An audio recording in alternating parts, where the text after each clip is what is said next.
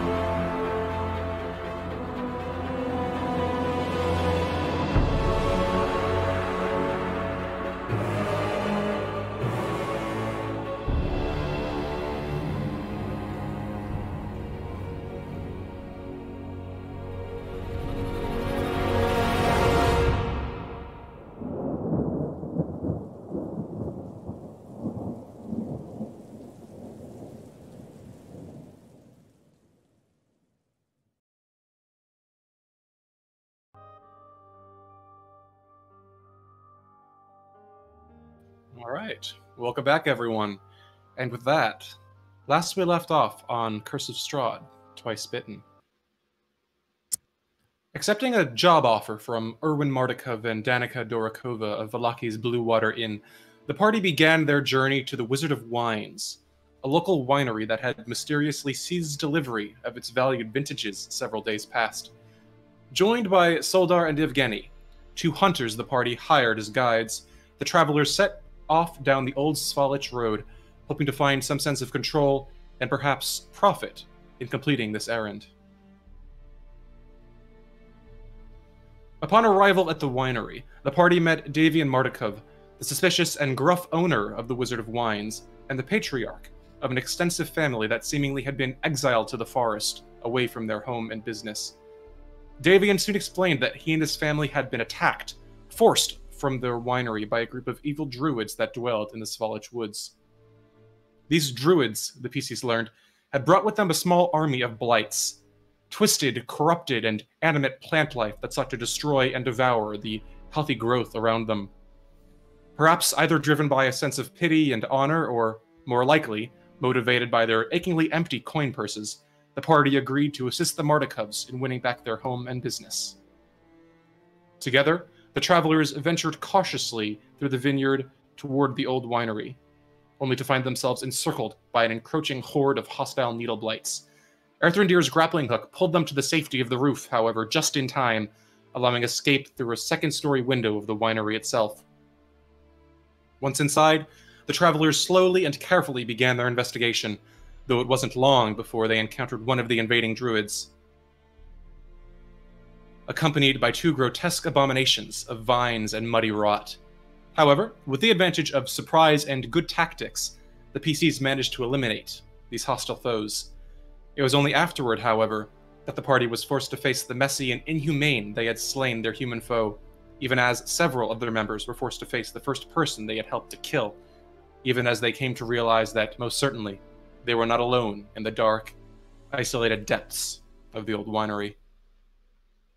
Coming together, the PCs agreed, grimly resolving to keep moving forward, and continued eastward through the dark, abandoned winery, only to soon come upon a narrow corridor and an echoed, crazed babbling beyond. And so, Lillison, As you peer through the half open door, a creaking floorboard under your foot gives way for just a moment, and you can see the space beyond. The room through the door has a wooden floor with a 10 foot square hole cut into the center, looming over which is a wooden winch, long ropes and hooks and chains dangling through the hole into the space below. Perched atop the winch, you can see a man with wild hair, rotted teeth, and skin painted red with blood. He waves a gnarled staff made from a black branch, and whipping his gaze toward you, affixing dark, dark eyes directly upon yours, Lillison's, babbles toward you. Lillison, as he raises the gnarled staff, black twisted knots and roots emanating from it, you suddenly hear a squeal of panic and fear from behind you, and glancing back, uh, Amity, you immediately feel a terrified sound as wriggling within your pack. You can hear Truffle fidgeting and uttering crazed little moans and whimpers. Oh, geez. Well, I'm going to um turn to Truffle, get him out of my pack, and and, and sort of pet his ears down. Be like, "What's wrong?" You can see that Truffle glances toward the open door for a second, and for a moment, you can see around the corner the very edge of this black twisted staff brandished through the window. Lillison, you can hear Truffle's squeals. And the man locks eyes with you for a moment, Lillison. What do you do? Oh goodness. Um I'm gonna send an acid splash at him. All right. Uh, I will need you to uh, roll initiative for me, please. Atta girl. I would love to. Hey. Yeah. A regular roll uh, for now. We're not going to use a full combat tracker for this. Gotcha. So just That is a 14 initiative. Uh, all right. Uh, what is your dexterity modifier? My dexterity is plus two. All right. As you watch, the man's eyes widen, and he, crouching down on all fours, leans away for you from you for just a moment, giving you a split second to fire it off. Uh, this is uh, a Constitution saving throw, I believe. It is dexterity. Dex. Gotcha. Uh, that is a ten. All right, that hits for four acid damage. All right. The acid damage sears forward, splashing through the air and hitting against the man's flesh and skin. Uh, it actually begins to melt away the red painted blood on his flesh, beginning to melt down, revealing a pinkish, raw skin beneath. The man babbles, his arms waving, and then crouching nimbly, leaps from the winch, grabbing hold of one of the ropes and sliding down, vanishing out of sight to the floor below.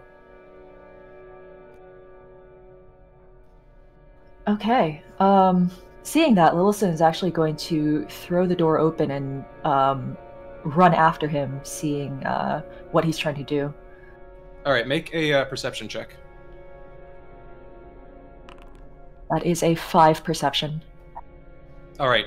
Uh, by the time you get to the uh, edge of the hole in the floor, you could just faintly see the man dashing uh, southward. It seems to your right. Uh, down below, you can faintly what seems to be a wagon that he sets his feet atop, and then vanishing uh, underneath the floorboards, out of sight. Apparently, uh, dashing off to the right. You can see he's kind of clutching the staff to his chest, and spares you one brief, what seems like almost like a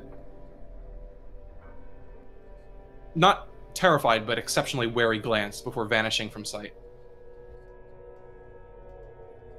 Okay. Uh, Lillison's gonna look back over her shoulder at Erthrindir and um, not quite whisper, but you know, quietly say, "He ran off. Are we going to just let him? Is he going to? What? What should we do?" well, odds are by the time we catch him, our cover's blown. I think we just go. We find whoever's next and we take care of him quick as we can before he's got time to mount any sort of organized response. If we're gonna get out of here alive, we gotta hit them before they can coordinate anything. It's rule one. All right, everybody get in here. And uh, she's going to move over towards the windows that face the portion of the wine, the uh, vineyards that we've been through, and uh, take a look outside. All right. Uh, while Lillison's doing that, what is everyone else doing? Uh, Erthrindir's going to back into the others. I think we're rumbled. We gotta move. And kind of beckon for them to come with him. Oh fuck me! And uh, Metreon will follow. Yeah, Uh, that's at about the distance. sentiment. Amity's limping right behind Metreon. And Kiva will continue to take up the back.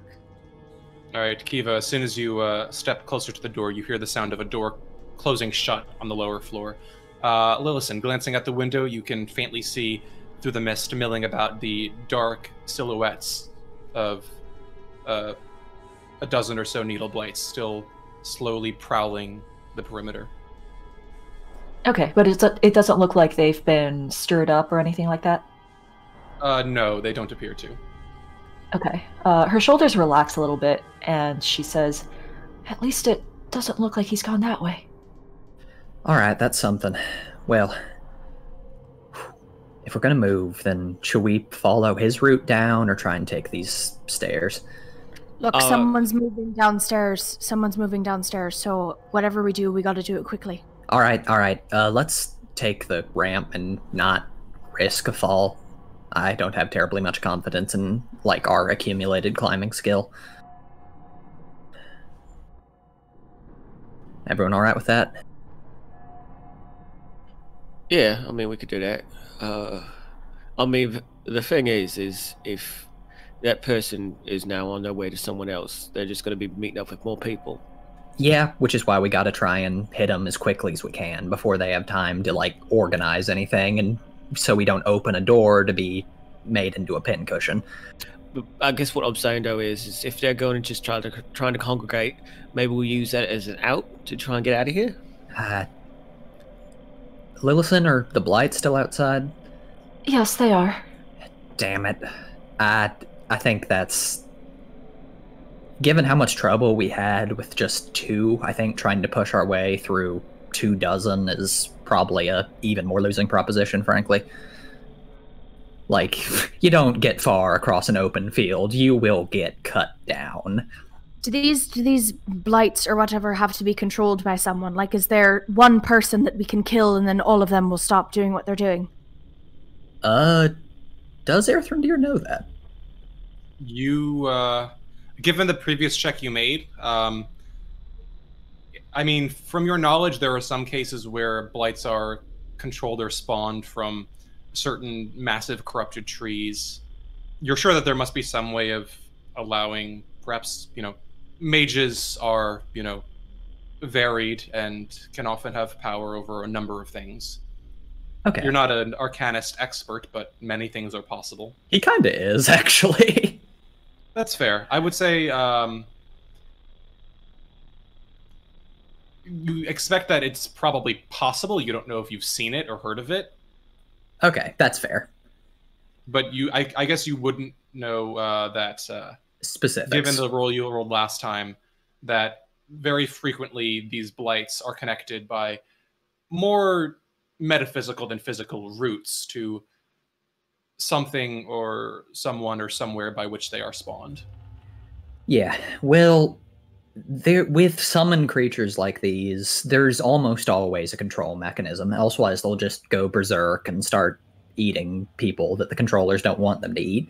So if we can find out, it might not be here though. It could be somebody ten miles away, but it's a reasonable guess that there probably is some way of causing them to go uncontrolled, at least, which might not save us, but would certainly help. Look, I understand that what we all just went through shook up a handful of you, and I'm sorry about that. But I think what we need to do is if we find any more people like that, we need to cut them down.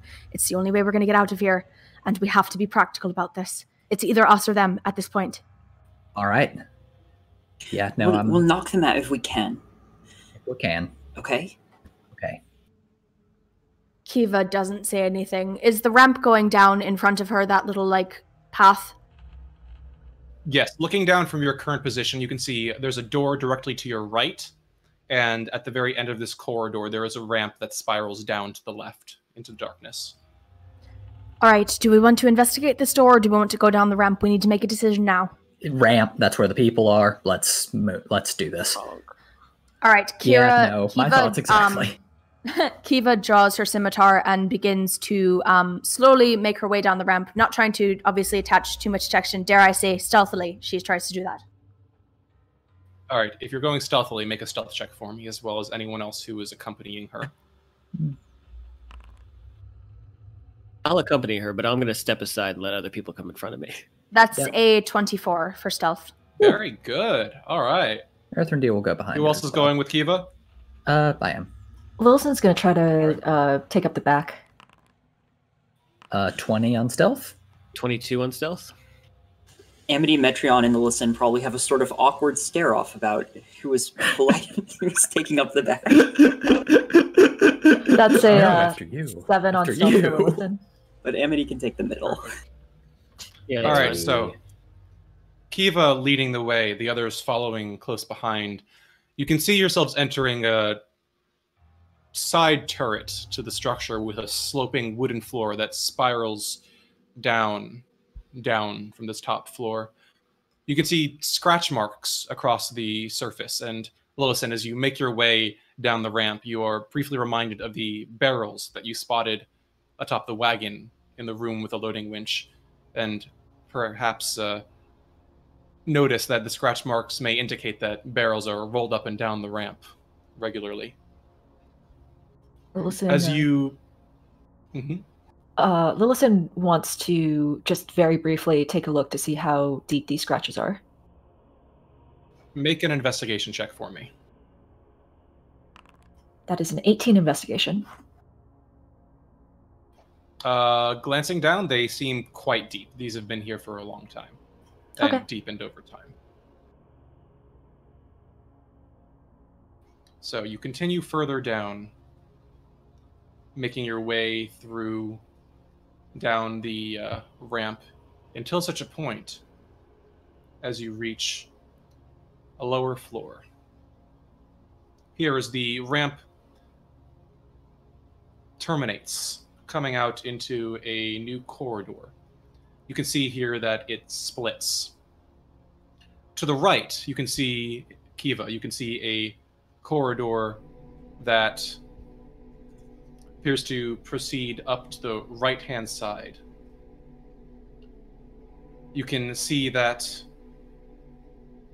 uh, it proceeds forward down a stone corridor, and to the immediate left, there's a pair of double doors that open into a new area.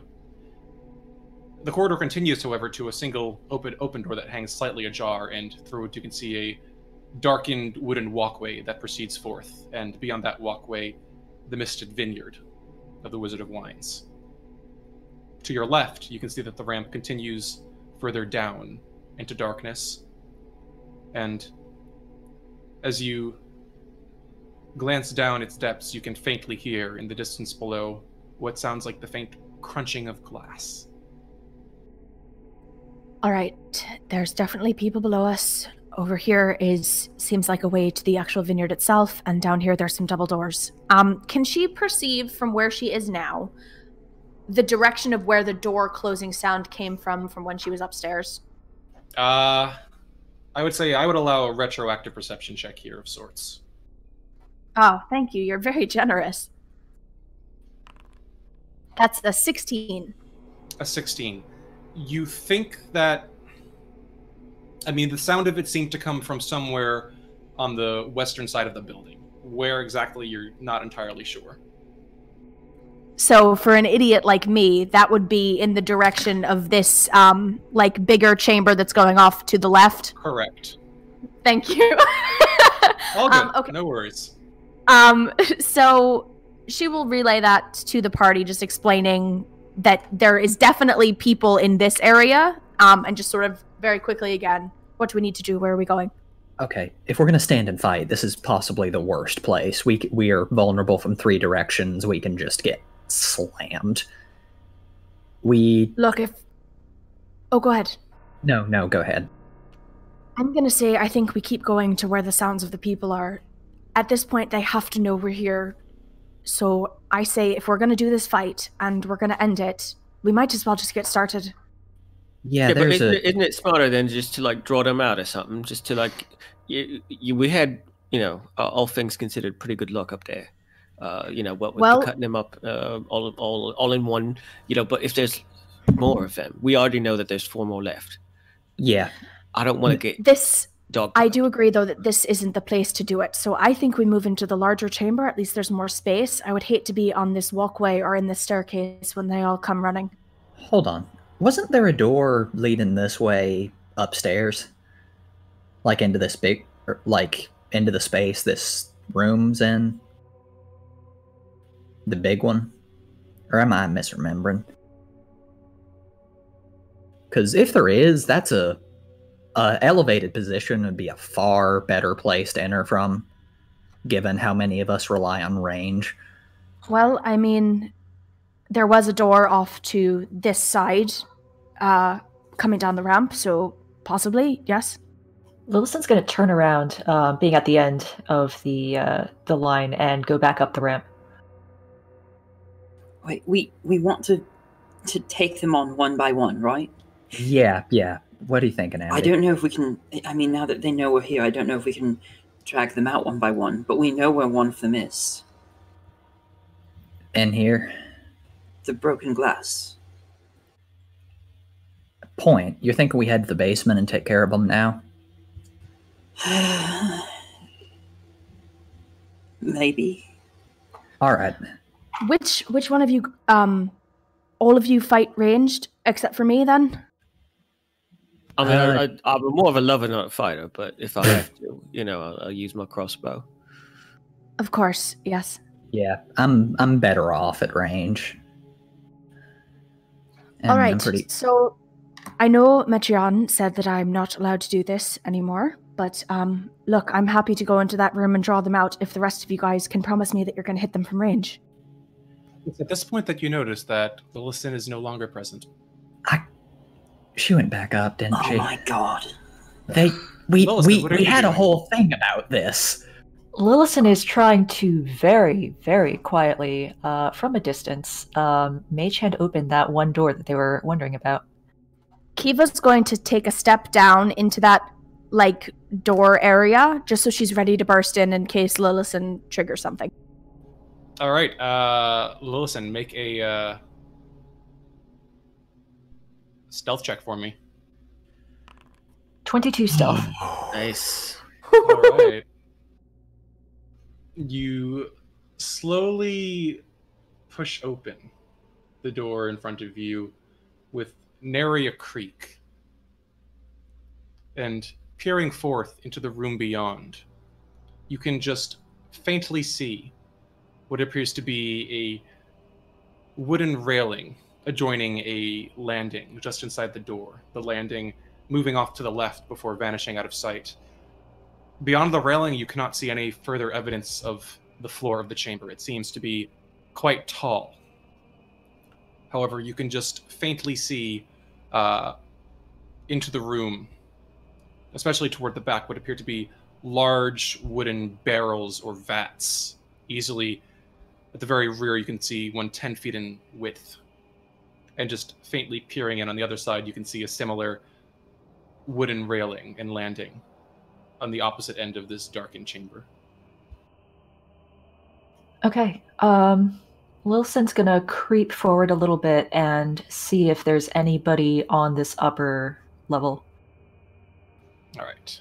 Peering forward, very slowly and peering through the opening you've made in the door, you can immediately sense as you peer through that the rich smell of fermenting wine fills this large two story chamber, which you can now see is dominated by four enormous wooden casks, each one 8 feet wide and 12 feet tall. A wooden staircase in the center of the room climbs to a 10 foot high wooden balcony that clings to the south wall, which has four windows set into it at the balcony level. As you peer inside, the balcony creaks, drawing your eye to a wild looking figure hunched over the westernmost cask, pouring a flask of thick syrup into it. She wears a gown made of animal skins and a headdress with goat horns, and her hair is long and unkempt. Okay. As Um, this happens, uh, Kiva, you're still peering through through the lower level. Yes, she is. All right. As you do so, glancing through into the room beyond, you can just faintly see, suddenly, something skittering across the floor.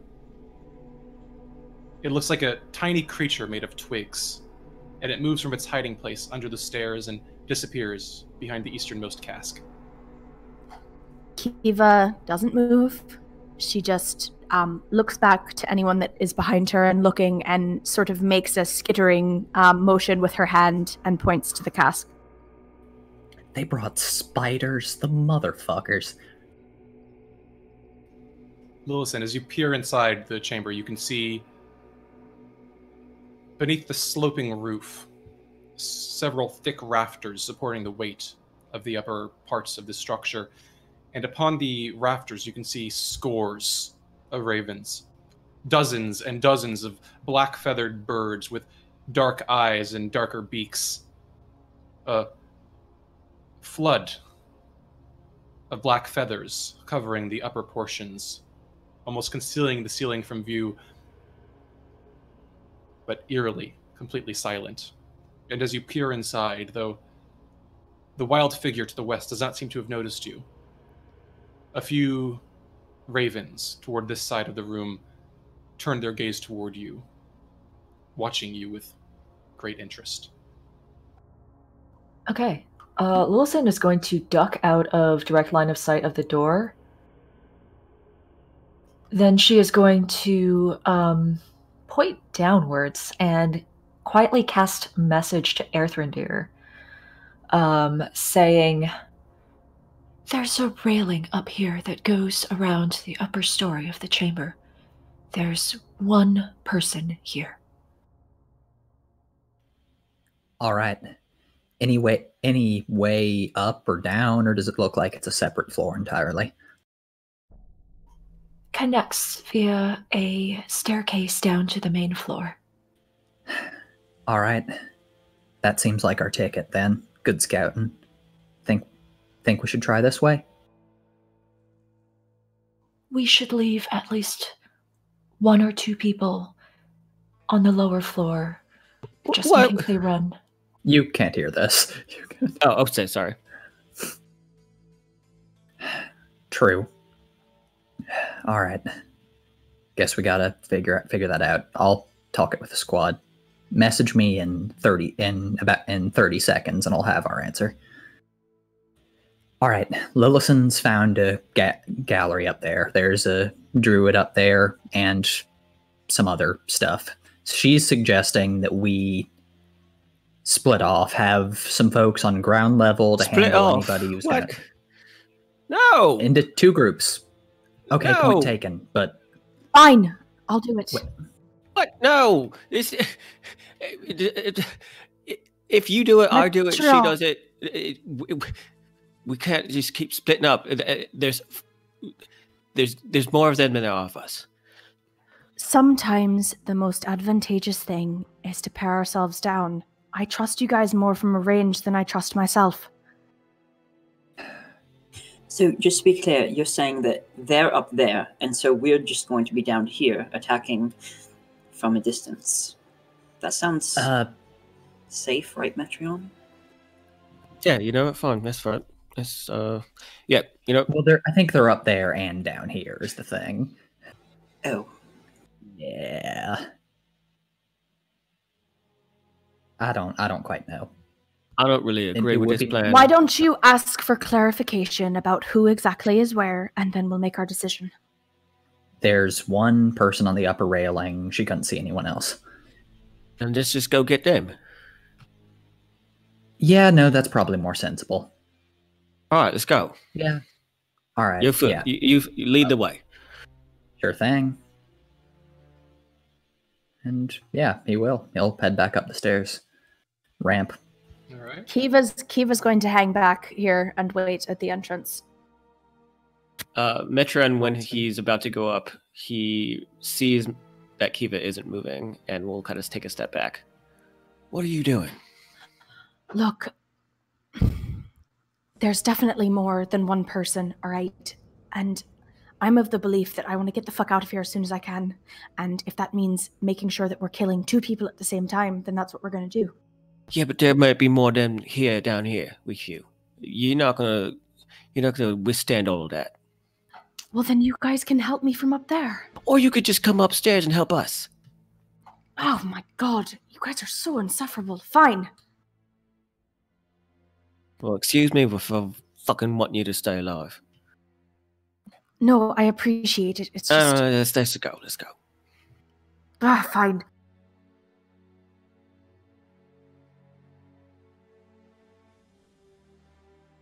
And yeah, uh, Yeah. we'll go up the ramp. Yep. Marathon Deer nods to Lillison. Upon reflection, we thought this kind of sticking together, we're stronger this way. Plus, well, I've got the grappling hook, so if we want to get down to the second level, we can just. He kind of mimes throwing a rope down. There's a staircase going down. I mean, yeah, but. He does not appear to have an Minute for the actual response. he does not appear to have an actual response to this. She just shrugs, um, moves back a bit to make room for everybody. All right. So. Count of three, everyone. Yeah, yeah, I guess so. Uh, um, yeah. All right. So, as a point of clarification, Erthrindir and Lillison are on the upper level by the winch, Ye- uh, and Kiva, Metreon, and Amity are on the lower level. No, I think we're all going up to, up to the upper Gotcha. level now. Very good. Correct. yeah, that's what's happening. Very good. Just let me move everyone over.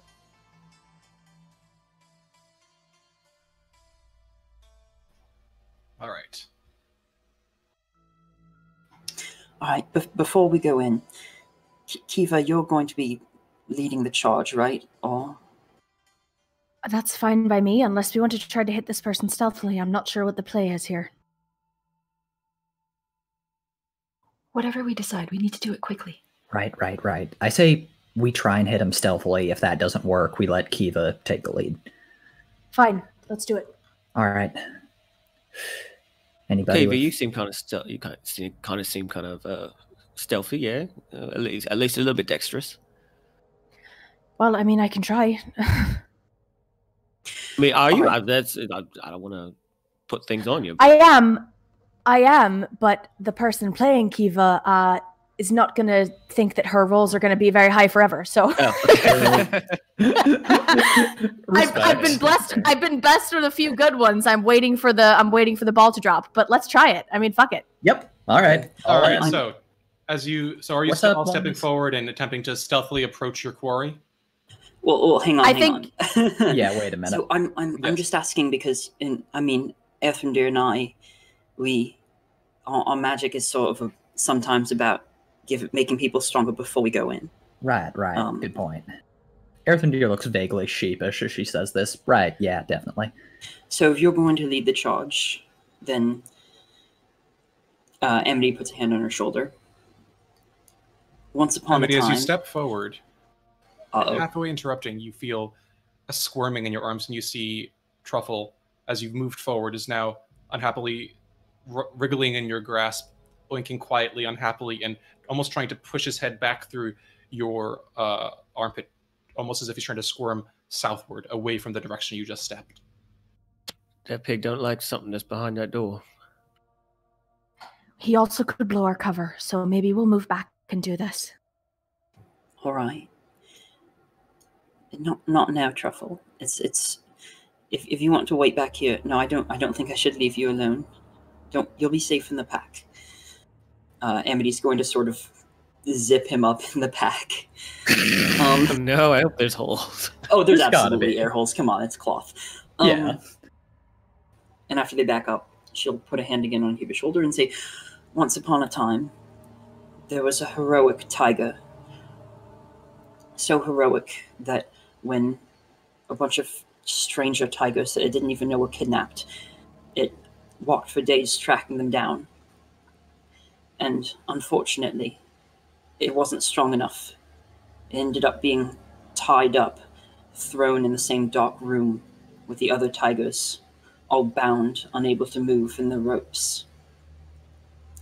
But unlike the others, it didn't give up.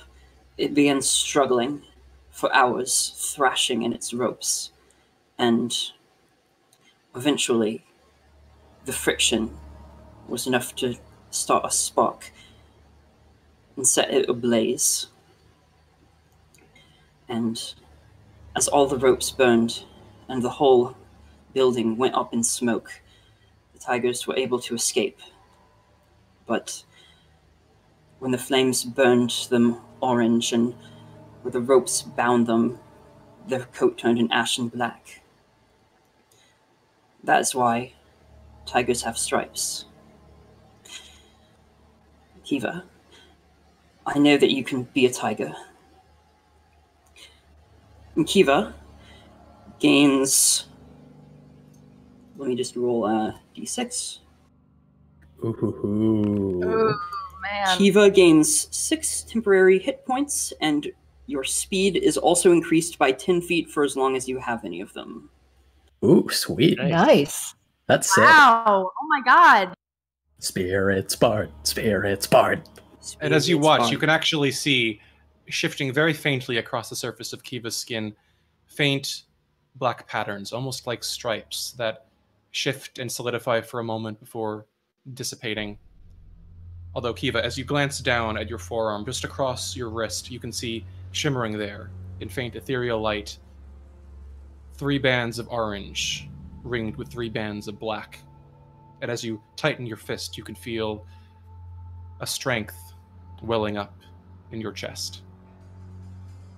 Oh my goodness. Yo, I'm emotional. I missed you guys so much. Okay. Um All right. So she is going to um the door is open, yes. There's no like opening the door that needs to happen. It All is, right, uh, so half she is- open. Okay. And does she still have is the 10 minutes passed for bardic inspiration at this point? Uh, I believe it was given during our last fight, so I'm not sure. Uh, I would imagine yes. It's been ten minutes by this point. Okay. Pah. All right. So Fair she is going to um using her speed boost and um she's going to make a stealth check and try to get as close as she can to that uh druid lady. All right. Uh, is Kiva the only one entering combat, or are all of you No. doing so? Earth I think we're all. Yeah. All right. I will need everyone to make a stealth check, please. Big money, big money. Ah, come oh, on. fuck. Eight stealth. Oh my god, you people Seven. rolled like horrible, like just Eight worst. stealth. So in order, that's Uh. 7, 8, 8, 9, and 17. Yeah, Metreon got the 17. Don't worry. yeah, that Treon's He's got fine. this. We believe in him. All right.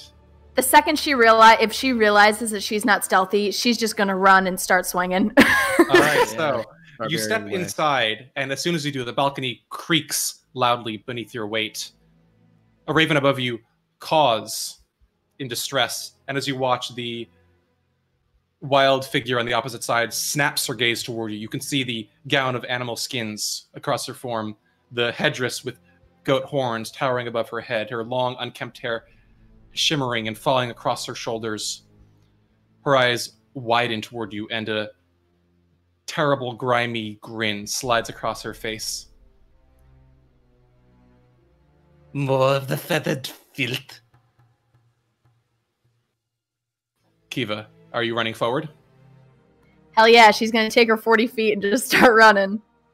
All right. As you do, the druid cackles and raises a staff. Come then. It would have been a while since I have played with a toy like you. All right. uh, I will need everyone to roll initiative on the combat tracker. I have already uh, taken the liberty of adding most everyone. All right, that's a 10. Eleven. 11 for Metreon as well. 14. All right. 9. Uh, very good. All right, Kiva, you rush forward into the room, brandishing your uh, scimitar, and with that, unfortunately, you do not go first. Come on. It's okay. It's all right. Bring it on. Let's go. don't want to bring it on. All right, with that, as you rush forward, uh, bearing your scimitar high, you watch as the druid lunges forward, bringing her quarterstaff up in the air, then twisting it and pointing the end directly toward you. Little stranger, a shame that I'll have too much fun with you before long. I hope you last longer than the last ones. And glancing on the ground around her feet, you can see several corpses of black ravens that have been had their wings twisted, feathers torn, and scattered the space around them. And as she brandishes her staff toward you, her eyes glow a deep green, and she chants a word, and a thunderous blast of force erupts from her staff, shattering the windows, twisting and creaking the sides around you and flinging against you. I need you to make a Constitution saving throw.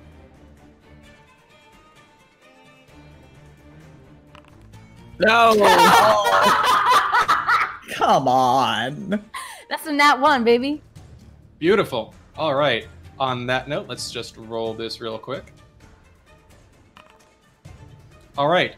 Uh, you suffer a total of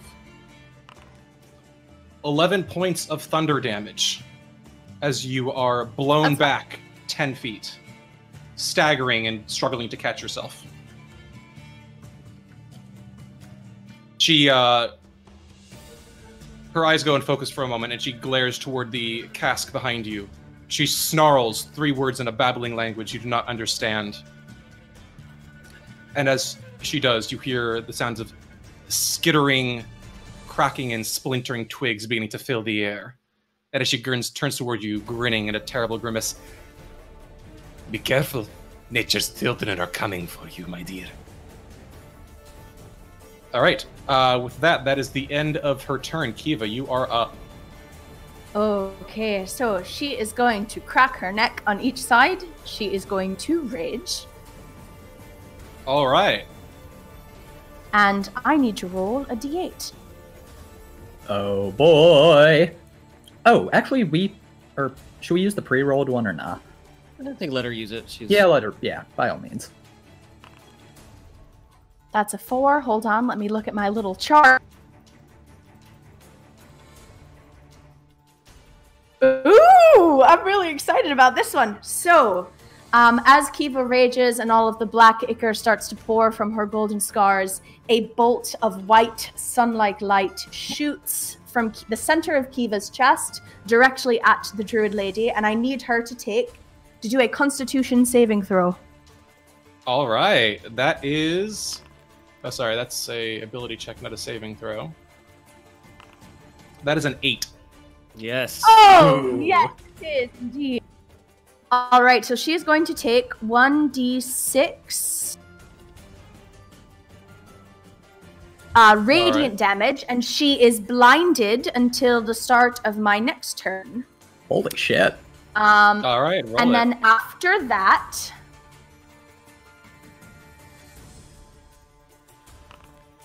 So that's six points of damage. Nice. Um, and then Kiva's gonna move in and uh, swing away with her scimitar. All right. Go for it. Remember, you've got advantage. Oh, I love that. Yeah, I love that for you. Uh, so that's an 11. I don't know if that hits. An 11, uh, as you swipe forward, uh, just barely hits. Oh, I love that. That's uh, nine slashing damage for her right there.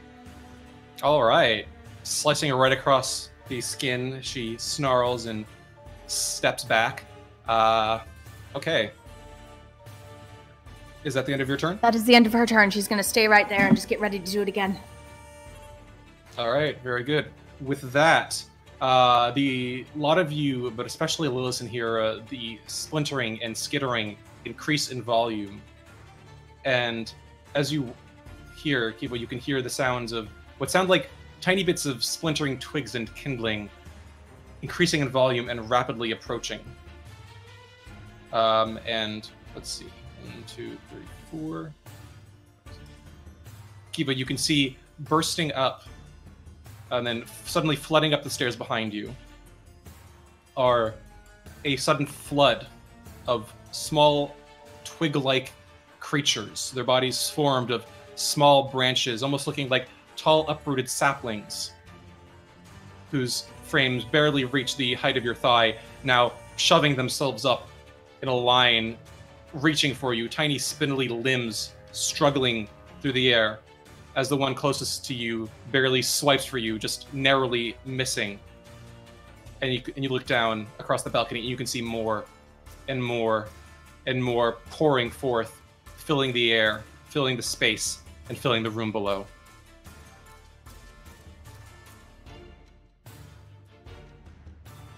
This All right, isn't that good. is that is Not their turn. particularly. With that, Lillison, you are up. Okay. Um, Lillison is going to abandon the attempt at stealth and just uh, run in through the door. As you do, you immediately see the flood of twig blights marching their way through.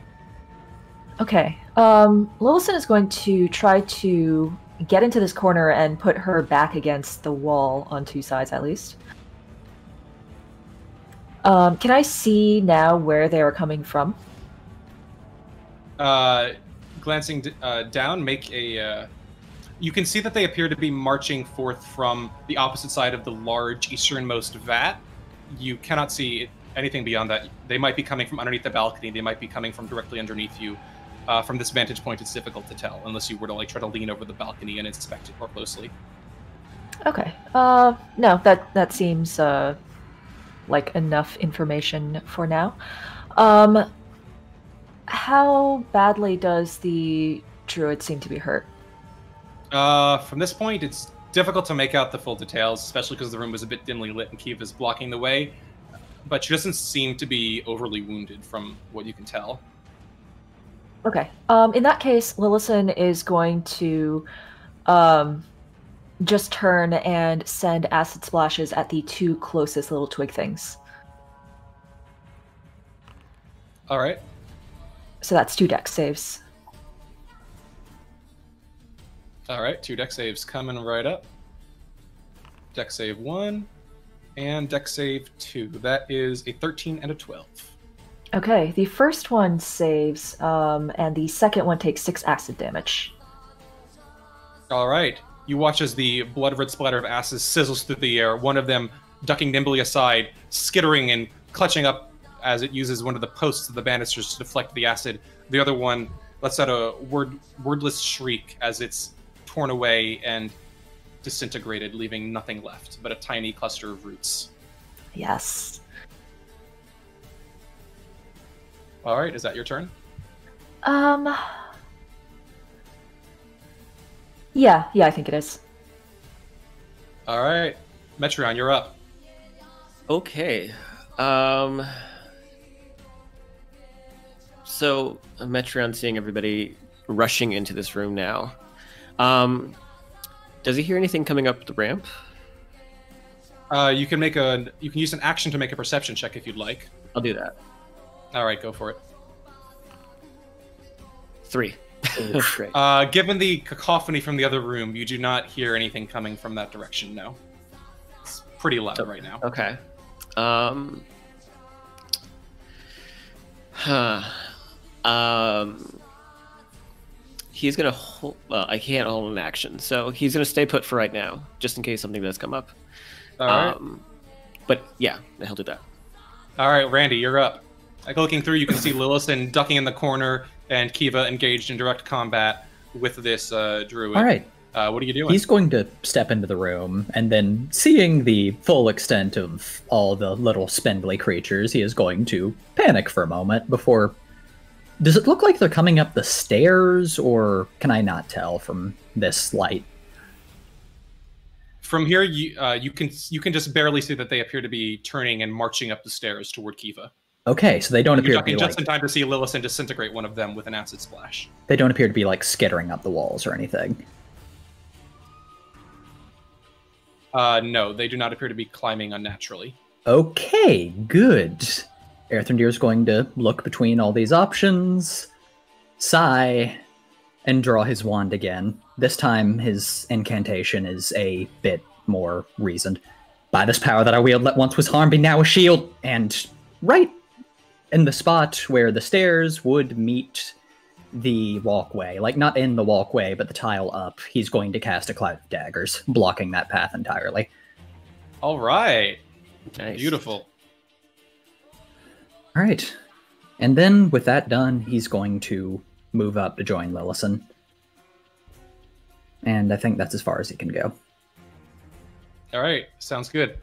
Um, that being the end of your turn, Amity, you are up. All right, Amity is going to move up, and seeing that the uh, antlered creature over there is, you know, covering their eyes in pain, she will draw her crossbow, pointing it at her, at the figure. But then at the last second, like, shakes her head, can't bring herself to do it, and shoots one of these twig boys instead. All right. Uh, which twig boy are you sh- shooting for? From here, you can't really Uh, see much. I would say you'd have to step into the room to get a good shot. I see. Well, that's fine by me. Um, so I guess the one that's closest to the staircase is the natural choice. That's a 12 on attacking. All right. A 12 unfortunately just barely misses as the thing nimbly dodges aside, casting its dark, hollow gaze up toward you. Okay, that's all Amity can do on her turn. All right, very good. Um, with that, that is the end of your turn. And as you do, Kiva, Erthrindir, and Amity, your eyes immediately go to the rafters above as you hear the sudden flapping of wings and a defiant caw that begins picking up as a chorus of bird of avian shrieks echoes through the ceiling as you watch what seems like a hundred ravens screaming, shrieking, and diving down toward the floor below. You see them pelting, nipping, biting at the twig blights, marching across the floor, tearing them to shreds. Uh, you watch as no less than four of the blights are torn to pieces and reduced to splinters upon the ground. Before the ravens re- return to their uh, places, flying just above the per- just below the rafters, and looking fiercely down at the blights below. God Two of the ravens damn. cast gan- glances toward Kiva and give a caw of not quite comfort, not quite defiance, but a sense of camaraderie despite the beast it comes from, before fixing their gazes back on the blights that continue to march ahead. Uh, that is their turn. It's about time we had an ally in these fights. Jesus.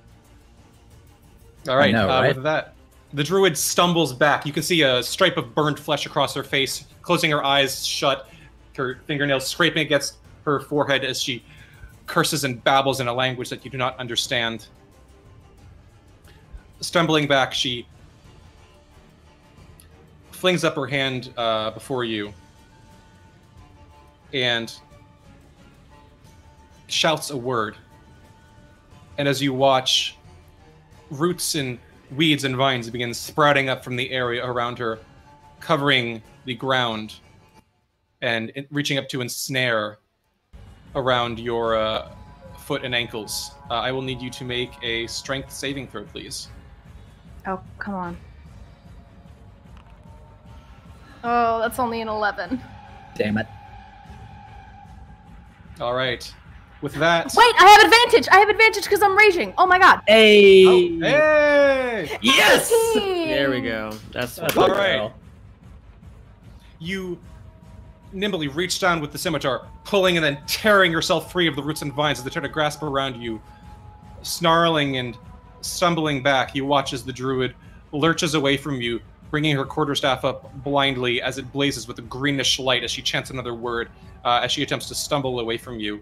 Uh, you may make an opportunity attack if you choose. Oh, hell yes, I am. That's a 13. Roll for a A crit. 13 will hit. Roll damage. Ah, Roll I love that. That's seven damage. All right, you slice across her, and she stumbles back, uh,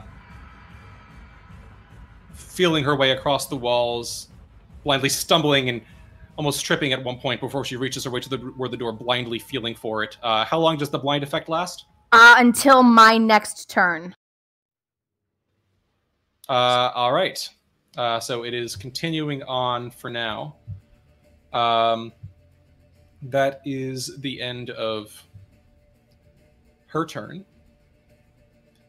And as you listen, she turns back and snarls toward you, still clawing at her eyes. The great shadow take you all. You'll pay for this. And I look forward to watching you bleed, you little shits. All right, uh, Kiva, it is your turn. Oh, she's following. She's not quite done yet. Um, so she's Nice. going to go after this woman. Um, she is going to make her attack with her scimitar. All right, uh, is the blindest gone at the start of your turn? Yes. All right, she is no longer blind, and she meets her eyes with the murderous, deadly uh, rage that is nonetheless stilled by a, a chilled look of just deep calculation and loathing. All right. So she's going to make her attack. That's a 20. Whoop whoop. All right, So that's six slashing damage. all right. And then for her bonus action, she's going to pull this lovely lady in nice and close and send another bolt of sunlight. So I need another All right. constitution saving throw, please. That is a God, that's 12. cool. Uh, that just, it, did she just succeed? My DC is a 12. What's- Fuck. Uh, yeah, that that's means a we success, succeeded. Yeah. She just Damn. narrowly ducks aside, her eyes flying wide, and she shoots you a, a dark smirk, a bit of blood beginning to drip from the corner of her lip. Hmm. It will take better than that. She's going to stay. The little Oh, ahead. weak light you bear is nothing to what I have seen. Uh, well, she's going to stay right on top of this woman. She's not done yet. And that's the end of her All turn. right. Very good. That is the end of your turn. Uh, it is the Blight's turns. As you watch, they turn and begin sinking their little claws into the side of the vats and begin climbing up, doing their best to slowly clamber their way to the top. Uh, given the height and some minor calculations, uh, they would be able to. Two of them make their way here, um, just adjacent to Erthrindir. Oh come on. Two of them are just behind them. And as you watch, the room continues to flood as more and more of them pour out from the southern side of the chamber, uh, filling up the space.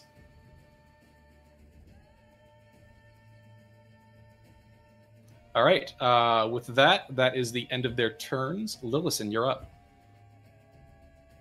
Okay, so um, I assume that the big green square here is something else, and the cloud of daggers is only like the the small green square. Cloud of Daggers is a small green Square, Yes, square, the yeah, big green square is the uh, druid's entangle spell.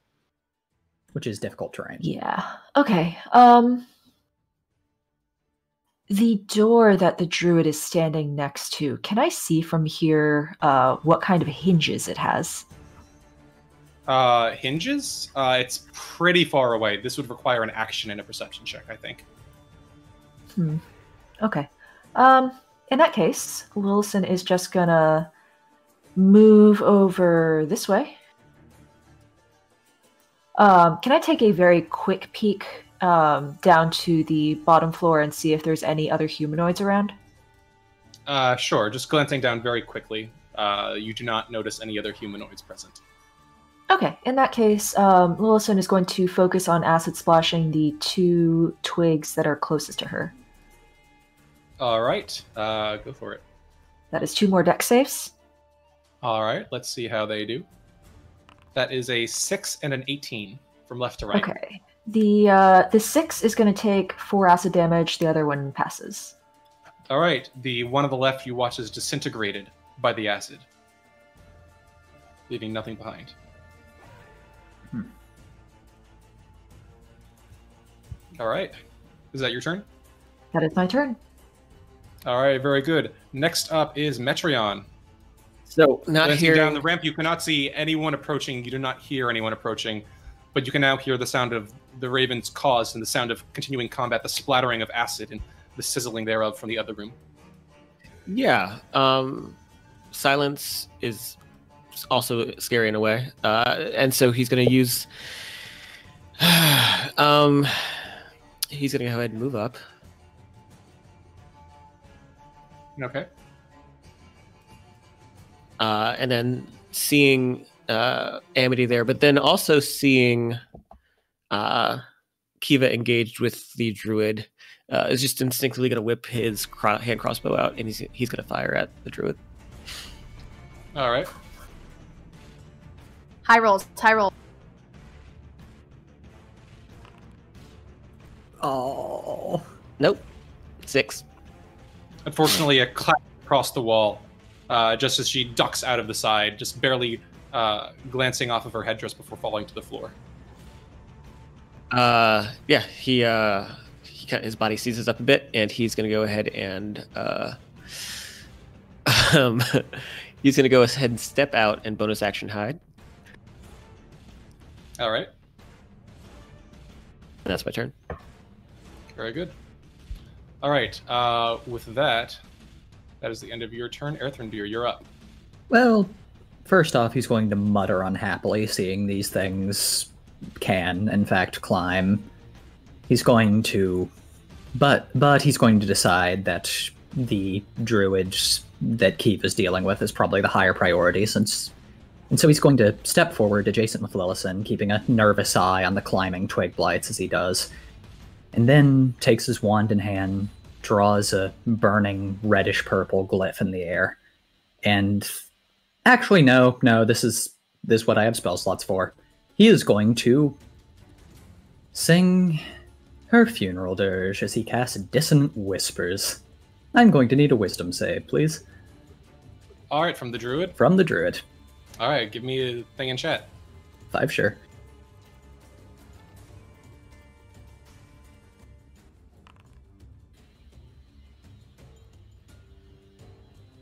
Alrighty, let's see how she does.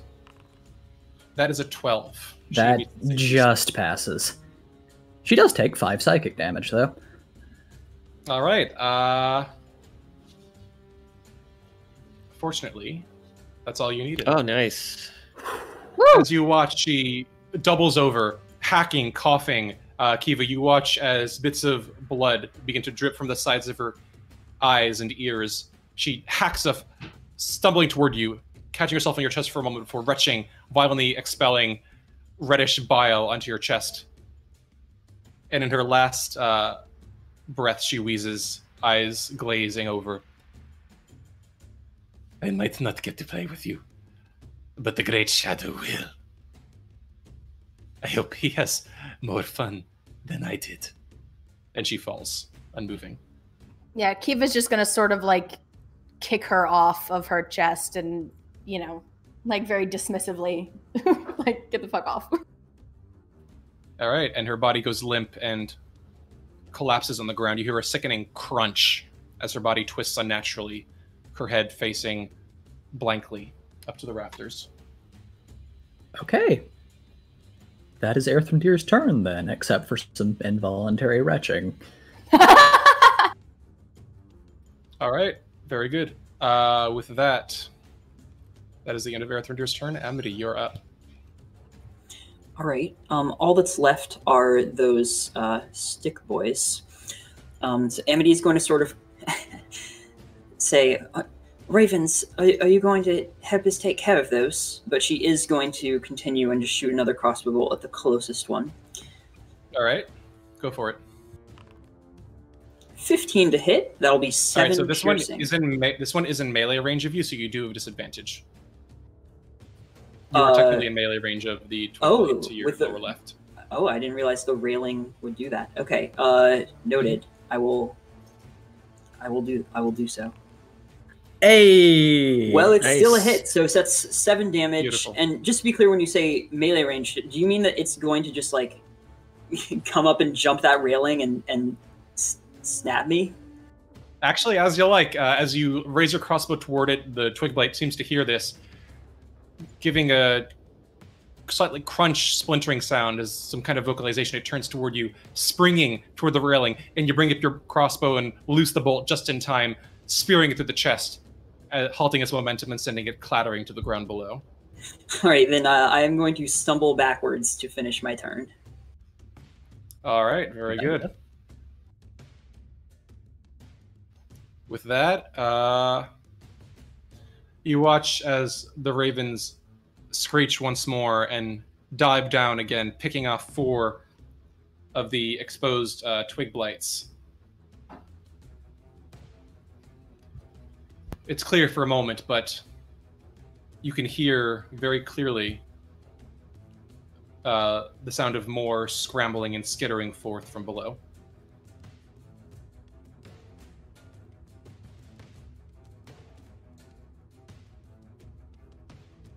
Okay.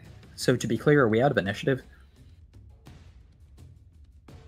I don't think we are, are we?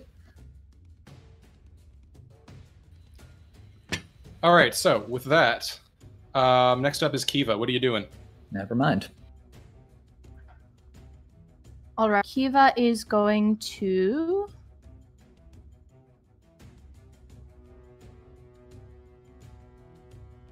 She's going to move right there and she is going to just uh, bonus action try to hit this uh, druid closest or the twig blight closest to her with her little light blast. Okay, so which twig blight are you aiming for? There aren't any currently exposed. Oh, okay. Um, never mind. I thought she could see that one uh, down on the second cask there. Uh, no, uh, the exposed ones are all now deceased. Oh, well then um I guess she's going to go back to where she was and ready an action if so- one comes up near her. All right, very good. Uh, with that, that is the end of your turn. And as you watch, Kiva, you can see beginning to clamber up the sides of the vats on the southern side now. And Lillison and Erthrindir, you can see this as well. Beginning to climb their way up and fitting themselves to the dark crevices and spots as more of them begin climbing their way up the exterior on the northern side. Many more twig blights emerging into the space. Climbing slowly, it seems. They weren't able to, they're not able to make the top immediately, but they lash out toward you. Uh, but two of them uh, turning toward Lillison and Erthrindir, raising twig like claws high, um, preparing themselves to attack. That is the end of their turn.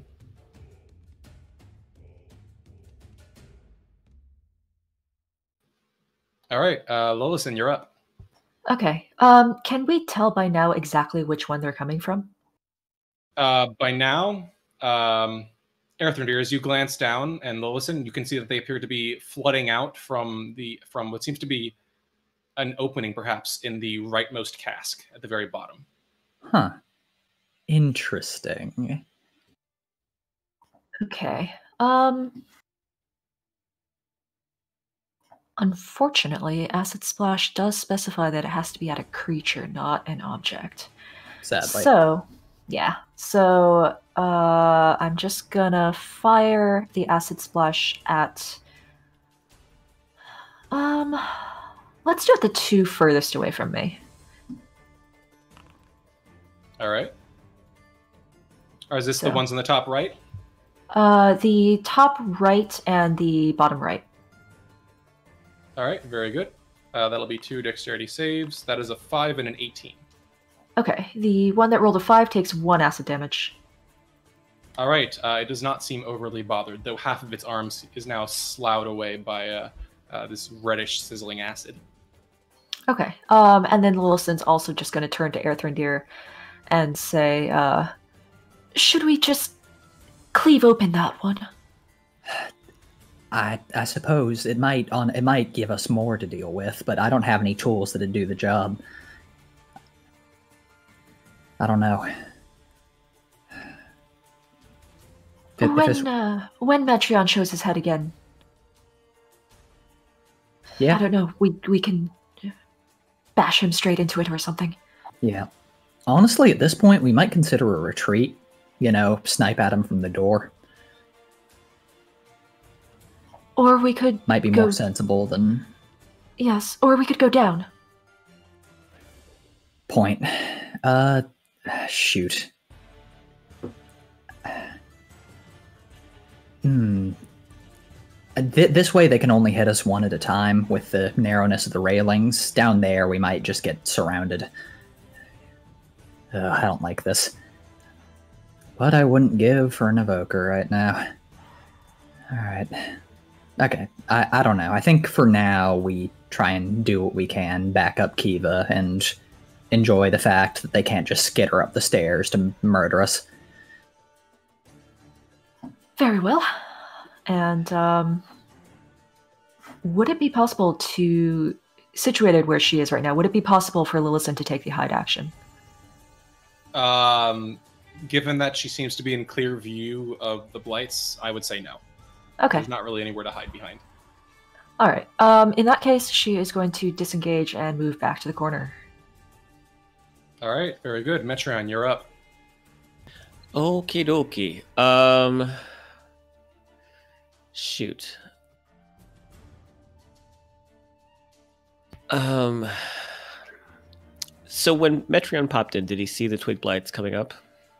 Oh yes, you can see many twig blights climbing up, uh, flooding the space. There are many of them. Okay. Uh, he's gonna take a couple steps back.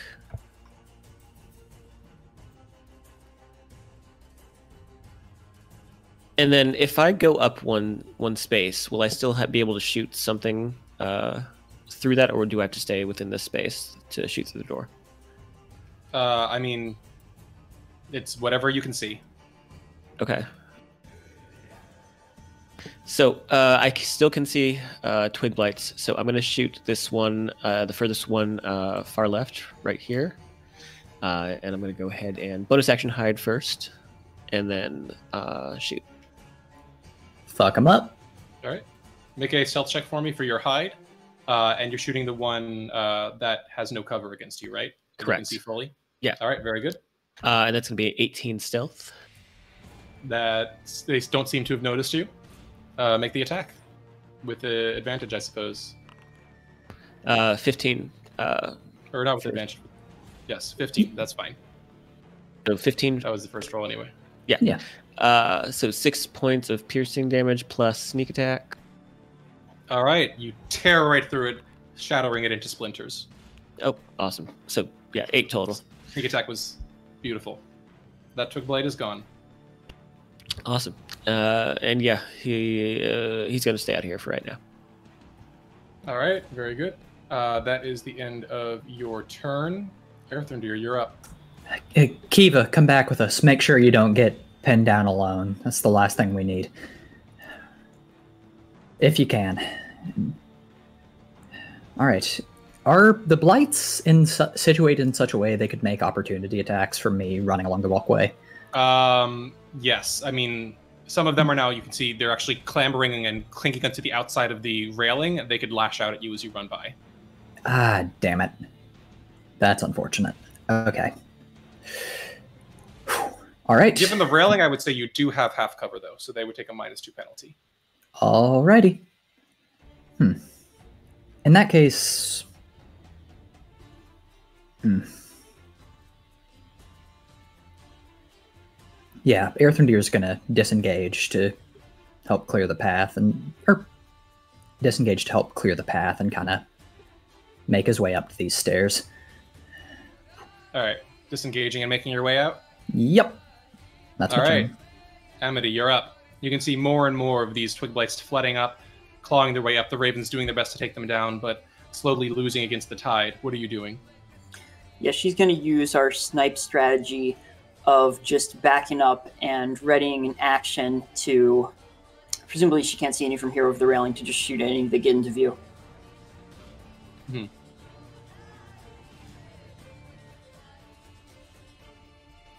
All right, so right, yeah, right now you can't really see anything. Are you just hanging out and readying an action or something?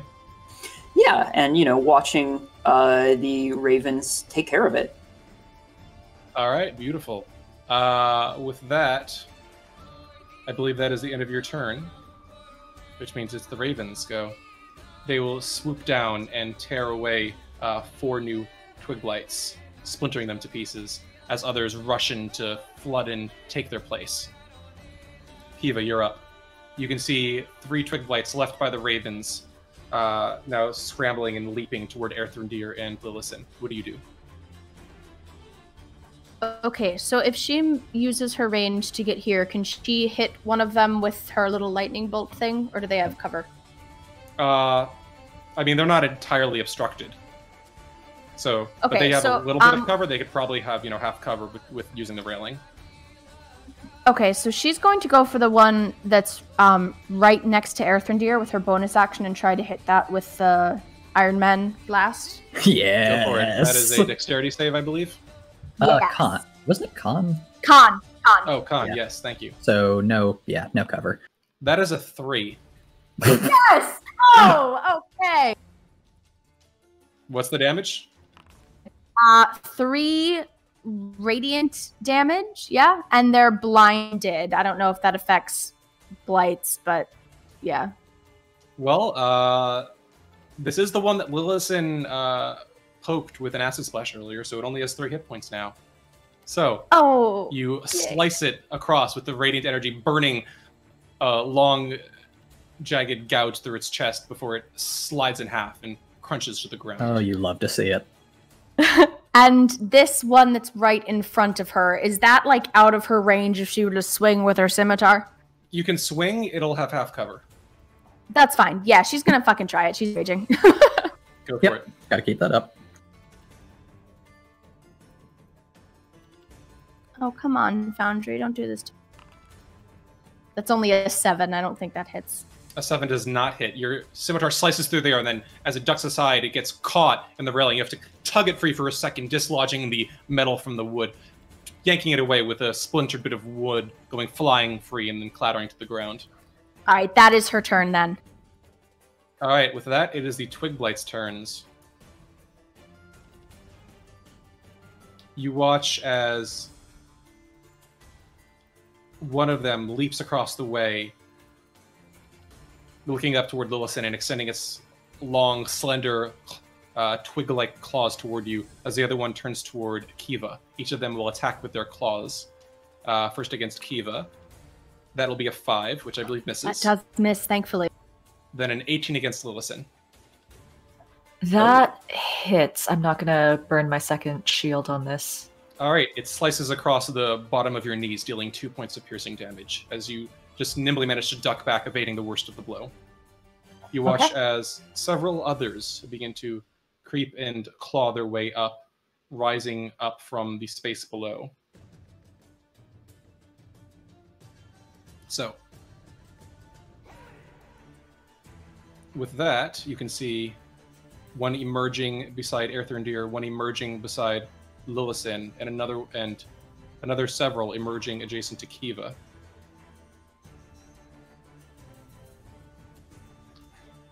Turning toward you, they extend their claws and begin slicing through the air.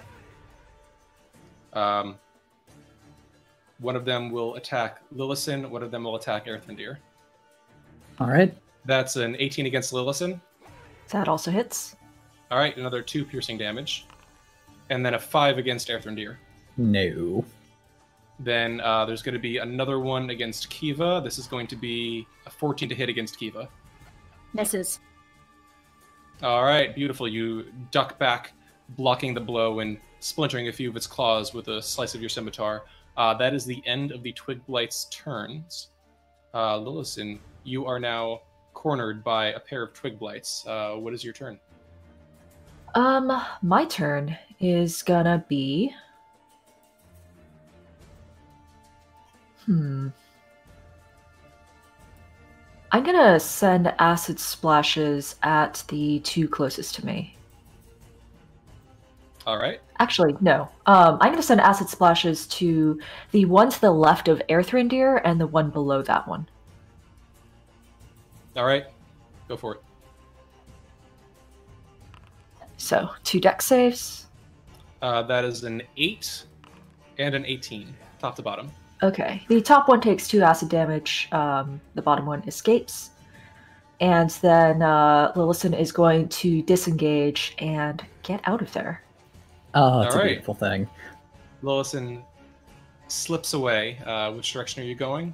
Past Erthrindir. Okay. Yeah. And vanishes into the room. Metreon, you see Lillison uh, smoothly move through the space beside you and then duck back away from the room. All right. Uh, Metreon just kind of watches Lillison run out. I imagine she's uh, somewhat bloodied. Uh, yes, definitely. Yeah. Uh, he will kind of skip in front just to kind of get a, a sense of thing. And uh, Alright. seeing how uh, overrun it seems to be with blights, he's going to go ste- headed step back.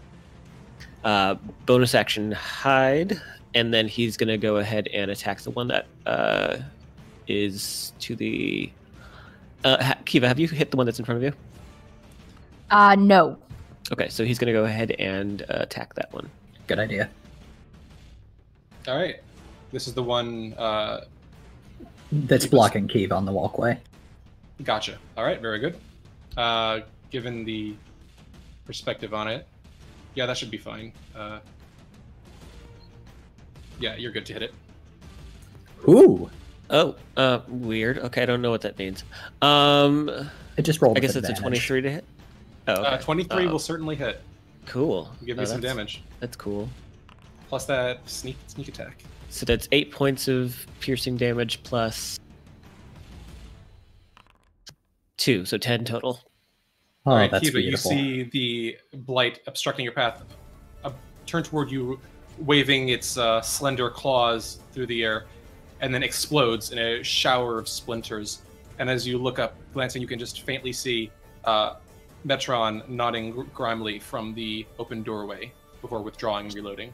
Yeah, he immediately slams up against the back of the wall. I was gonna say she would throw him a wink if he was looking. All right, And that's my turn. Very good. That is the end of your go, which means Erthrindir, you are up. Okay, seeing that it looks like things are about to. We are about to be all through this door, he is going to join the gang and disengage. Yoink. Seeing the others, he's going to murmur, Alright, once Kiva's in here, we slam the door shut and let the ravens do the work, right? Yeah, yeah. yeah. Yes. Great, great. And he's going to come down the ramp to block that off. And yeah, that'll be his turn. All right. Or Very good. actually, or now it's his turn. All right. Uh, Amity, you're up. I mean, you know, ready to action to shoot any twiggies that come into the way, but it seems like our plan is to beat a safe retreat, so You could still pop out and shoot one of them before making a safe retreat. in Yeah. fact I cannot because my speed is 15 feet. Oh, that's right. God damn it. Uh, God damn it. All right. Uh, so is leg. that Amity's turn then? Would you like to take the dodge action? Uh, yeah, I prefer the ready to action to shoot one that's coming. Very good. All right. With that, uh, Kiva, you watch as the swarms of ravens dive down again, snapping and biting. You hear the splintering and crunching of twigs and branches as four more of the twig blights are cut down, leaving only two stragglers lurching their way toward you. Glancing down over the uh, side of the balcony for a moment, you can faintly see that there appears to be no additional blights flooding forth from the vat. The flood, it seems, has stemmed. Well, Kiva's not going to leave a fight unfinished here, so she is going to. Uh, if she goes around to this area, can does there cover on these guys as well, or would she have to um, go down the steps to get them? Um, so you can hit them from there. Uh, they will have half cover. All right. Well, first she's going to try to do that lightning bolt thing uh, as a bonus action. Roast so, him. uh, con saving throw. Very good. Let's see how it does. That is a 20, I'm afraid. Ugh, okay, that's okay. So she's going to try to hit anyway. Um, since there's only two left, why not? Go for it. Ugh, damn it. All right, that's only a nine. All good. It ducks back and you slice through empty air, pulling the scimitar back. Uh, is that the end of your turn? Uh, see, normally I would do the smart thing and say that she would just follow, but there's only two left, and she wants to make sure that the Ravens can actually handle this. So yeah, she's gonna stay there. Eh, play your character. All right. With that, the twig blights have their turn. One of them leaps through, kind of grasping onto the railing with its little claws and pulling itself through, slowly emerging into the other side. It whips its way around, swirling like a, a dervish of sharpened twigs and brambles, and latches itself out, a tiny little body swirling as it claws against your side, soon followed by its compatriot that leaps forth on the other side and rounds the railing, the two of them cornering you on either end. Uh, that's going to be a six to hit, which I believe misses, and a seven, also, which I believe Both also of misses. those- Yes. Miss. Yes. Right. It's pulling up on some dexterity or quickness or strength that you didn't know you had. You whirl around, uh, deflecting each claw and blow with your scimitar, almost dancing as the blights on either side wail at you ineffectually. All right. Uh, with that elegant defense, uh, Lillison, you are up. You can hear Kiva still fighting on the other side. Okay. Um Lillison is actually going to take a look at everybody. Um does everybody around her right now look um pretty healthy still? Uh, yeah. Yes. Everyone around you looks pretty much unblemished. Okay. Um staggering a little bit and uh, clapping her hand to one of the uh, the deeper scratches in her side, she is going to uh, just look around and say, "I'll be right back," and uh, stagger towards the ramp. Where, where are you going?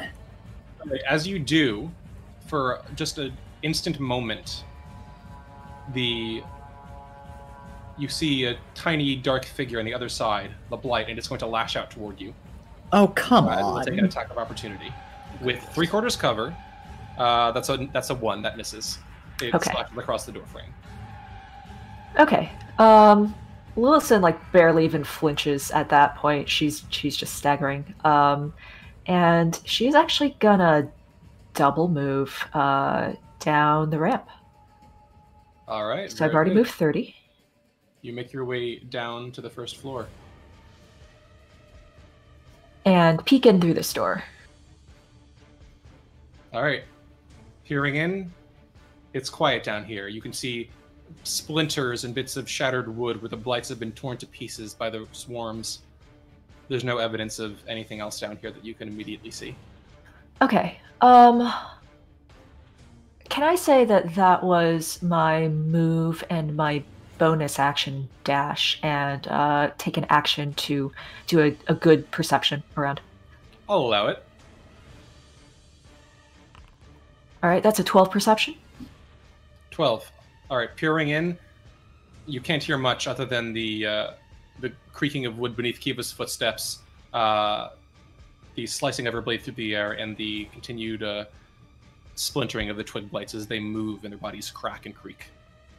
Okay. Um Lillison's just going to wait here. That's my turn. All right, very good. Next up is Metreon. You can, from what you can hear, Kiva is still caught in the fray. Uh, you just faintly have a line of sight to one of the blights blocking her path. Uh, yeah, I'm gonna go ahead and uh, bonus action hide. Uh, that's a ten. Um, all right.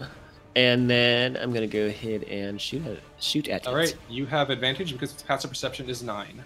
Oh, Uh, that's but it does have half cover against this because uh, the door frame is partly in the way here. Or no, this would be three quarters cover actually. Uh, so 15. Uh, 15 plus three quarters cover is unfortunately a 10, which does not hit. What? Oof. Damn it. All right. Yeah. Uh, and then They're pretty uh, narrow doorways, I'm afraid. Yeah, no, Yep. that makes sense. Uh, and then seeing Lillison just kind of like wander off down towards the ramp, uh, thinking that that's now the plan, he's going to go ahead and use his movement to go uh, catch up with her. All right, very good.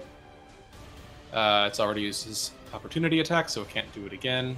Uh, and you're making your way all the way down with a bonus action dash, or no, you already hit. So you Uh, yeah, I can only use my movement. Gotcha. All right, Erthrindir, you're up. All right. Kiva sounds like he's still in trouble. Metreon and Lillison are beating a path down the ramp. What are you Yep. doing? He's gonna you and Amity. try and he's gonna give a look to Amity. Let's or nah nah not right now. He's going to step out onto the balcony, seeing that seeing all this, and is going to draw his newly bought short sword for the first time and bring it down in an unpracticed but pretty dexterous cleave against the one in front of Kiva. Attaboy. All right. It All right. Dimly in the unlit room. Uh, Go for an attack. Going for it. Come on. Yeah, that's a nine. Unfortunately, you're not quite used to it just yet. You overbalance for a moment, stepping a bit too far into the swing, and it embeds itself on the railing. You have to like tug it forth for a moment before pulling it free. The twig blight rotating its head toward you. These tiny Stupid. chittering and crackling sounds coming as its little mouth works its way around. Stupid weapons built for human frames. And uh how badly hurt does Kiva look? Uh, how badly is she looking? Uh, she's about halfway to passing out. Eh, alright, he will hold off for now, and that's his turn. All right, very good. Amity, you're up. L- let's what? She goes up behind Erthrindir. I was under the impression there are hardly any left. There's two. I just wanted to help Kiva. Speaking of which, there's one right in front of me, but you know, follow your heart. I think the Ravens are going to take care of them anyway. No, I'm I'm I'm helping. Uh, she's gonna back up so she she can see it, and then cast v- v- v- v- vicious mockery, All Wow. right. saying, um, "You will always be inferior to the very railing that you're standing next to." Ooh. Sick burn, yo. Fire damage. All right, that is a 12. What's the DC? Thirteen. Nice. All right, you watch as uh, Erthrindir, its gaze fixes toward you for a moment, and then it stiffens, and then goes limp as if some kind of connection, whatever animating spirit was infused within it, has been severed, and it collapses to the ground like a puppet. You know, normally I don't approve of weaponized insults, but that was amazing. I, I didn't expect that to be enough. I mean, sticks and stones can break bones and all. Yeah, but your word, but words can hurt apparently if they're directed well enough. I suppose so. Um. So is is that all of them? There's one more, but I think Kiva's gonna cleave it if the Ravens don't. I think we're Kiva, safe as to you- join them. Uh, Kiva, as you turn with your scimitar, you hear a fierce cry from above, and all of and half the ravens, dozens and dozens of them, settle down on the final twig blight, crashing and tearing and biting. There's a flood of black feathers that obscures any indication of the space below. There's a faint, shriveled scream, and then when the ravens turn away, carrying bits of twigs and brambles in their beaks, there's nothing left. Not even a splinter. All right, thank you. That's very helpful. The room goes quiet as the ravens resume their perches, gazing down at you from their place on the rafters above. So Kiva is can't speak Raven, obviously, but she is going to ask, uh, just sort of in general, how many more are there? Are we safe to leave, or is there more coming? I, I, I don't know. I think we got all of the ones in this room, but not in the whole place. What is Lillison doing? As Lillison? out of combat. Lillison is, uh, you know, listening very keenly to whatever is going on upstairs, um, and then cautiously stepping forth into this room, taking a look at the carnage from below. All right, glancing into the room around you. Now quiet instead of combat, despite the creaking up above and the sound of Kiva and Erthrindir's muffled voices.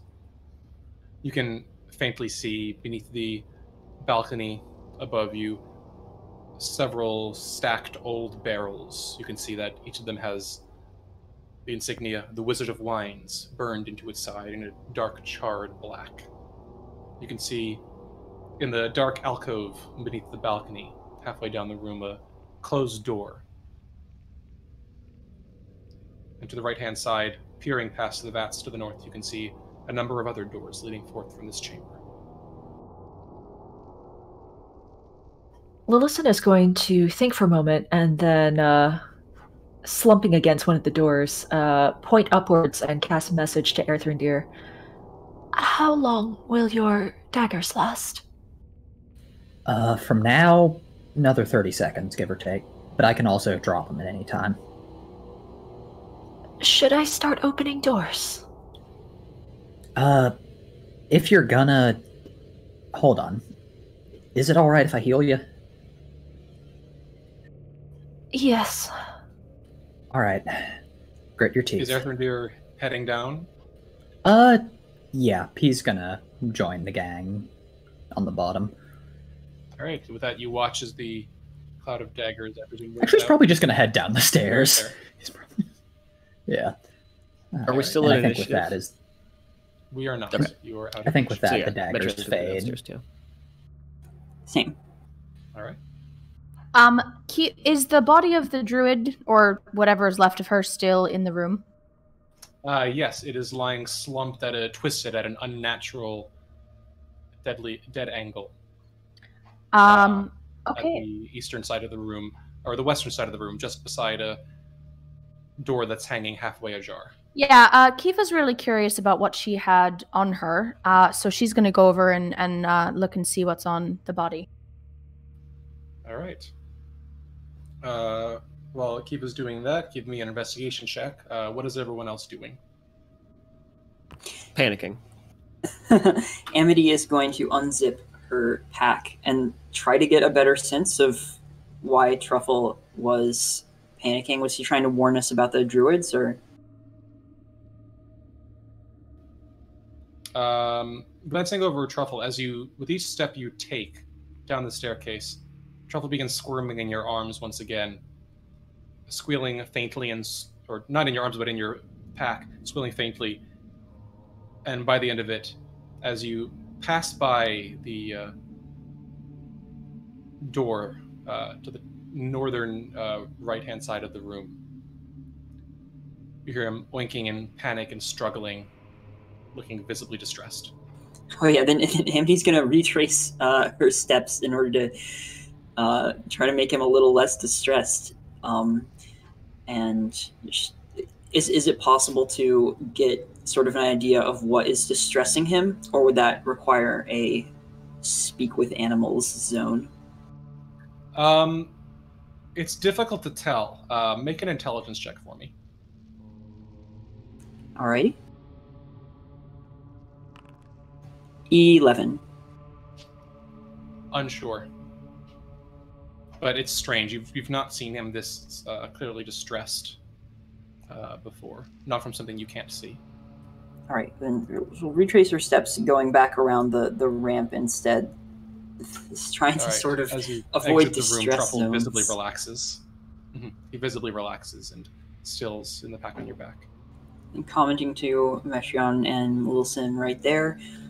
So Truffle seems to really not like something close by. Can't you just like uh, talk to him, ask him what, what what's what? If if you think that we can spare ten minutes, then I could talk to him and, and even the um the birds who were helping us here. Couldn't you just If if you think this- we can spare ten minutes. couldn't you just use a bit of actual magic? You know, if we're trying That's- to get this done quickly. That's that's true. I'll just I'll just do that. Yeah, and so you know what? Not even ritual casting. I'm gonna expend an entire spell slot here to cast Speak with Animals. All right, you cast Speak with Animals. Uh, you can now speak with animals. Oh boy, it's the return of the truffle voice. Yes. Yes. Finally. Amity unzips that pack, and what what's wrong, Truffle? Is was something bothering you there? I, I gotta see if I can remember what the voice was. Um, all right. It Um, was very you useful forward and pleading. Truffle, who was uh, s- snuffling very faintly. I. It just felt uh, so cold. It, it felt like like I was hurting everywhere. I. It was it was, the red thing, the red monster. I, I can feel it. It's it's so it was so close. I didn't want to be near it. It it made me hurt. Oh, oh dear. She's gonna relay this to the, the rest of the party. Um, he said there's there's some kind of red monster. S- something cold that, that that hurts him just from being there. This Red- might be a a ghost thing. Wait, that guy that Lillison splashed, wasn't he covered in blood? He was. Can you ask him whether he means something that we've already killed or something that's still somewhere here? Do you mean the truffle? Do you mean the man? Uh, or I don't remember whether it's a female or male. Uh, but do you mean the one with those antlers, who we took out? It, it, it, it was it was something I. Uh, he, it, it's still out there. I, I felt it when when we came down before. When I didn't I didn't want to go near it. I could feel it. It, it was so close. It made. And I'm sorry. All It just. We don't have to go close to it again, right? I, I we you, I'm not. You don't have to go close to it if you don't want to. This is. She's she tells uh, the other rest of the party what Truffle's saying. Is I hope it's not some kind of angry s- blood spirit or something. That would be just our luck. But I don't know. But regardless, we should take care of it. And probably Or worse, it's an angry wine spirit. then you can just not saying that, but You could just drink it. Well, I mean, if it's I- angry, I don't want to, but yeah, no, that would be a Speaking- ra- quite a stomach ache. Speaking of um angry and wine, uh I should probably mention that I saw that person up there pouring something into the leftmost vat, so uh perhaps don't drink straight from these yet. Oh, those bastards. Truffle- Wait, Kiva, you were inspecting the druid's corpse, correct? Uh, apparently not very well with a nine. Well, you do manage to find, um, you know, given the length of time this conversation has taken, you're just now finishing up, uh, given the lowness of that roll. Um, you can see that around her neck, she appears to have worn necklaces of uh, small white objects. And as you reach closer and kind of remove her matted hair from covering them, they're very clearly necklaces just covered, edge to edge, lined with teeth, human teeth incisors and molars all woven together in a sickening, terrible pattern. Tucked into one of the pockets in the side of her animal skin gown, you can see corked, but with a bit of liquid around the side. Uh, what seems to be a flask formed of uh, thick leather, and there's a sickly sweet smell that emanates from it.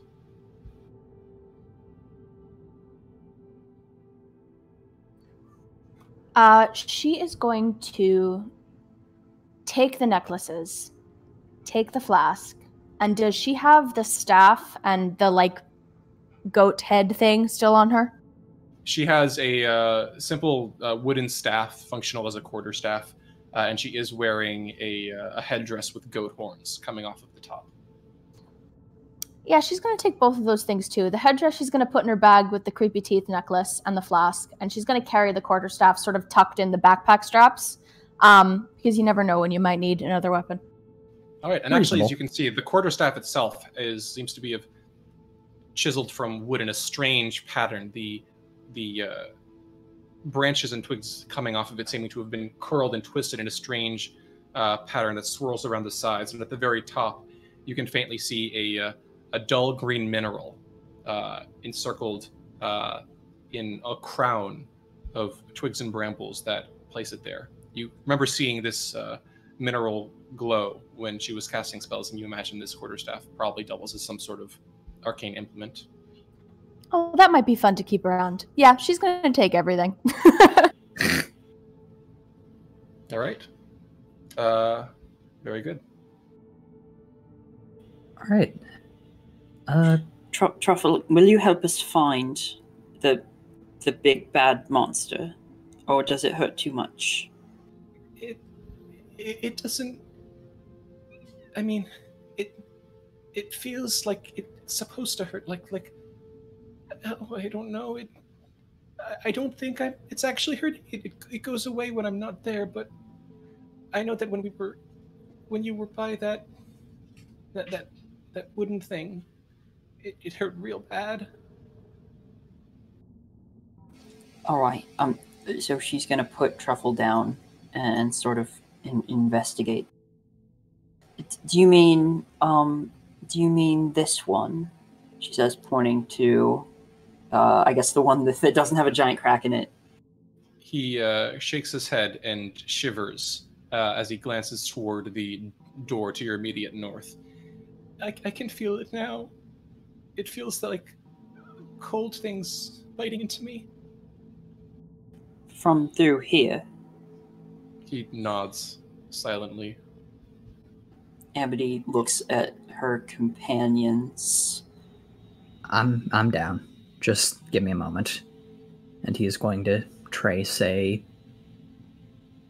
regrettably what is not going to be a gr- glowing green glyph for very long and cast healing word on Lillison.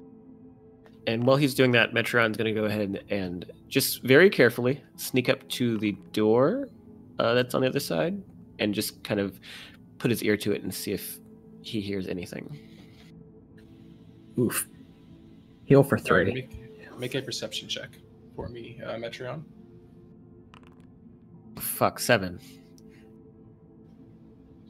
Tough to hear. Um, although, as you're pressing your ear up against the door, you do hear the faint sound of what sounds like wood knocking against wood for a moment before it silences again. There's something behind here. Uh, I can't tell what it is, though. There's something moving the wood, though. All right. Are y'all ready? No. Lil- Okay, Yes. fair. Lillison grimaces as the uh, I assume the healing word is still painful um, as it goes through her, and then uh, then she smiles at Erthrindir and then looks over at Amity. Could you uh, also thank the ravens for us? Of course.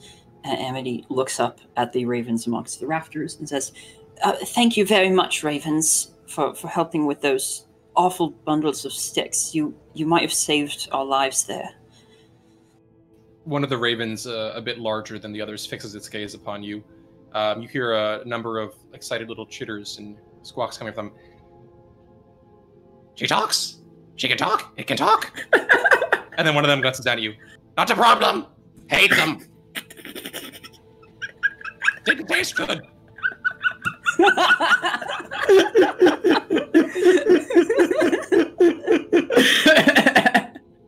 we, we think there might be something bad through this door, or even if there's not, there's definitely other bad things around. It would be awful nice if you could help with those too. I mean, and, and don't put yourselves in big danger or anything. Make a persuasion check. Okay. On. Uh, I would say with advantage, actually. Come on. Nice. That's in two double 19s. That doubles means you That's roll again. amazing. All right. Uh, the raven, the larger raven, fixes you with its eyes. Can't do much against big things, but maybe bring more little things. Or more of those disgusting plants. Maybe we can help. Great. I'm. I. there- There's probably a bunch more plants like that, uh, if our sources are to be believed. well, let's see if there's any through the door.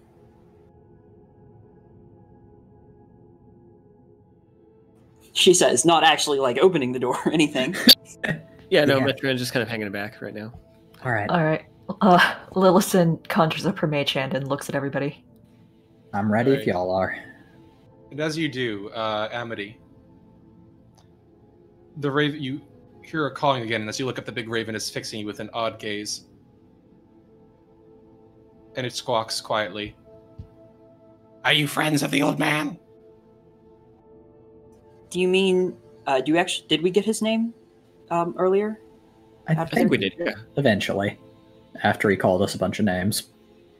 Do you mean um, Davian Martikov, the, the guy who was standing outside in the grove of trees out there? I, The raven caws and spreads its wings. Uh, seemingly, it doesn't reply, but it seems pleased with your answer. Flutters up to a higher rafter and begins cawing softly at the ravens around it. Whatever you said, it seems to have been pleased with what you provided. well, I don't know if he's he's very he. I don't know if he's very friendly, but we're certainly helping him. Are, are you friends with him? The raven glances back down at you, seemingly, uh, almost seemingly surprised that you're continuing the conversation.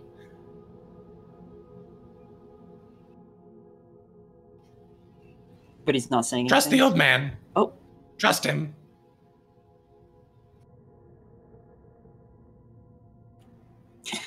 All right, I I'll trust him. And Amity will relay that we should trust the old man to the companions. Huh. Now,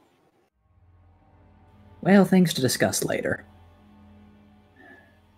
For now, let's deal with this red spirit thing person. Y'all ready?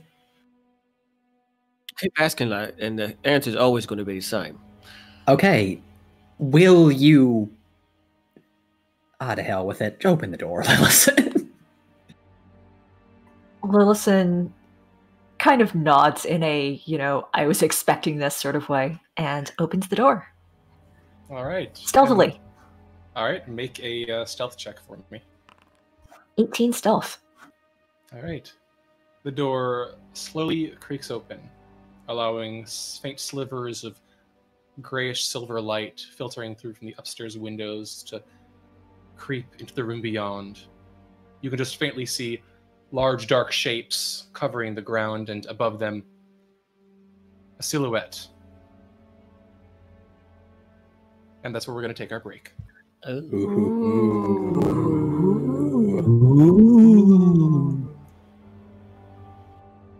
Y'all are too spooky for me. Shouldn't have played Curse of Strahd with a bunch of Curse of Strahd DMs. Yeah, I know, really right? Very. we should have gone with like something lighthearted. Yeah.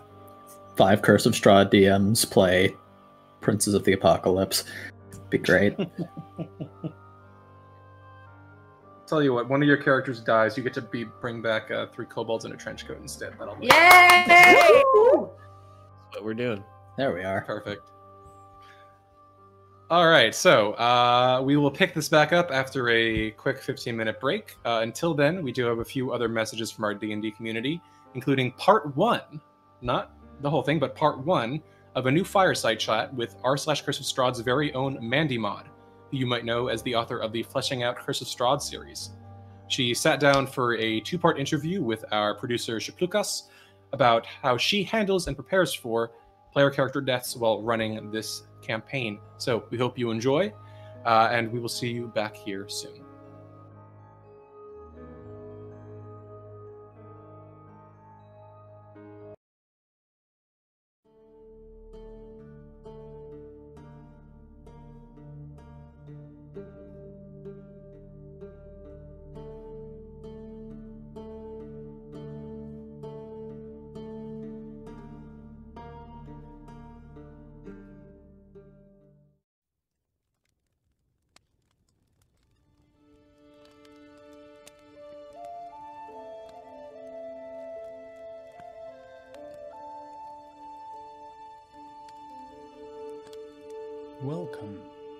Fireside Chat, a short interlude with weekly features where I, your host will be showcasing and interviewing prominent D&D creators.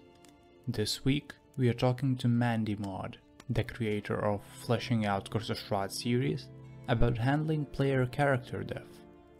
What are the risks and benefits of running a low risk versus a deadly campaign? Running a low risk game can give players a sense of superiority. On one hand, that can be really good.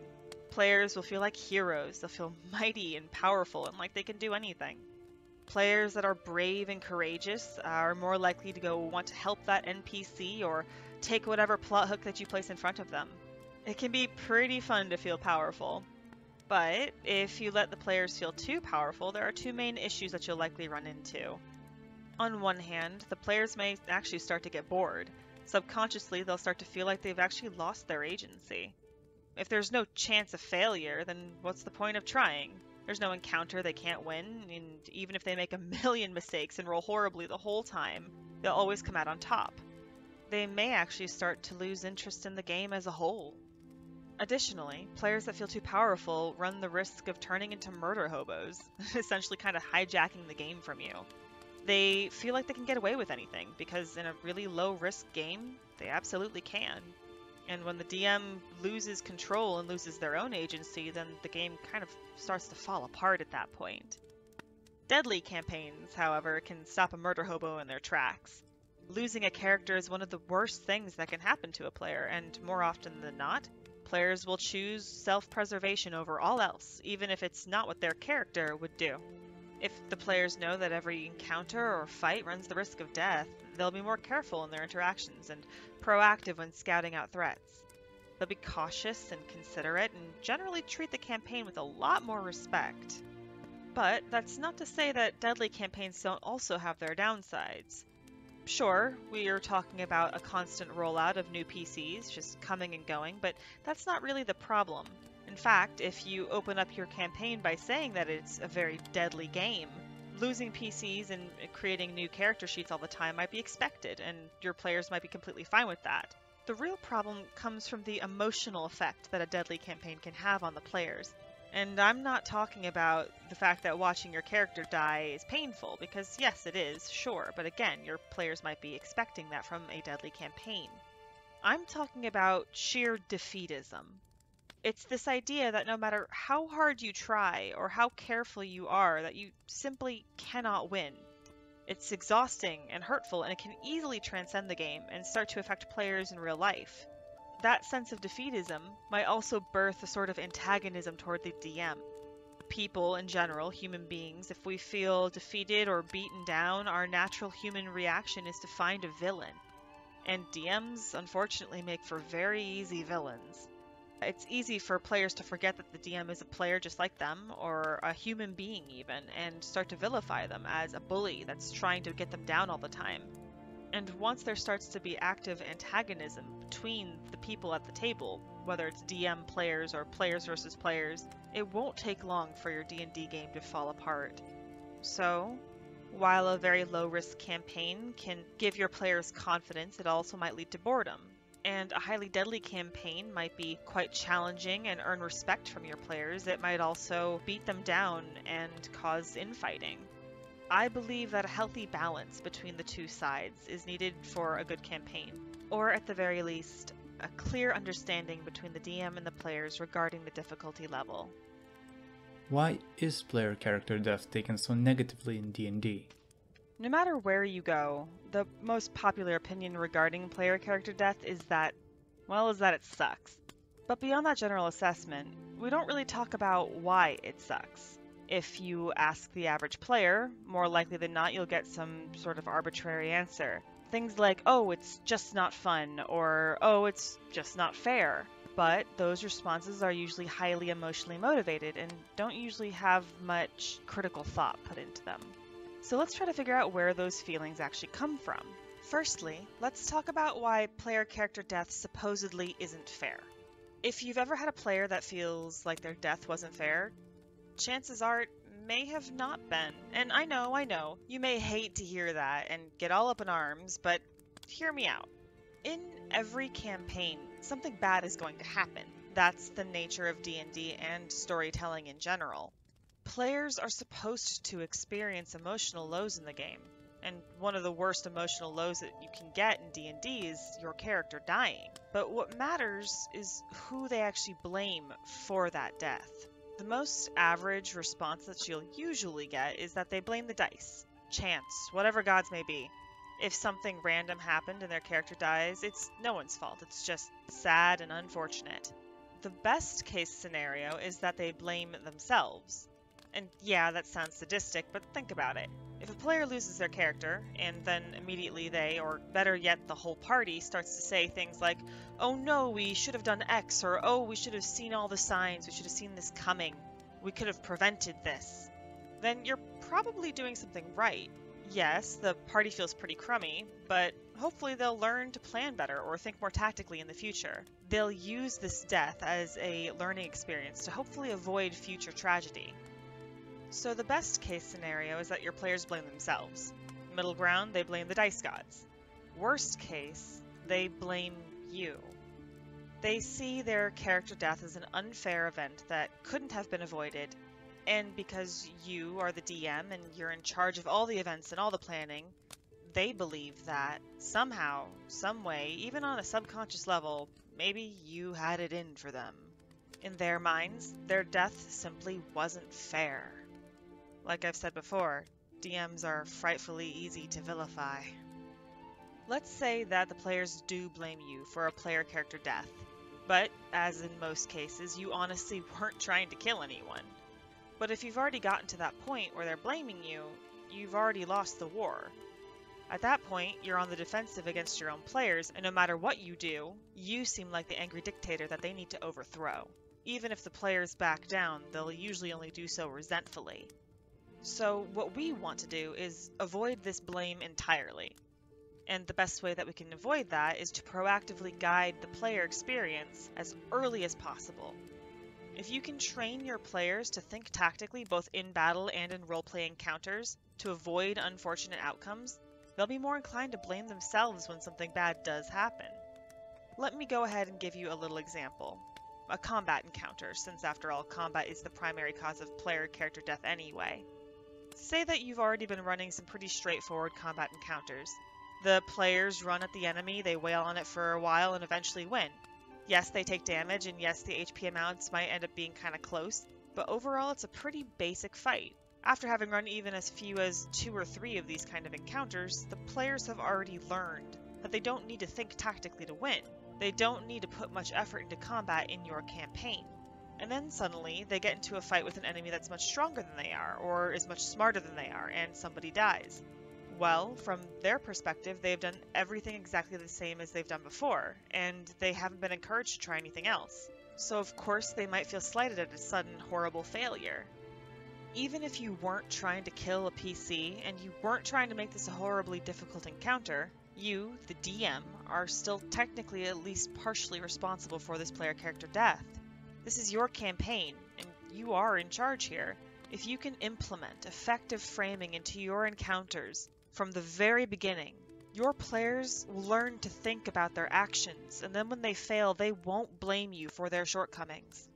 And as the DM, that is your responsibility. It can be a really difficult line to walk and requires practice to get right, but that is, in my experience, the best way to avoid blame. Now that we've gone over this idea of fairness, let's get back to the original question. From what I've seen, the biggest reason why player character death is generally considered negative is actually due to the disruption that it brings to the campaign. When a player character dies, everything else kind of just grinds to a halt.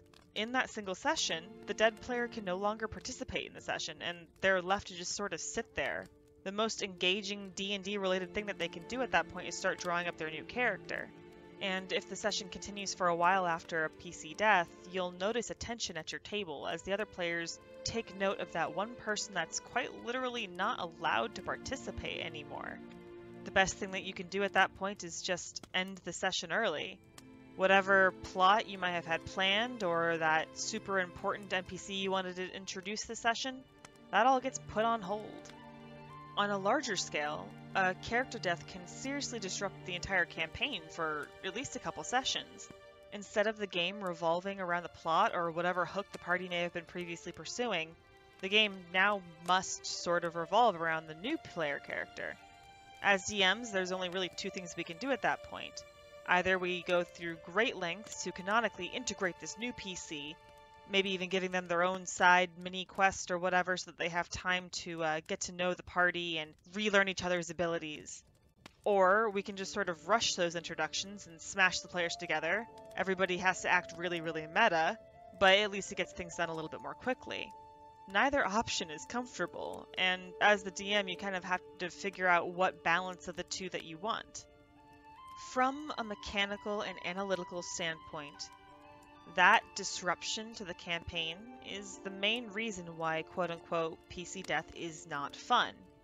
And the couple solutions that I've listed don't really even account for the worst case scenarios. What if the players are in the middle of a dungeon and a new PC suddenly strolling in makes no sense at all?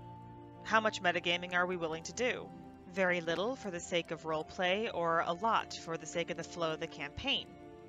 Unfortunately, there is no right answer.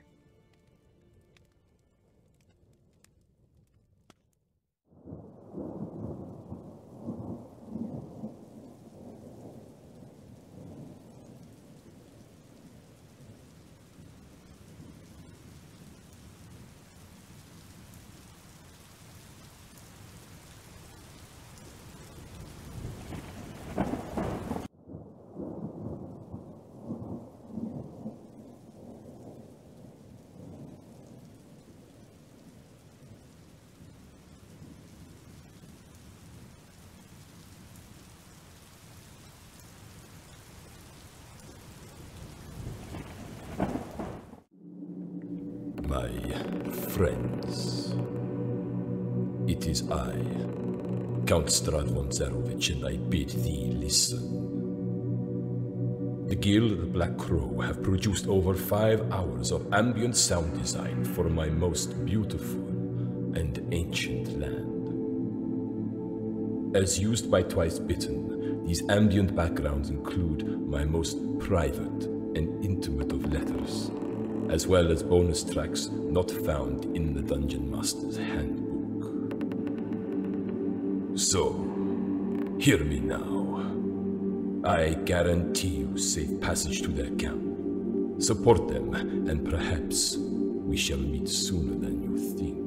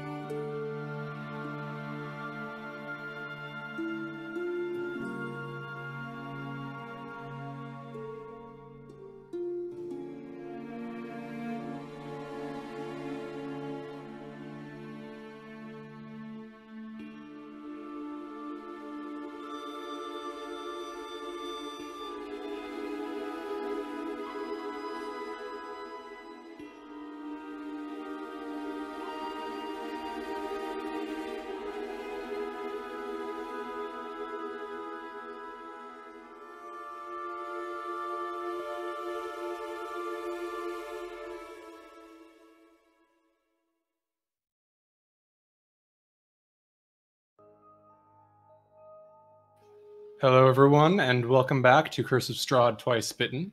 Before we begin, just a few quick uh, announcements and shoutouts.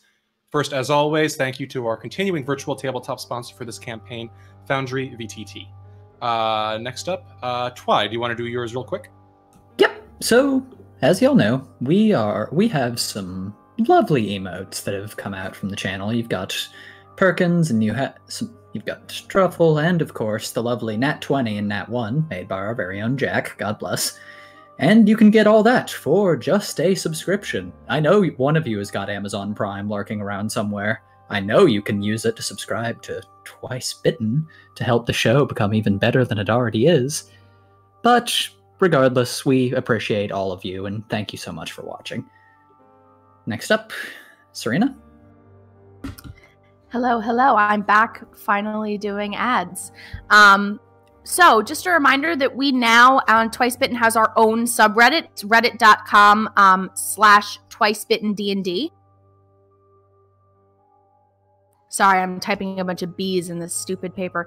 Um, you can find um, episode uh, discussion threads, uh, asset libraries, all of the fun stuff. If you have any questions about the stream, that's the best place to go um, for theorizing all of your fun community discussions. Uh, Reddit.com slash r slash twice bitten D and D, and uh, on our YouTube channel, we post full length episodes, the full uncut fireside chats. Uh, video essays, and now we're doing uh, featured highlights all of our favorite spooky moments from past sessions. You can find all of those and more at youtube.com slash c slash r curse of Strahd. All right, thank you very much, Serena. Uh, I think that's all we have for today. So thank you all for sticking around, and let's dive right back in. So, with Lillison's mage hand now flinging carefully the door forth for you to view what lies on the other side. You can see faintly the dark silhouettes of shapes never beyond.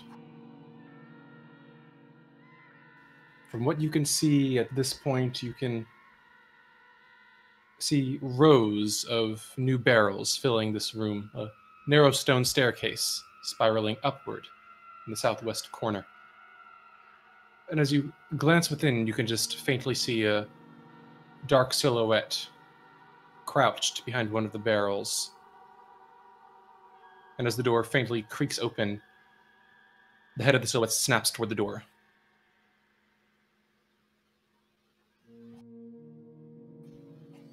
You can see crouching there in the darkness behind the barrel the hunched over form of the man you saw atop the winch before. You can see the strange and matted clothes he wears, the wild hair and rotted teeth as he grits his teeth in surprise and a sliver of fear toward you, the glint of his skin faintly shimmering red as the blood traces down the sides of his cheeks and hands. You see it glass, clasped in his hands the gnarled black branch staff wrapped in several places. And now that you can see it up close, you can see a thick shroud of black smoke slowly billowing off of it, wisping away into the air and dissolving into faint shimmering veils as small beads of reddish blood drip from the sides. The man chokes for a moment, swallowing a surprised babble, and uh, it seems you have surprised him for a moment. What would you like to do?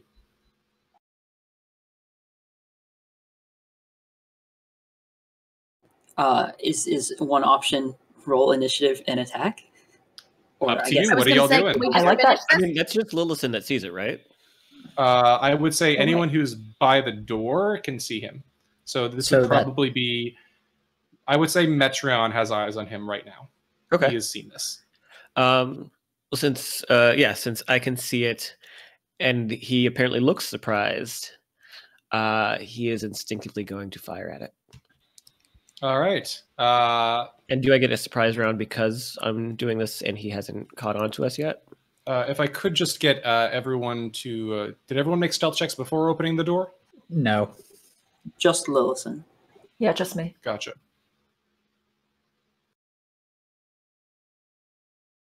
Uh, give me one moment, please. Uh, so, as you're peering inside, by the way, just uh, one thing I forgot to mention, uh, Metreon. Yes. As you glance along the floor of the chamber, you can see small bits of bark that have been strewn across the floor.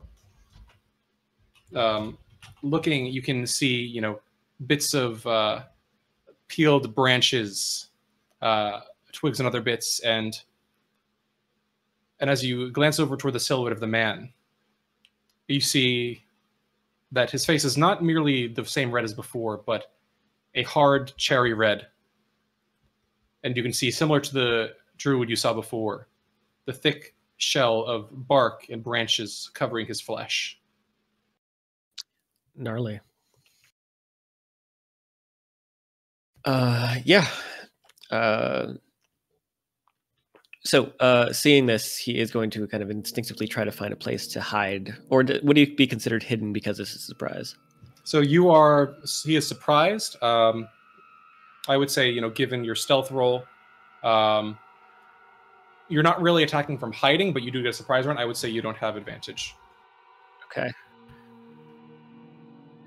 Just a moment. All right. Am- Am, am, am I misremembering? Doesn't surprise concur advantage anyway? It does not. Yeah. Huh. It doesn't. Oh, I never knew. Thank you. All good. so then if I if I wanted to hide, could I then get the advantage back? Um, I would say on your turn, yes, you can hide as a bonus action to get that advantage. Okay. Um. So then, uh.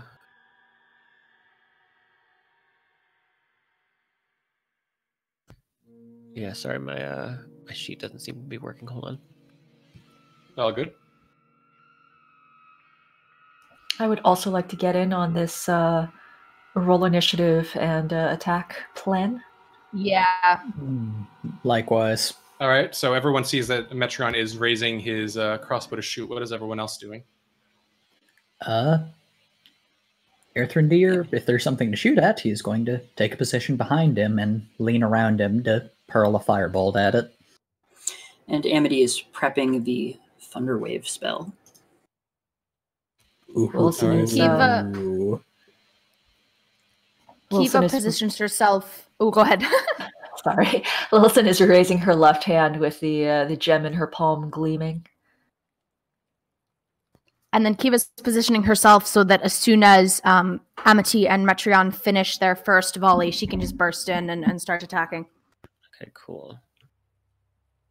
All right. Perfect. Uh, Metreon, uh, I will say uh, you can go first, and then we'll let everyone else go. Uh, given All right, so I'm gonna do actually, my. uh, I don't think. I have stealth from everyone. Could I just confirm? Because it looks like Uh, I had stealth from Kiva and Lillison, but not anyone else. No. he- All right, give me a minute. All good. Yoink. That's an 11. Probably not.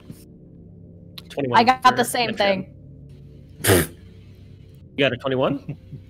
She got an 11. No, the one is the one is Erthrindir. Okay, gotcha. Wah. Uh, yeah, I got a 21. All right. 10. Oh, wait, this is stealth checks, not initiative rolls. What am I Yeah, doing? no, it's hello. stealth. Well, well, 14 on stealth. Much better. Ooh. Snazzy.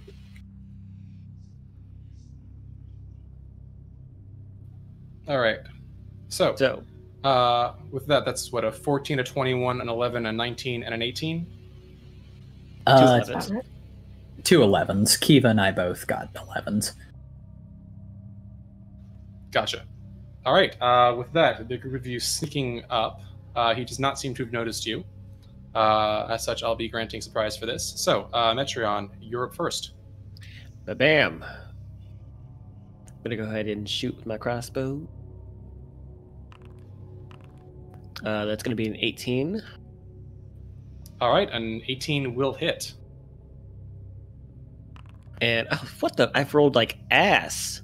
Um, so that's yeah, four points, three piercing, one sneak attack. Ah, that was so shitty. God, I hate that.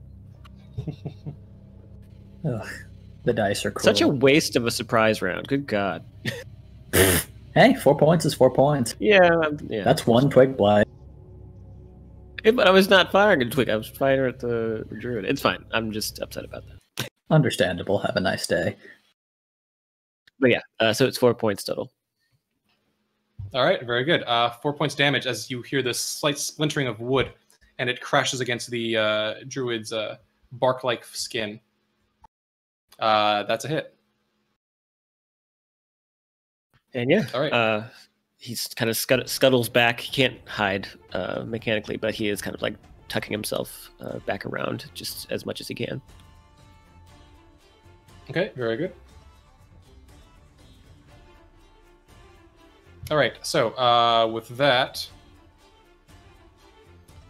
uh, next up will be Emily and Erthrindir. All right. Uh, Okay, uh, go for it. mind if I? All right, Amity steps into the room and casts th- th- th- th- th- th- thunder wave. Uh, Oh no, all these barrels. Fuck the barrels. Yeah, screw the barrels. Uh, he is going to have to make a Constitution saving throw as shrapnel just flies up and hits him. That is a natural one. Yes. Okay, then he takes 12 thunder damage and is pushed 10 feet away uh, against that wall. All As right, Amity- and he actually cannot be pushed the full amount, so that'll be. Uh, Take some bludgeoning damage from that, right? Given the way I usually roll this, that'll be uh, an additional 1d6 damage Oh my god. because he cannot go the other 10 feet. So that'll be an additional 5, so a total of 17. Jesus, Amity.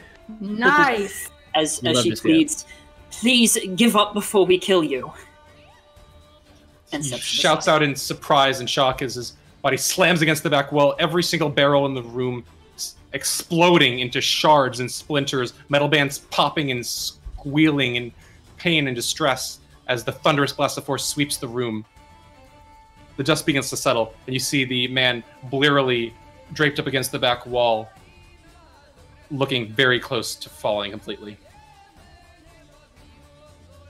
All right. Uh, with that, that is the end of Amity's turn, uh, which means uh, Erthrindir and Kiva, you're up. All right. Erthrindir is going to step forward into the room past Metreon, raise his wand, its tip glowing a deep red purple, and say, Try anything, and I will kill you. Just put down your weapons, don't cast any spells, and we can talk this out. If you if you try anything else, you're going to die. Can Keith assist on that intimidation by trying to look like as menacing as possible? Uh, this is an action, so I would say no. This is just Erthrindir making an action to do an intimidation check. Okay. Uh, let's find out. Nice. 21. hey! All right. You watch as he winces back for a moment, and then meets your A's and glares, and then coughing for a moment as blood bursts from his from his uh, lips. Spits. I will never betray the Great Shadow to you. His eyes are wide as he hisses. I will never betray his trust. He will rise and you will fall. He reaches for the staff at his side and glances toward the door to the to your right, as if he's a- aiming to struggle to leap toward it. God damn it. Can you not choose to live? And he's going to step in front of it, and that's his turn. All right, very good. Uh, with that, uh, Kiva is up. So there's the door, like two squares in front of her. Is that presumably where the guy is, or no? Um, Yeah. you can see him at the very yeah. He's at the back of the room. There's a lot of like Okay, so- shattered, broken crates obstructing the path, but yes. Okay, so she's going to open that door, if she can. I don't know if she can. All right, the one that Uh, you're the door's up open. against We're all now. inside. Are you? Yes, the door to the room where the man is is open. Where Yeah, Metreon okay. is on the map. I thought if she went down that hallway, she could like cut him off there, but I guess not. No, I, Yes, think I I mean- mean trapped there, right? Glancing into the room, you can see he's about to head toward. He was about to head toward where Erthrindir is now standing. You don't see any other exits from the room aside from the staircase where Amity is standing. Sorry, my foundry is crashing and it's not letting All me good. look at anything. So, So yes, um, from what you can I'm see, gonna have to the look on- on all the exits are now blocked, and uh, you can see that uh, the druid is cornered in the back of the room. Amazing. Okay, so um, Kiva is going to um step into the room. I can't obviously do this token move right now. Um, Okay. she's going to step into the room, and um, can she like climb over the barrels to get to him, or is that something? difficult terrain, so it'll be half your movement to move through them, but you have enough movement to get there. Yeah. Um. Fuck yeah. So she's gonna do that, and she's just gonna like slash at him with the scimitar and try to get him to stand down. A non-lethal slash. Um. But yes. All right. Uh, making it. Uh, so you want me to roll that for you, or are you reloaded? Yes, please. I it's not letting me do anything right now. Actually, you know what? Uh, someone else roll. Uh, Jack, can you roll for her? Just a d20. Yeah. Thank I you. have. What's your access to her dex? Oh, uh, sorry. Yeah. Even better. Uh, Yeah, do Deer, if you can roll for her. Thank you, Erthrindir. Sorry. Well, ain't no thing. Foundry be like that sometimes. Or actually, no. Now I can't access anything. All right, I'm just gonna roll it. What's your dex modifier? Yeah. I I can't see my sheet in front of me. I think it's a three. Fairly sure it's. Hold on. It looks like I'm back. It looks like I'm back. Yeah, Okay. it looks like I'm back. Okay, Thank if you you're for your back, then don't take my okay. roll. Uh, you can't just not take that roll. well, I wasn't Uh, me. It, it was her that was rolling. It was me. So Uh, eleven. I don't know if that hits.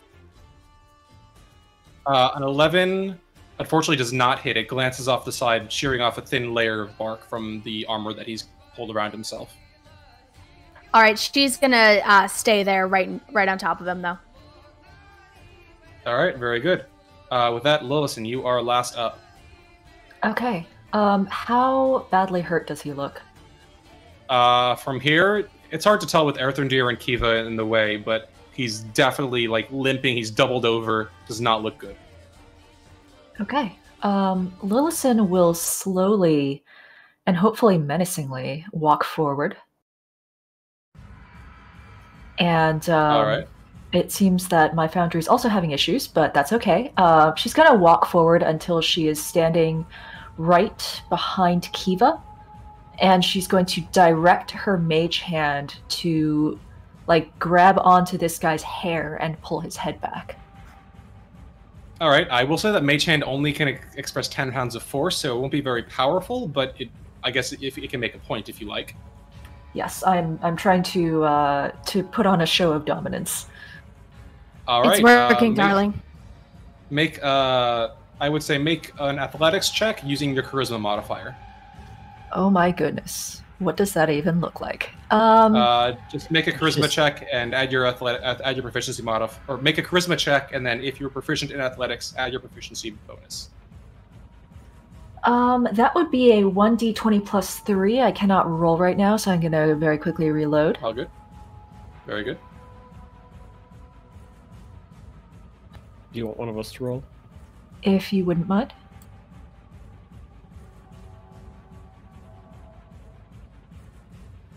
All right.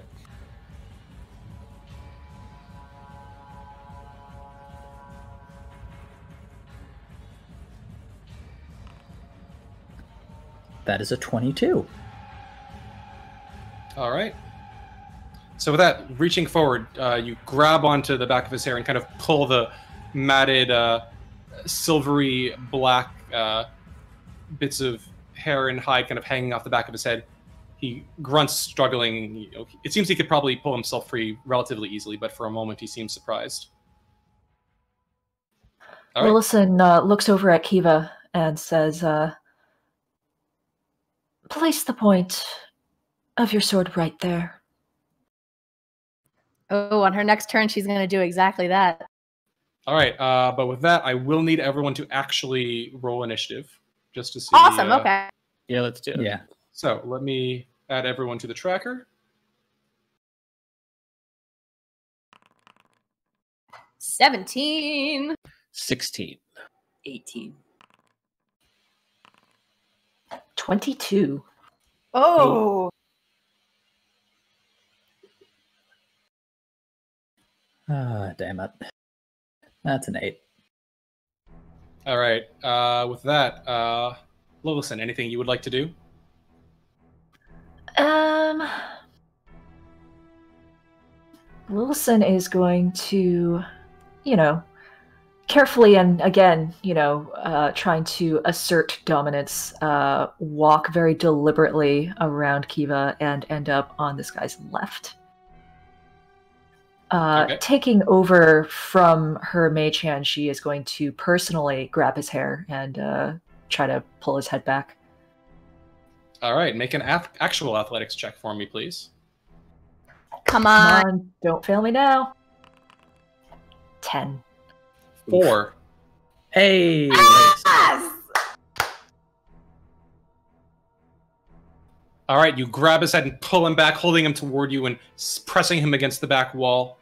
He struggles, uh, babbling at you in a strange language that you do not understand.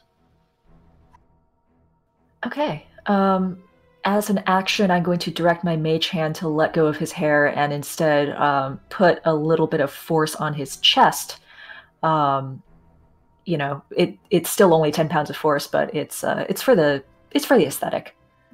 The theatrics of it all. As Yeah. you do, he snarls and twists his head, struggling, and he spits on the ground, barely missing you. Vesna put you up to this, didn't you? Or Kirilu? One of them did tell me I know it. What is this betrayal?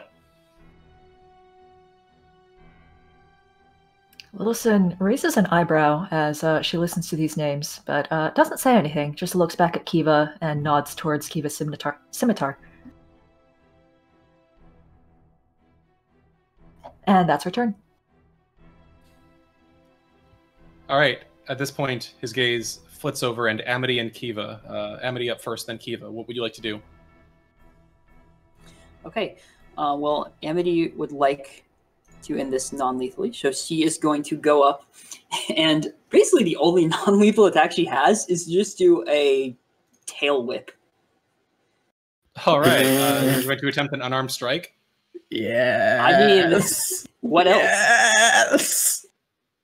I mean, if you'd like, uh, there are a number of broken pieces of barrel that you could probably use as improvised weapons if you like.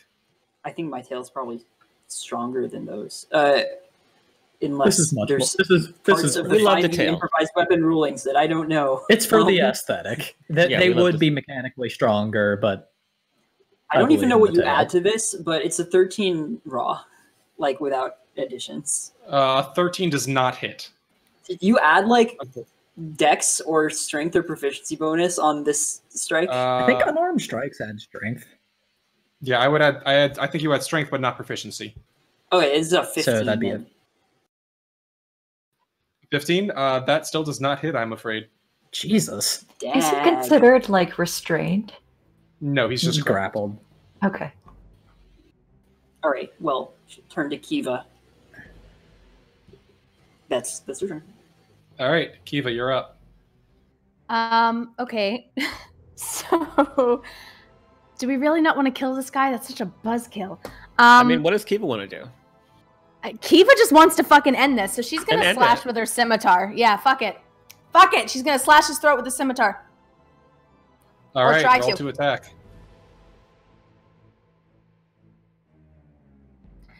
Patiently trying to pull up my sheet.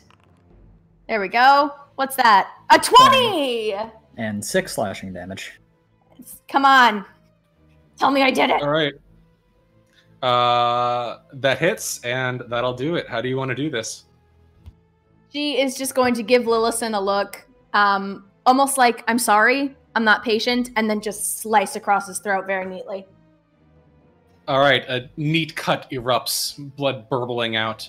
He chokes, wheezing, gurgling, and as the light begins to leave his eyes, he gasps out, The roots of the tree grow deep. You can uproot me, but the Gulthias will never wither.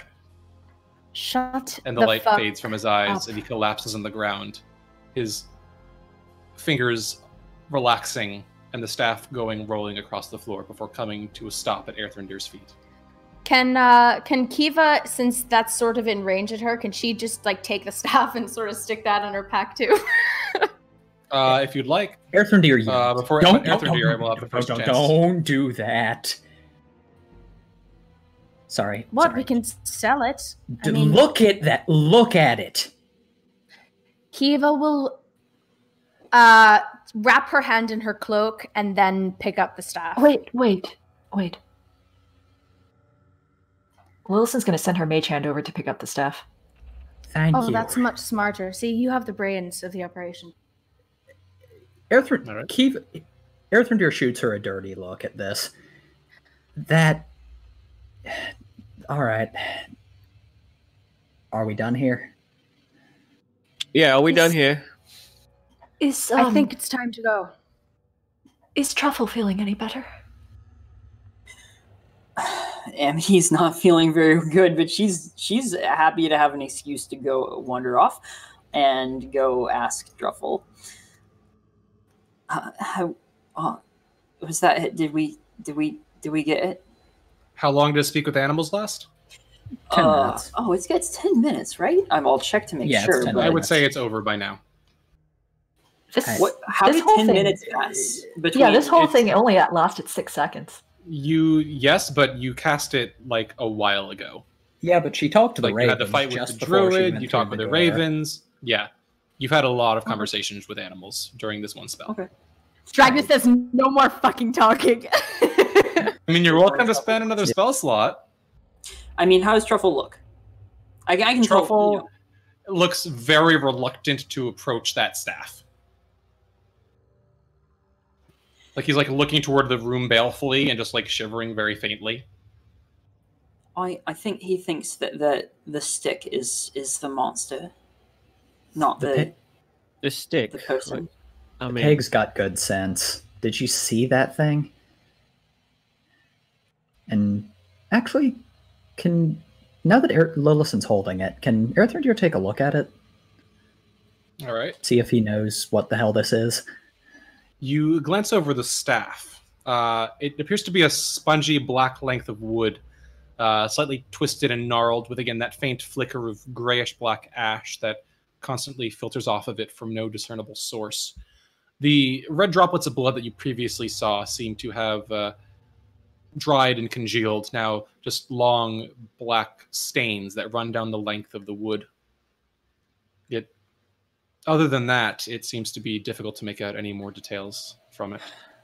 All right. Sorry, I yelled or snapped at you, Kiva, but I think this thing's dangerous.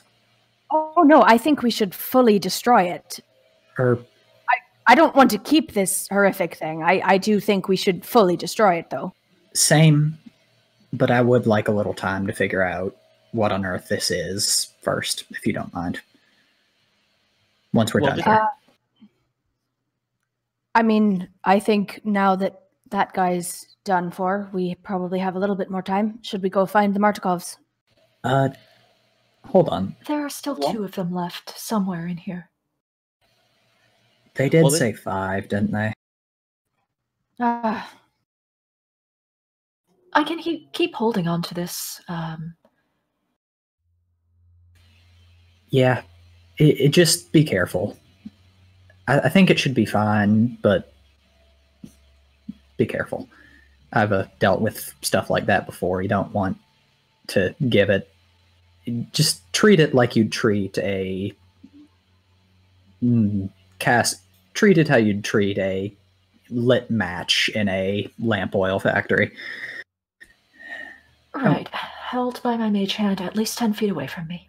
That works, or just covered in something, whatever. Well, this is going on, uh, DM, what was the barrel that got uh, spiked? Um, what do you mean?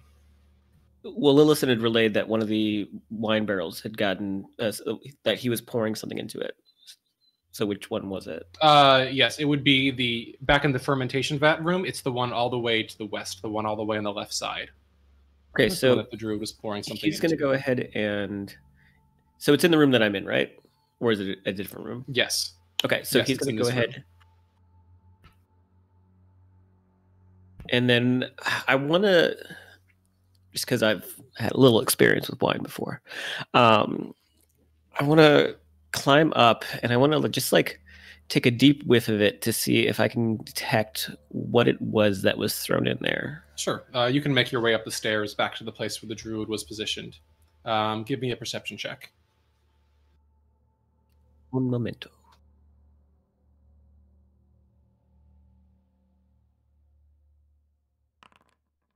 Six. I'm rolling like ass today. Difficult to tell. You're not sure what the exact scent is. There's a lot of wine in here, and it's the scent is pretty strong. Okay, he'll back off and hang around the others. Okay. So we we got two people left in here and an unknown number of those creatures. Do we try and finish the job or say, hey, Mr. Martikov, good enough? Well, wait. How can we even get back to Mr. Martikov? Eh, But wait, Randy, didn't you say that these little little plant thingies, uh, these little tree buggers, that you say something about like a control, right? yeah, uh, summoned or created creatures often have some bastard with magic taking the reins. Well, I figure if we at least kill the other two, uh, maybe it shuts their, uh, I don't know, their orders, their directive down, whatever you want to call it. But uh, you know, maybe no, that take them out. shot. Then we don't have to worry about sneaking out. Yeah, yeah, no, that's a good idea. Though I do vote we take a moment to rest before we do that. I think Kiva and Millicent are pretty banged up. It would be nice to sit down for just a moment.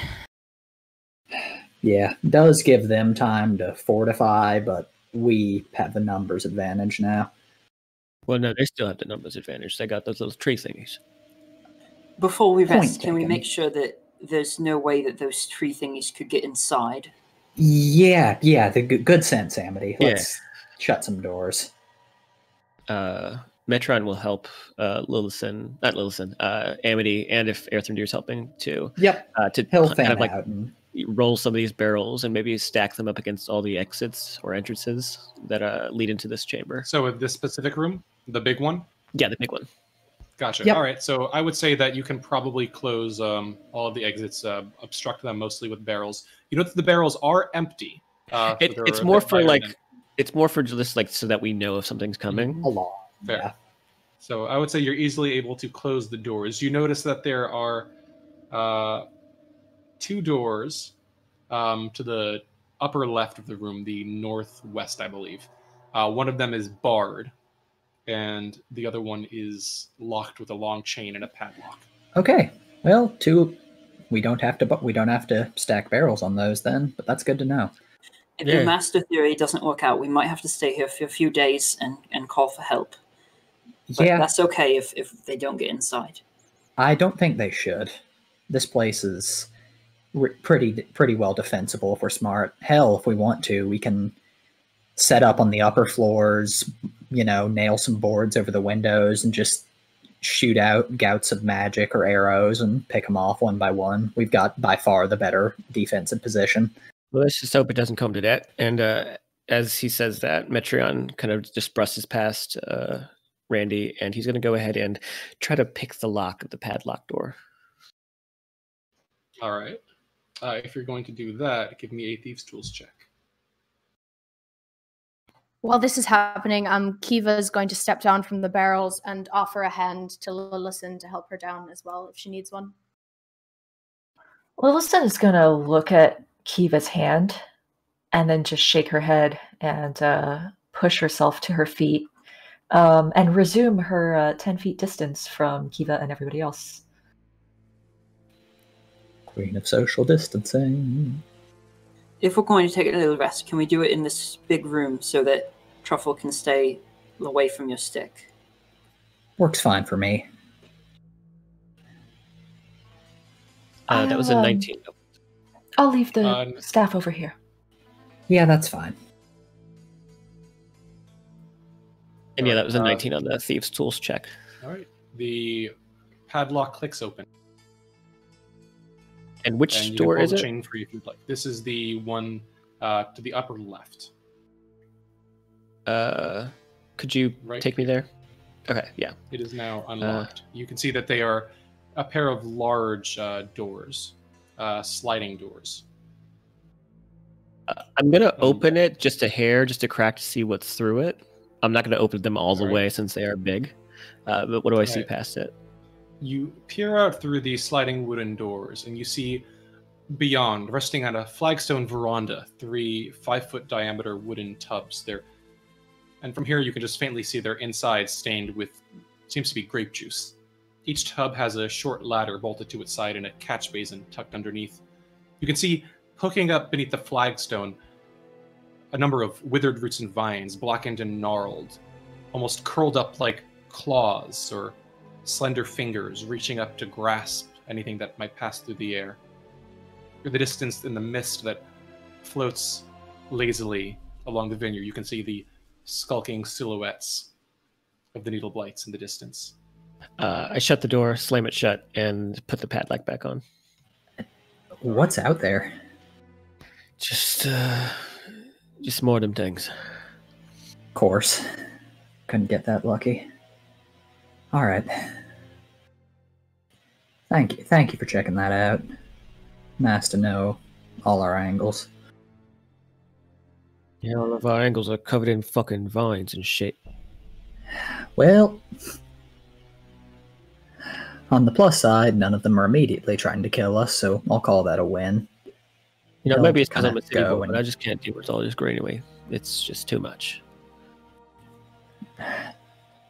Why not? Like just the menace of it or something else? I, I it was my attempt at a little bit of light-hearted humor uh, in these trying times. Uh, I understand if the joke did not land, but Oh, oh, no, sorry. I'm just not, I'm bad at that. No, that makes sense. I'm a city boy too. I just kind of have gotten to know these parts because I've had to, and it's, you know, just as menacing as it was. I just vaguely know my way around it now. Although, admittedly, my cabin didn't have needle blights sieging it every other day. Just very confused bears. right. Uh, do we want to take a rest then? Yep. Yeah. Erthrindir's like already laid out on the stairs at this point, just kind of breathing heavily. Yeah, yeah. Find a so, spot. quick question. Um, you aren't able to. Are you going to take the time to like roll one or more barrels up to the top floor because there are two doors up there as well? is No, just this floor. in the room with the No, no, Just this floor. no. We're just we're walking the leaving outer this exits. Yeah. Yeah. Gotcha. Uh, is Lillison staying in the room with the staircase? She is. Um, she is leaving the staff in the corner, and then she is sitting down in the middle of the room, um, keeping an eye on the staff and also keeping an eye outside. Gotcha. Okay. After Uh, a little bit, actually, she's going to move over to the door that is over here and just press her ear to it. All right. Make a perception check for me.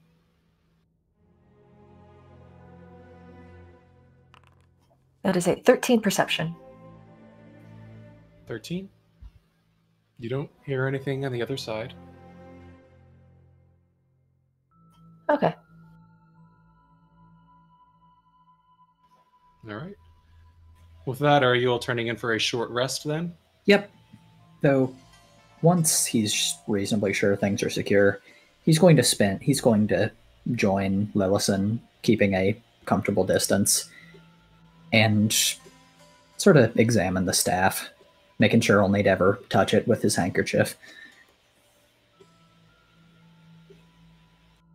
So yeah, that's how he's going to spend his time, probably. Okay. Uh, before Kiva takes a short rest, she's going to go into the room um, also with Earthen to listen. um, and she's going to look at Lillison and uh, and just say, "Can I talk to you for a second? Yes, certainly. I just uh I don't know, I feel like there's something we should talk about or something. Um do you mind if we go uh somewhere else? Erthrindir stands up at this. Just tell me when you're done. Lillison shrugs a little bit and then scoots all the way back to the back corner.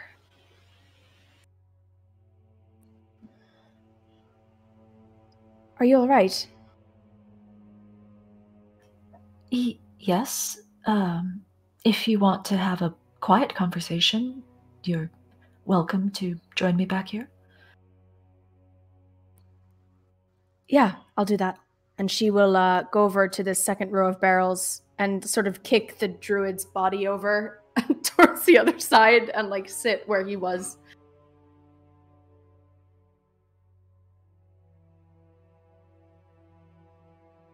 The others seem to be uh, either recovering from this very quickly or putting on very good faces. So that's a blessing, at least. Yeah, I was uh, a little nervous after that first uh, woman that things were going to get uh, hard to corral. So if they're putting on brave faces, it's uh, good. But I, I noticed you seemed fine, and I just wanted to make sure, you know, that that wasn't a front on your end too. Are you all right? This is nothing. You know, it's. I'm sure maybe a few years ago, I probably would have had a problem dealing with death and dealing with being the one who deals it out. But I don't know, when you walk in on your dismembered daughter and then kill her father, sort of uh, takes the sting out of things. That's a part of life, and if I have to kill to survive, then I'm going to do that. Lillison's gaze strays to the dead druid, and she says, It is a lot easier when, um, you know that they would happily kill you, or that they would happily die rather than cooperate. Oh yeah, I'm. I'm not saying I'm, you know, going to start going out and murdering people willy nilly, but uh, yeah, it uh, makes it a lot easier knowing that he wanted me dead just as much as I wanted him dead, and it gives me practice for Count von Zarovich.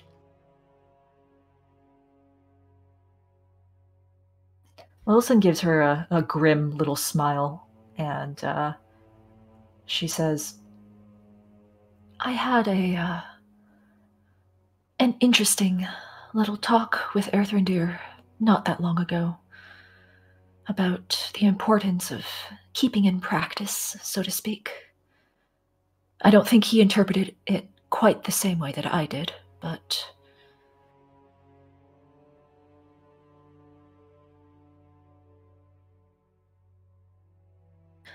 Well, you know, there's nothing wrong with um, keeping your skills sharp, and as fucked up as it is, this was actually a pretty decent distraction. that it is, hasn't it? This has been far easier than I expected. I'm sort of waiting for the other shoe to drop. Every time we face one of these, I'm like, this has to be the strongest one. The the last one that we have to get through for this to end, but hasn't worked out that way.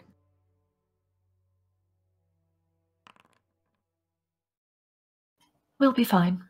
As long as uh, none of the others lose their nerve at the last moment, we'll all be fine. It's hard, I understand that, for people who don't deal with death like that to to take a life. But it seems like this place is intent on changing people. And uh, so far, I think it's done its job. I haven't really thought of it that way. And I'm not sure whether I believe it now, but I'll keep that in mind. Well, it's definitely led to some interesting realizations about myself. Wilson just kind of like looks up, quirks an eyebrow while not looking at Kiva, and just like gives Kiva the opportunity to either expand or not as she prefers. Look, I don't mean to make this all like, uh, you know, secretive girl talk, but uh, I don't know. I did something I've not ever done before, and it didn't really work out very well, and uh, perhaps it's just the place. Maybe I shouldn't anticipate nice things. Uh, anyway.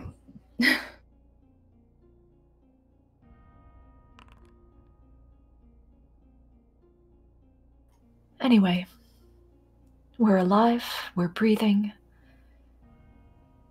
That's enough for me for now. And I've got a really cool new headdress. And she's gonna like reach into her bag and pull on the headdress and very awkwardly like model it for her. I wait, uh make sure that thing doesn't have lice before you put it on. Oh fuck, that's a good point. She's gonna take it off very quickly and like inspect it. Well, uh it seems alright, I suppose. I don't know. I mean, It I figured we could just to have sell it. lice from a first glance. Okay, that's good. Um, I figured we could just sell it that and her weird teeth necklace, but I'm keeping this uh staff thing. I I do wonder whether whether if you put all of that on, we would be able to fool any of the others if they didn't get a close look at you. Perhaps keep them off balance for a moment. Kiva does her best. Uh, she puts it back on her head and does her best, like spooky, wild woman face. Wilson looks impressed. Well, I think this might be helpful then.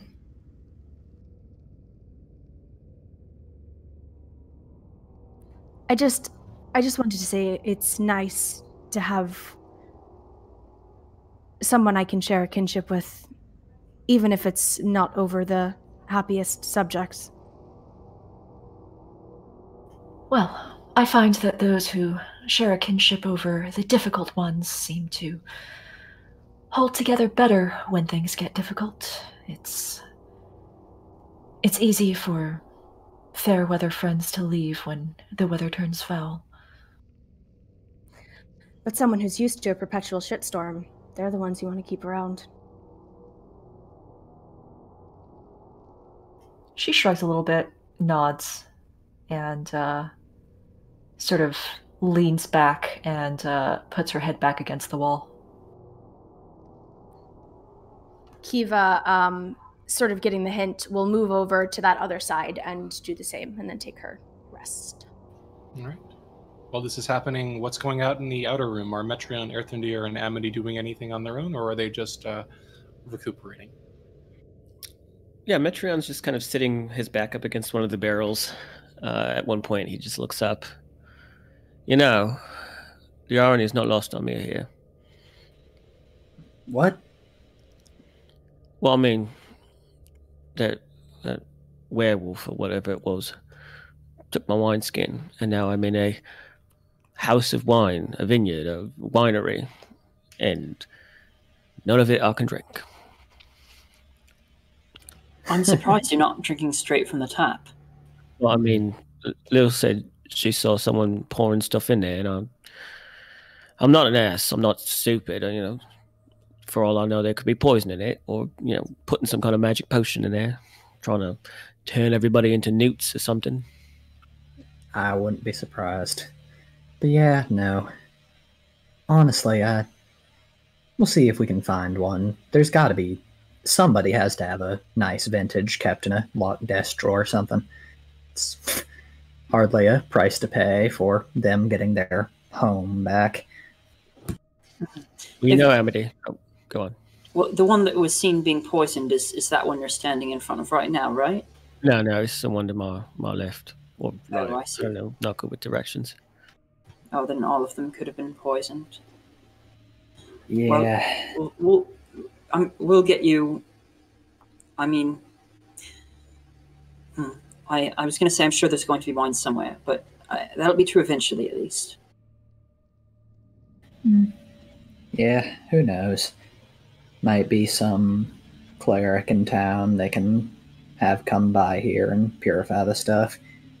Or somebody can research an antitoxin, I don't know. You all trust uh, the ladies in there with uh, that that that staff. You know that that thing that was making Truffle all upset. I think neither of them are stupid. I mean, I don't think it's going to like grow claws and, you know, skitter after them, laughing maniacally. But Yeah, fair enough. yeah, they've got conversations to have. Yeah, don't they always? You know, Amity, Don't. we uh, when this is all done, we should uh do another another one of those uh, have you uh, never have I ever's. Uh, maybe this time everyone will tell the truth. Yeah. Right, and and this time, um, every, we'll we'll take a shot every time we've done it. I told the entire truth. I don't know about y'all. Insight check. Feel free. Go for it. Nobody would lie during Never Have I. Yes. uh, far as you know, I were you? I Hard were you? he was telling the truth. Apparently, Yeah. Uh, you- yeah. We'll just kind of sit back. yeah. I just, I'm happy we're getting these people their house back, but I'm gonna remember this place for a long time. If you catch my drift, after you know, he kind of jerks his head at the druid's body. Well, if I wasn't, uh, if we wasn't inundated with so many uh, those uh, little little tree thingies, uh, I'd, my eyes would have been out here. They were gone. I've, I've got enough to to live comfortably in that Vallaki place, uh, at least for a little while. And uh, yeah, this place feels like hell, Agreed. a right proper hell. Yeah, I, I don't know. I don't think anywhere we go we're gonna be terribly comfortable. Nope, nope. No. I'm not. Uh, I'm not. Uh, I'm not envisioning any kind of comforts uh, anytime soon. I think we might have to struggle against the ropes until everything is set ablaze. But they set ablaze. Erthrindir nods. Yeah, I've had my fill of fire for my whole life. If you don't mind. Wait, what, love, what do you mean by set ablaze? I'm not rightly sure, but if we struggle to get out of here, then I'm sure that there's going to be a lot of dangerous things after us. I mean, I can think of one. Oh yeah, yeah, a big one Yeah. too. Like seven feet tall. I wonder if he's that tall. If he just like, it's just like an optical illusion. You know, you're just so spooked of him that he always just kind of looks taller than you anywhere he is. You know, Like, we've never Ah. noticed that he's actually on stilts the whole time. Like uh, a series of apple boxes. You know, Ah, I mean, maybe he has really hard shoes like platform boots. uh, please. you think that he's ashamed that he tries to be all intimidating, but he was born five foot nothing, so he's got Well, I to. mean, he can still be intimidating when you're short. I think he's just, you know, he's got a, a, a persona to live up to. You know, well, know. it's a successful one. maybe we shouldn't talk about him. No one knows he's he's affected our lives as much as he has already. I honestly, I feel like that's what he wants for to be talked about in whispers. I mean, Maybe he at doesn't this deserve point, that. uh, Metreon fishes through his bag and uh, pulls out one of the coins and shows it off to uh, Erthrindir and Amity, kind of showing both sides having uh, one having uh, Strahd's profile, the other one having what looks to be like some kind of sigil. Then maybe to talk about something else, so as not to please him. Um, you know how magic is a little weird here. Vividly. the the things that I was doing earlier, where I was telling that story about the tiger, and I guess only the start of the story about the um, the quills. I don't really know what that was. I don't think it was a spell like my other ones. Yeah, I was about to ask. I've never heard of any bardic abilities that do that.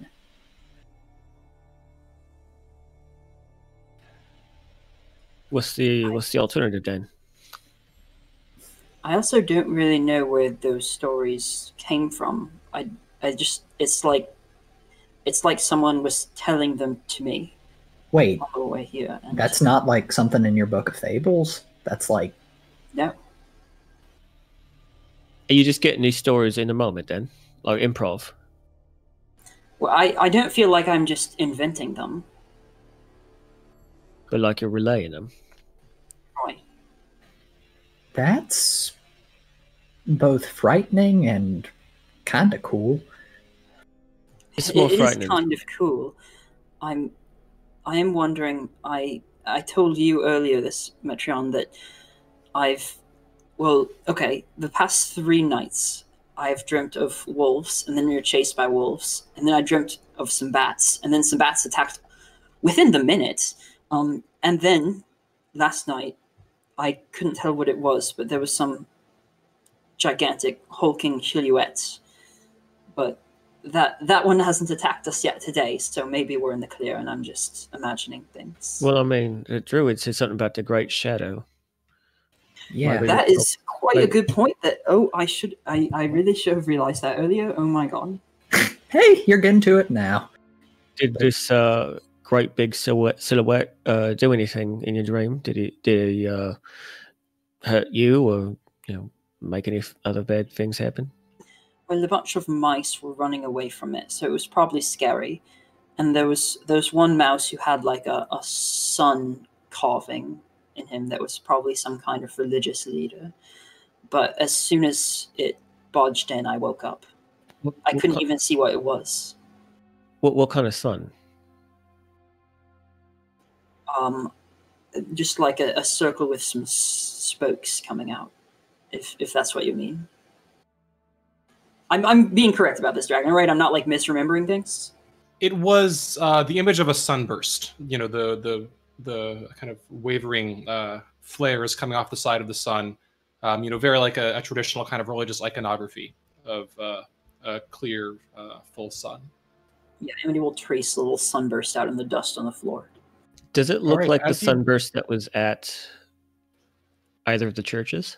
I was about to say it perfectly resembles the sunburst that you have seen at both churches thus far. Metreon lurches forward and almost gets on all fours as he looks over the tracing in the in the dirt in the floor. Uh, Are you all right? uh, we've we've seen this sun. This is uh, this is uh, that Lathander, uh, the sun god, god of the dawn, I- dawn morning lord. Oh, holy shit! You're right.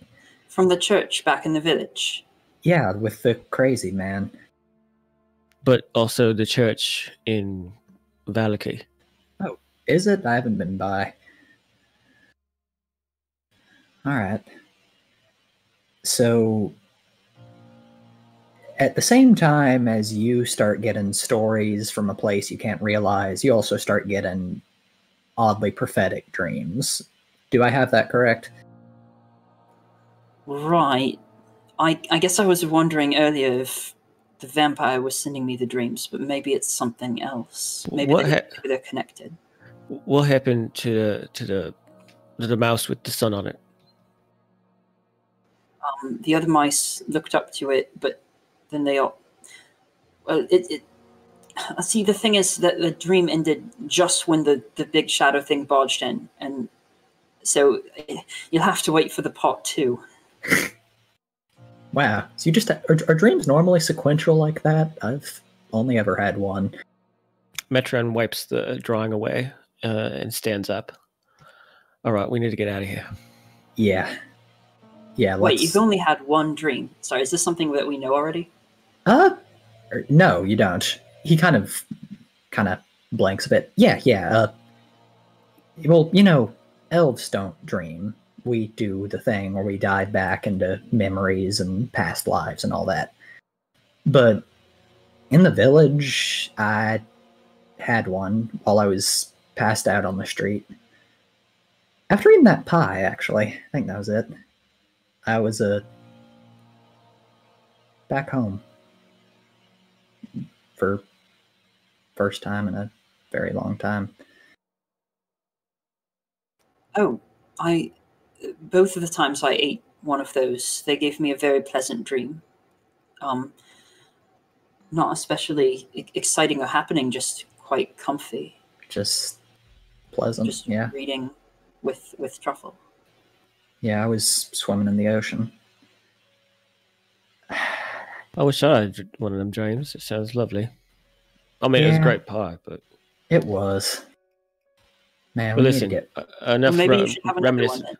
Well, maybe I will, but uh, until then, I'll have it as a celebra- celebratory pie. But uh, first things first, we don't we we've got two other Okay. druids to take care of. Yep. Yeah, actually. Yeah. Here, let me. Reminds me, as we finish this up, I should. Or now, we've been talking. We can't have reasonably been Song of Resting this. Probably not. Okay, fair. Yeah. Earth and I Deer forgot about up. Song of Rest. I've never lost any HP. Well then, let's see if the girls are ready. Alright. Or other girls. Rolled Sorry, the Amity. dice that they like to regain. Uh, as I presume the uh, short rest comes to a close. Yeah, Kiva's Kiva's doing one right now. we'll see how that takes her. All right. I appreciate the aesthetic of Lillison rolling and then subtracting from the, the result that she rolled. I love it. I, I love I love it too, and I also love that that still took me to full HP because I have so few HP. Ah.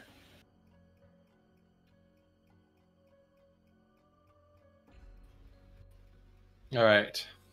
Has everyone Oh, completed their um, short rest? Yes.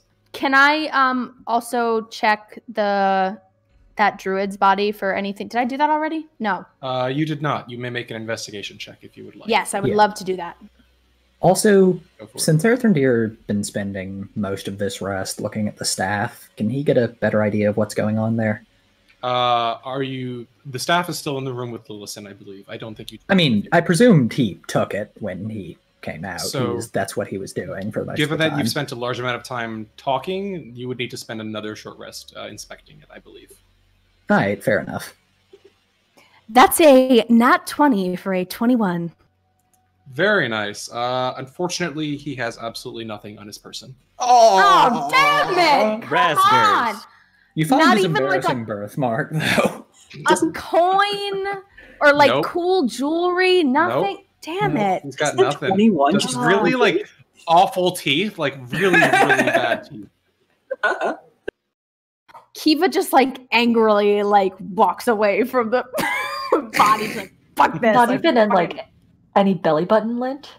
There's a little bit of belly button lint. Actually, if you Kiva wanna take leaves that for the for the ravens to pick through. Ugh. Very good. So, with that, as your short rest comes to a close, as Kiva begins making her way back into the room and Erthrindir begins making his way forward, um,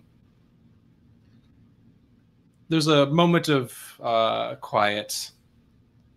Um, are the two? Are, are you guys uh, doing anything? Uh, Erthrindir is going to kind of shake himself and stand up. Well, basement next, I presume. We heard somebody down there or something.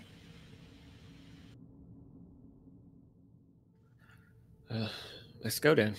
Yeah. Also, I vote we kind of blitz whoever we've got left. Make sure we. As soon hurt as you say that- Yeah. As soon as you say that, you hear the slam of a door from the upper floor. And as you Say- watch whirling kiva your eyes tracing upward into the upper level amity you hear the sound of a second door from the opposite side and on the top level you can now see both doors entering the room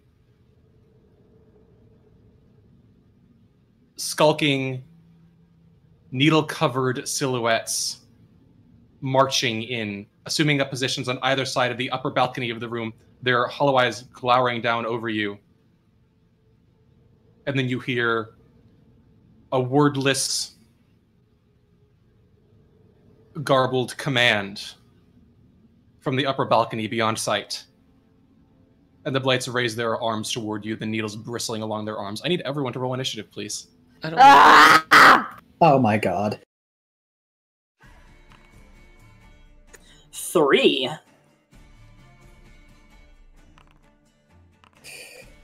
Nine. 11. Four.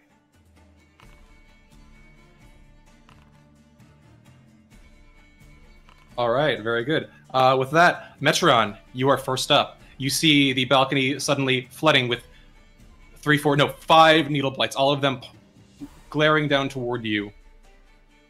Uh, since we Their said arm we were, pointed toward Kiva and Amity. One of them pointed toward you.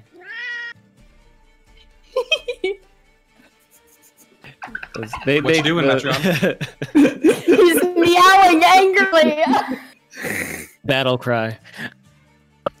No, so uh, since we said we were going down to the basement, uh, and since that staircase in the other room presumably leads down to the basement, uh, Airth, uh, not Erthrindir, Metreon is going to, uh, he's going to go ahead and just bolt there, All right.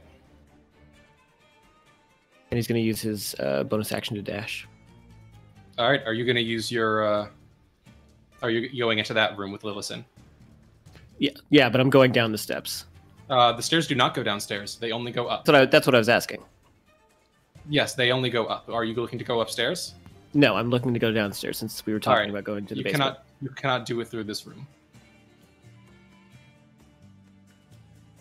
Okay, so do I know where the basement is, or the access Uh, point for that? You know that there was a ramp that went down if you head right from here. That's the Okay. ramp that you came down from originally. It So continued that's what I'm downward, gonna do. to the basement. Okay, so that's what I'm going to do. Bonus action, dash, movement, and then action if it gets me further away from, gets me out of this room. All right.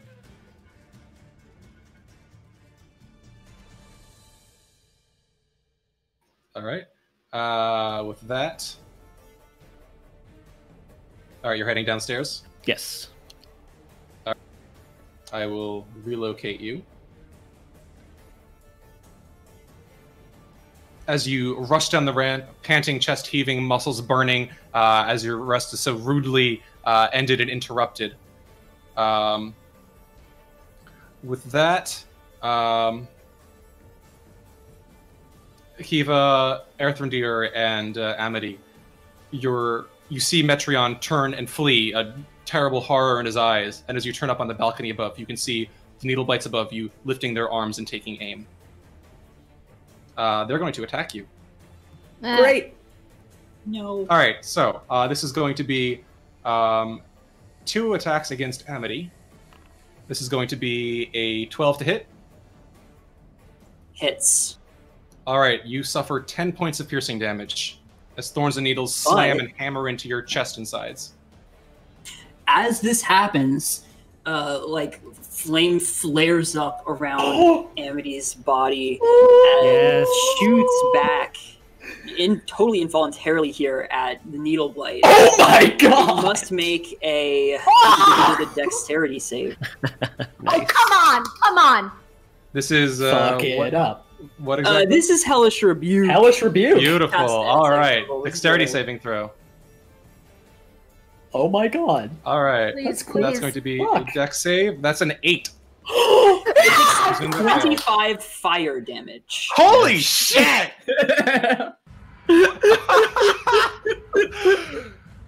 you watch as Amity, her head flings back, and with an involuntary, primal, diabolic scream, this bolt of black fire lances through the air, boiling with the faces of skulls and tormented souls and screams of rage and desperate protection and this bubbling crimson maelstrom of fire and heat and screaming souls slams with the needle blight, coursing through it and charring it till there's nothing more than a small pile of cinders on the ground.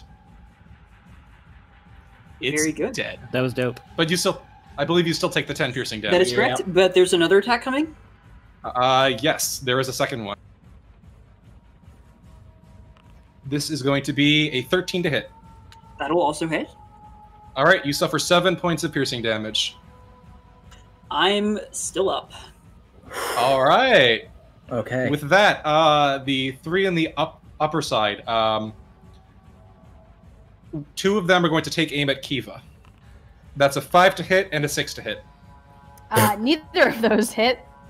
All right. The final one, will, you hear marching coming from up above and turning. You can see the other needle blight maneuvering itself around the room as if aiming to get a better shot. It pauses at the top of the stairs, uh, 10 feet away from you, Erthrindir, uh, t- just up to your south.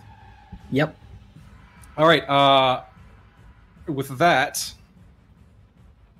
as the blights end their turn, you hear the sound of footsteps echoing, uh, coming forth from the uh, west side balcony, and from there you see a man with uh, pale ashen skin and a full rack of antlers that tower up over his head, wearing a long, ragged green and brown robe. He holds up a staff and directs it toward you. Regardless of what you have done to the others, I promise you, you will not depart this place this day. Make your final recompenses and prepare yourselves to meet the earth from whence you came. and lowers the staff toward you and shouts a word. You can see his skin is shimmering with uh, bark, and there's strange silver slivers of energy that surround his legs. And he is going to point directly toward Erthrindir and Amity. And you watch as weeds and vines begin begin wriggling up in the air. Uh, this is actually going to be Kiva, Erthrindir, and Amity, all three of you. Uh, I need all of you to make a strength saving throw, please. Oh, my favorite. Oh no. 19. Nice. 21. Seven. All right, so with that, Erthrindir, you are restrained as the grasping weeds and vines sprout up from the ground, pushing the flagstones aside and cracking them as the black growths swell around your le- your legs and ankles, ensnaring them in place.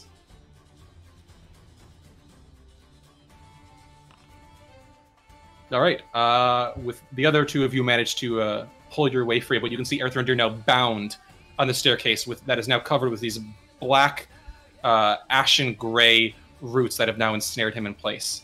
Uh, with that, the the man nods and steps back out of sight. You hear a cry of defiance from above, with several squawks mounting into a loud, piercing caw. And Emily, looking up, you see the ravens diving down from the rafters, swirling around uh, one of the blights, while another flock goes toward another one of the blights. So, uh, that will be a hit, a hit, and I believe that's a miss. Yes. All right. So uh, they deal a good. You watch as the swarms descend on the leftmost blight, tearing it to pieces and reducing it to shreds and bits of thorns. All right. All right. That is the end of their turn. Erthrindir, you are rooted and stuck in place. What are you doing? Okay, so the first thing he does before the roots come in is just staring open mouthed at Amity in astonishment. Though this is kind of broken when the vines start to wrap around his legs. Oh, son of a bitch! He kind of looks to the others, realizing they're setting ducks out here, and then up where the druid ran out of view. And has an idea that's worked for him before. He's going to cast Dissonant Whispers on that fucker. Okay. Um, he is within range. Yes. As he just sh- as he just shouts uh, the beginning of a the same elvish ballad you've heard him singing. The sound almost like painful. All right. All right. Uh, give me that. Uh, Giving give you. me that good shit. Yeah.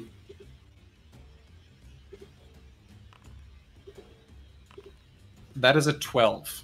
That just saves, but that is seven psychic Alright. damage, which means a All right. concentration Seven check. psychic damage dealt. Uh, yes. Good point. Let me double check something very quickly.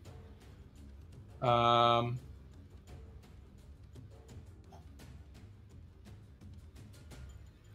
All right. Very good. Um, is that the end of your turn? Uh, no. Does that break concentration? Uh, your concentration? His. On Ah, yes. Uh, one second, please. Yes, it does. Entangle vanishes. Nice. All right, get out of here. We're sitting. We're sitting ducks. And he is going to use his movement. Five, ten. It is. Yeah. Yes. It's. Is it still okay? 15, No, it's not difficult terrain anymore. Just confirming. 20. Slides around the barrel. Twenty-five. Realizing he can't quite make it to the door, can he flatten himself against the barrel to be a harder target for the blights on the balcony? Um, I would say no. Uh, they you will have. Uh, yeah, no, I'm afraid not. Uh, Uh, you could try to crawl under the barrel. There is a, a- enough space for it if you want to throw yourself prone and hide underneath. Yeah, that's probably the high percentage play here. He's gonna go prone. All right. Very good. Uh, with that, is that the end of your turn? Uh, yes. All right. Very good. Um, with that, Kiva, you're up. All right. You've so- got uh, still two hostiles on the upper floor to the top right, one at the top of the stairs. The Drew is nowhere to be seen. Uh, Metreon's long gone, and Erthrindir's pressed underneath uh, the uh, largest vat to the right. What are you doing? Oh my goodness. Okay. Um All right, she's going to uh and there's someone right at the top of the steps here. Uh, yes, just a needle blight. It's currently being harried by one of the swarms of ravens, but that are kind of like swirling all around in this like black whirlwind of feathers. Uh, but yes, that's the only other thing that is encountering it. Okay, and so it would be a reasonable assumption that the druids are up higher than the needle blights, but she could get to them from this area. Like if she went up to the balcony. Druid. The druid Okay. is nowhere to be seen. Okay. He entered the Um, room and then stepped out. Okay, damn. All right, so maybe that's not the play. Um Fuck it. Uh I'm going to take that back. Uh, or at least, you know, go back the 10 feet. If I lose that 10 feet that I moved the first time, that's fine. She's just going to go after Metreon. All right. Wise. Yeah. Uh uh I think that's as far as I get. You can Because I dash. double Oh, yeah, fuck it. Um yeah, so then she'll use her action to dash and then just yeah. So that's 30 and then oh, how do I open this door? Oh, is that one locked? Okay. 35. Yep. All right, she's just going to use the rest of his turn following. All right. And I will actually, uh, in, I will place Amity uh, on the uh, top level just so you can see where everything is arranged. Thank you. All right. Uh, with that, Kiva, are you out of the room or are you just barely unable to get out? I think I can go uh 10 more feet. So Yeah, you got 60 feet. You're fine. All right, very good. Uh, with that, Yeah, that so is the she's end on of the Kiva's turn. Mhm. All right, excellent. Um, with that, Lillison, you're up. You hear all this commotion. You were still inside the barrel room. Uh, you see the ground outside covered in needles and thorns that are half embedded in the flagstones, half scattered across. Um, you see Erthrindir like huddled underneath a vat, um, and Kiva and Metreon are seemingly absent. Okay. Uh, just remind me, are the walls of this place made of wood or stone? The walls are made primarily of stone with wood reinforcements. Okay. Um, Lillison is going to. I assume that she heard things like the doors opening and stuff like that. Uh, yes, you would have been hearing everything that's going on. It's a bit much at once, but you have a general sense, especially given your passive perception of where everyone is. Okay. Uh, Lillison is going to um, uh, quietly shout, I guess, outside. Um, Get yourselves into this room. Put put stone between you and them. I'm going upstairs after him. Um, and then she's going to go upstairs after him. Too late. They're the others are already heading into the other hallway. Lillison's All right, gonna pelt Lillison up these stairs. makes her yeah. way upstairs, and as you do, you can see the at the other end of the hallway, the druid, his gaze still uh, glancing through the half-open door into the other way. Uh, but as your footsteps mount up the uh, staircase, you can see him standing at the. He sees you standing at the other end of the corridor and whips his gaze toward you. Okay. Um muttering uh somewhat, um Lillison's just gonna stomp forward. Um just saying stuff like they told us that these people did not speak very much common, but with words like ah, fuck. And then she is going to uh poison uh, yes, poison spray him. I will say you probably can't. Oh no, you're bonus action dashing, aren't yes. you? Yes, I am. Okay. All right, uh, that is a Constitution saving throw.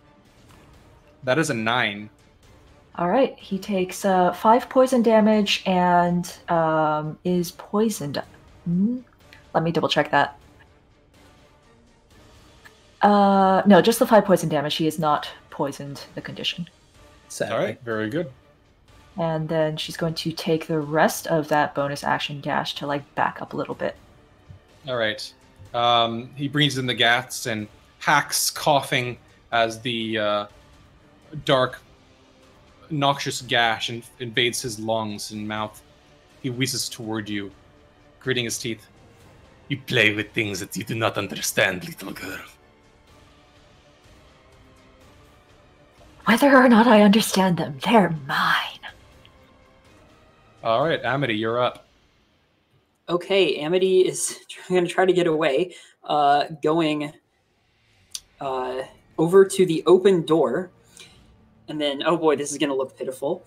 Uh, using the dash action, falling over, uh, collapsing onto the ground, getting up, uh, walking one more square through that door, and then using the object interaction to close the door behind her, ending up All right. in the shrapnel barrel room. All right, the door s- half the door slams shut behind you, letting you take cover, cowering behind it. Uh, one of the double doors is still open, but you are pr- you think you're pretty well shielded from here. Amity. I'm at one HP. Yes. Love it. Right choices. All right. Uh, with that, uh, that is the end of Amity's turn. Metreon, you are in the basement. Uh, as you spill out from the uh, the ramp onto the bottom floor, you can see an ice cold cellar, wooden pillars and beams supporting the 10 foot high ceiling. You can see that this cellar seems to be split in two by a five foot thick brick wall, and a thin mist covers the floor. You see that this half of the cellar features an eight foot tall wooden partition that doubles as a wine rack. This one appears to be half filled with wine bottles.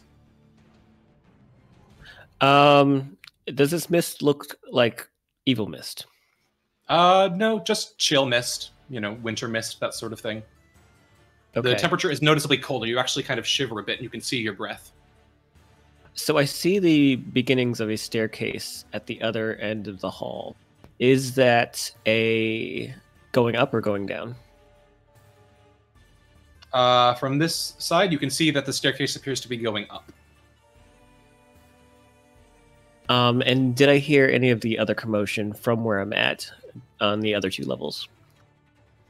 Um, you do not currently hear any other commotion. Uh, you, um, yeah, I mean, there's no indication of anything here. That you can see a few bottles haphazardly lying across the floor, one of which is broken.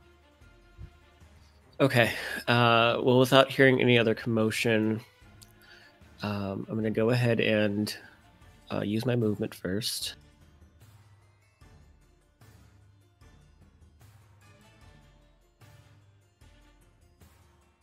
Um, as a free action, can I take one of the full bottle, uh, full bottles of wine? As an object interaction, yes, you may. Thank you. I'll put it into my bag. And then um, I saw a door on the other side, but uh, I don't quite trust it yet. Uh, hmm. I am going to go ahead and keep going through the basement. So I'm going to use my action to move. Um, and I don't see anything on this side, so I'm going to use my bonus action to go ahead and move up to the door. Um, Okay. and I guess that's it. I I have some movement left. I I don't know if I'd be able to transfer that into a perception check to see if I can hear anything behind the door. Um, if you haven't used your action, you may. No, I use my action to move. So Then it's it's again, it's yeah. fine. I yeah, it's fine. All right, very good. Uh, is that your turn? Uh, yes. All right. With that, the needle blights. Arthur, you can't see them, but you can hear the needle blights turning and beginning marching away. Uh, one of them turns, and you hear the spray of needles and several squawks and caws of pain, presumably from the ravens. Okay. Meanwhile, Kiva, you were heading downstairs, correct? Uh, Down the ramp. That's where your current location is. Yeah, she's hesitating though because she's wondering if she should go back. All right. Well, your decision is made because as you glance back, you see flooding into the space behind you a needle blight, a silhouette behind it, uh, the sound of steps creaking down the old ramp. It turns to face you, its dead, hollow eyes meeting yours. It slowly raises its hands, uh, but that is its action for its turn. It had to dash to get there. Ooh, So- okay. That is the end of the round for that needle blight. Which means next up, it's our good buddy's turn. Oh, I love him. All right. He meets Lillison's eyes for a moment. Um, let's see. All right. He is going to raise his uh, staff, stepping forward uh, another five feet, pushing it toward her, and then letting loose a thunderous blast of force. I will need a Constitution saving throw from Lillison. Come on. Six. Fuck. God damn it. That will be 17 points of force damage. Lillison is on the ground. Uh, have an odd question for you. Go for it. Can Erthrindir see this? Uh, no. This is in the Fuck. upstairs corridor. You hear this, but you do not see it. Okay, never mind. All right. Listen, the last thing you see before fading into unconsciousness is the druid peering over you and shaking his head before turning and stepping over your unconscious body. And that is the end of his turn. Next up, the ravens will take their turn, moving and attacking this blight. Um, just for ease of use, let's just see how they do. It's uh, hit, hit. Yeah, this Blight is down. All right, uh, that is the end of the Ravens' turns. Erthrindir, you're up. You are prone underneath the vat. Okay. Um, He. So, by yourself, as far as you can tell. all right. He presumably heard the thunderous fucking blast from up from the upper gallery, though, right? Yes, very loudly. Okay. Erthrindir is going to scramble to his feet and see what he can see. All right. Scrambling to your feet and looking around, you can see the ravens on the second floor uh, pecking around a fallen mound of what looks like vines and thorns and needles that might have once formed a shape but are now reduced to nothing. You can see around the corner of one of the closed door to the barrel room, uh, Amity, uh, mostly shielded from sight. And as you glance behind you, you can see Kiva in the ramp, now cornered by two needle blights that are approaching her. No sign of Lillison. No sign of Lillison. Okay. Okay. He's going to step out to see the situation better. Can he see the druid on the top floor? No, the this druid is nowhere to be seen.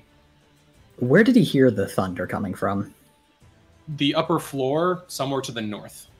You, it was Oh, probably from how you pronounce it, probably somewhere from one of the corridors or rooms on the second floor. All right. He's going to step in. A- Amity, did you see anybody? Oh my god. He as he kind of takes in how badly she's been hit. Amity shakes her head. There's no one in here, as far as I can tell. All right. I I- I'm out of healing. I'm sorry. I'm gonna stay safe. All right. And he will wrap her in a brief, tight hug before rushing upstairs. All right. You too. She returns the hug. All right.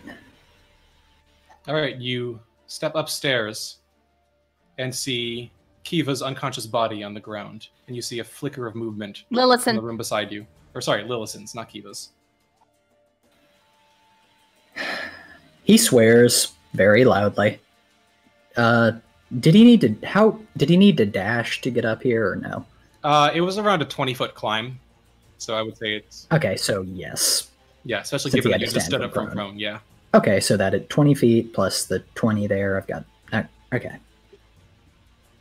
That's his turn.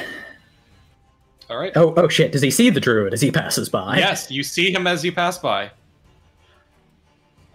You His piece eyes of widen toward you. He just bares his teeth back. It is a mistake to meddle in affairs greater than your own. Funny, because I could say the same. Is Arthur still holding the staff? Uh, yeah, he's got it in his pack. All right, but it's not. Is it visible? Uh, yeah, I think so. I mean, he can't really like. Sh- it's like six feet long, right? He can't really shove that in his backpack. Fair. As you as you watch, the druid's eyes shift up to the staff poking out of your uh, pack on the on the back end. That was a lot of rhymes. Um, his eyes narrow. Yes. I think you will give back what you have taken. And as you watch, the mineral on the edge of his staff begins to glow a dim, flickering green light. Alrighty, that's my turn. All right, Kiva, you are about to be cornered by two approaching needle blights. Uh, you are on the down ramp. Uh, Erthrindir and Amity and Lillison uh, are nowhere to be seen. You can hear Metreon, you think, moving down below. What y'all doing? Oh my goodness. Well, she's fucking panicking, so she is going to rage again. My poor girl. Um, and then oh, I have to do some rolling now. Are you attacking? Are you running away? What are you doing? She's gonna attack once they've cornered her. Like that's it. Just triggers her thing. Yep. I mean, you're not cornered. You could keep running downstairs if you wanted. Oh, okay. I thought you said I was cornered. Yeah, no. I thought I was both No. sides cornered. Like there was one They have- between. Okay. Oh, Would one get Yeah. an attack attack of opportunity though? No, they are not actually adjacent to you yet. Gotcha, gotcha. They had to move all their movement just to get within 10 feet. Oh, okay. Then yeah, fuck it. She's not gonna rage. She's just gonna go all the way down the balcony, uh, or all the way down the um, steps to Metreon. All right, it's around a 15 uh, foot descent, and you can see Metreon uh, now with a wine bottle under one arm, standing cautiously by a southern door. Metreon, you hear Kiva and turn to face her. So, Uh, um, oh god. Oh no, I was just gonna say I instinctively uh, point my wine bottle uh, at her face, kind of like almost like it's a saber or something like that, just out of instinct. And then once I see it's her, I put it in my bag. So Kiva's going to um cross over, take a wine bottle for herself, shove it in her bag, and then um that's I think the yeah. Uh this would be the last of her movement and she's just going to tell him to keep going. Just we got to keep running. All right, is she dashing here, or is she? What's she doing with her action? Uh I thought it was an action to take the bottle. So No, it is not. nope. Oh, fuck yeah, then she's dashing. yeah, damn it. She'd take a right. bottle and she's running. Well, you see me Is in front of the door going- too, so Is she going through the door? Is she going to the other side of the cellar? Where is she going? She's going to go through that door. All right. Uh, if you want to open it, you can see beyond. And you're heading inside? Yeah. All right. You can see thick moss covering the walls of this underground staircase, and at the foot of the steps is a landing. And as you pass through the arched wooden door set into the wall, you can see littering the wooden steps small pine like needles covering the surface, thorns driven into the wood in several places, muddy clawed footprints that pass through the door through where through whence you came. So You can see the staircase leads up to a higher level, and you can see a faint, thin gray light seeping in from whatever chamber this leads to. Uh, okay, fuck it. She's gonna use the rest of her movement to uh, go up there. All right. You make the rest of your way up there. And the room you pass into now, there's a dirty window in the south wall that lets dim light to enter this room.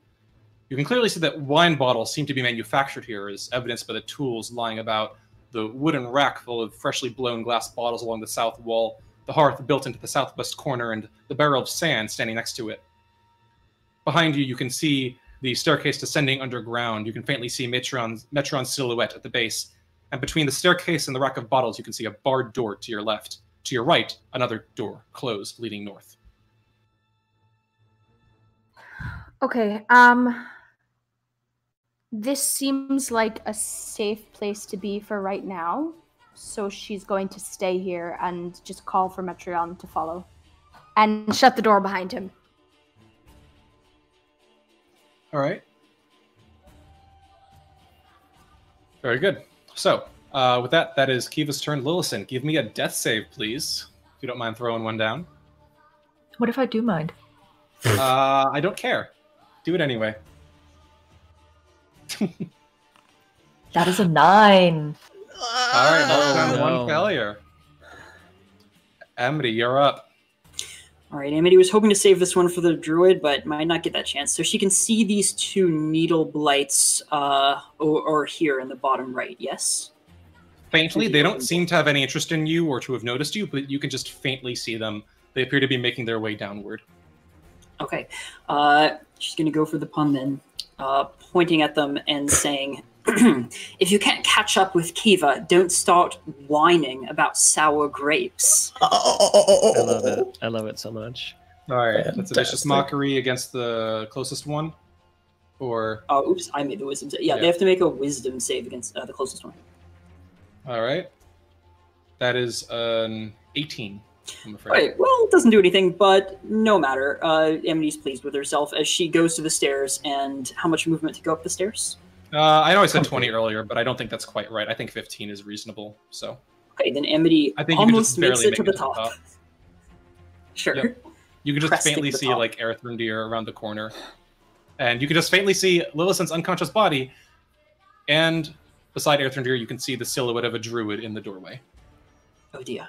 Maybe I should have saved that. And just as you of make your way up, you could have seen one of the needle blights turning toward you. End of turn. no, Beautiful. no more turn. Metreon, you're up. Uh, Yeah. Kiva's at the top of the stairs. What you doing? Uh, I'm gonna follow her because she's beefy and uh, will protect me if something happens. All right. Like a So crunch that's- wrap supreme. Hmm. You make your way up to the upper level, joining Kiva in the room with the uh, glass bottles and the two doors. Do we stay in here? Do we get out? Look, if you want to stay in here and and just keep keep yourself safe, I I totally understand. Uh, but I think there's one more druid and uh, or at least one more druid up here, and so you know we should try to finish it. Fuck. Quick question: uh, Did Metreon close the door on his way up? He did not. All right. very good. No. Forgot. Sorry. It's okay. Thank you for your honesty. I respect it. Uh. Fuck. Um. Poop. Um. Hearing Kiva say this about the druid and realizing that the only way they have out is to get these last two druids taken care of, Metreon will at least open the door a crack and just kind of take a peek. Which door are you looking through?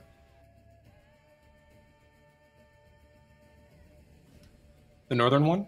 Yeah, the one I'm clicking on, but I can't see through. Uh, yes, because as you try to push through it, you feel a weight on the other side. And you slowly realize to your horror that this is one of the doors that you blocked with the barrels. Oh no!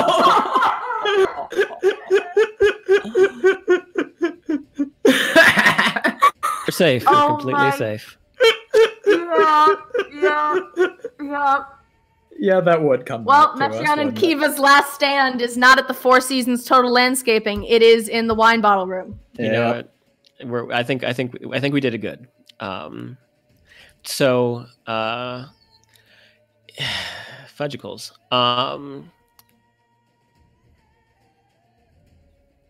real well, realizing that's the, the room that we were just in, but also uh, presumably don't want to be in. Um, actually, no, because that's the only door. Uh, there are right? two doors. One of them appears to have the barrels on the other side. The other one is barred and seems to lead outside. Oh, okay. Um, good to know for right now. Probably won't open it because of uh, Twigs Blights running around. Uh, he's going to use his action to push through in this All kind right. of like hysterical uh, adrenaline fueled rage. All right, I will need a strength check from you. I'm amazing And, at those. oh, I was gonna say probably keep it. Uh, unfortunately, not. You would need to take the help action on your turn. 11. Unfortunately, you struggle grunting, pushing against it, but it's just a bit too heavy. These barrels are pretty big. Fuck. Uh, and then realizing that uh, he had not closed the door, uh, he's going to rush back down and close the door using All his right. bonus action dash. All right, are you? Okay. Um. Yeah, bonus action dash. 30 minutes, 30 feet. All right. Very good. Um. Are you trying to close it quietly? Are you slamming it shut? I'm just slamming it shut. Actually, yeah. Okay. The it slams shut, and I. Do you have enough movement to finish up there, or no, I would probably have are you to. still downstairs? Well, hold on, let me check. Uh, no, it's like 20 feet down. Uh, I'd be able to get back up on the stairs, but I wouldn't be able to get all the way up. All right, I'll put you around halfway. Does that seem Yeah. fine? Yeah, that's fine. All right. I'm loving this mental image of Metreon just taking these six seconds, like dashing all over the place, shoving his shoulder against the door. He's got incredible Sonic the Hedgehog vibes. It's great. It's, he, he's got to go. He's got to go fast. He's got to go fast. All right. Uh, with that, Metreon, you hear the steady marching of clawed inhuman feet slowly coming down the stairs. Down the stairs? You mean the, the Or ramp? not the stairs, down the ramp to the Okay. uh, east. And you wait with bated breath. For a moment, your breath frosting as it wisps out from your lips, waiting to see if they'll come through the door. And then you slowly hear the feet pass by. The footsteps fading off to your left. Metreon's I heart, just- They don't seem to enter. Metreon's stomach just falls, and he kind of stumbles backwards and almost takes a seat down on the uh, the steps for a moment. Benefits of enemies with four intelligence. All right. With that, Erthrindir, the druid before you raises his staff and with a single tone grunt, smoothly and efficiently whirls it through the air toward you as he strikes you with his quarterstaff. Oh, thank God. No one's got infinite spell slots in this world, Oh, thank God. so this is going to be Especially not something me. I am out. I have infinite spell slots. all right. Do you now? So very good, and let's see if that hits. That is a 16 to hit. Erthrindir is going to cutting words that. All right. It still hits! Fuck! All right, it slides, slices through the air. The gem at the end glimmering a, a deep viridian glow that soon surrounds the entirety of the staff and uncoats the man's hands as he chants another word, swirl, swirling through the air, dealing five points of bludgeoning damage to you. I am going to pay that back in kind, you piece of shit. I meant He just meets your eyes and shakes his head grimly. Uh, that is the end of his turn. The ravens have nothing to attack. Erthrindir, you're okay, up. he's going to he's going to give a look to Amity and kind of jerk his head at Lillison. She's hurt. Can you? I think she's dying. I'll, I'll, I'll get it. I Thank it. you, thank you. And with that, he's going to attempt to introduce this druid to the virtues of a short sword to the teeth. Go for it.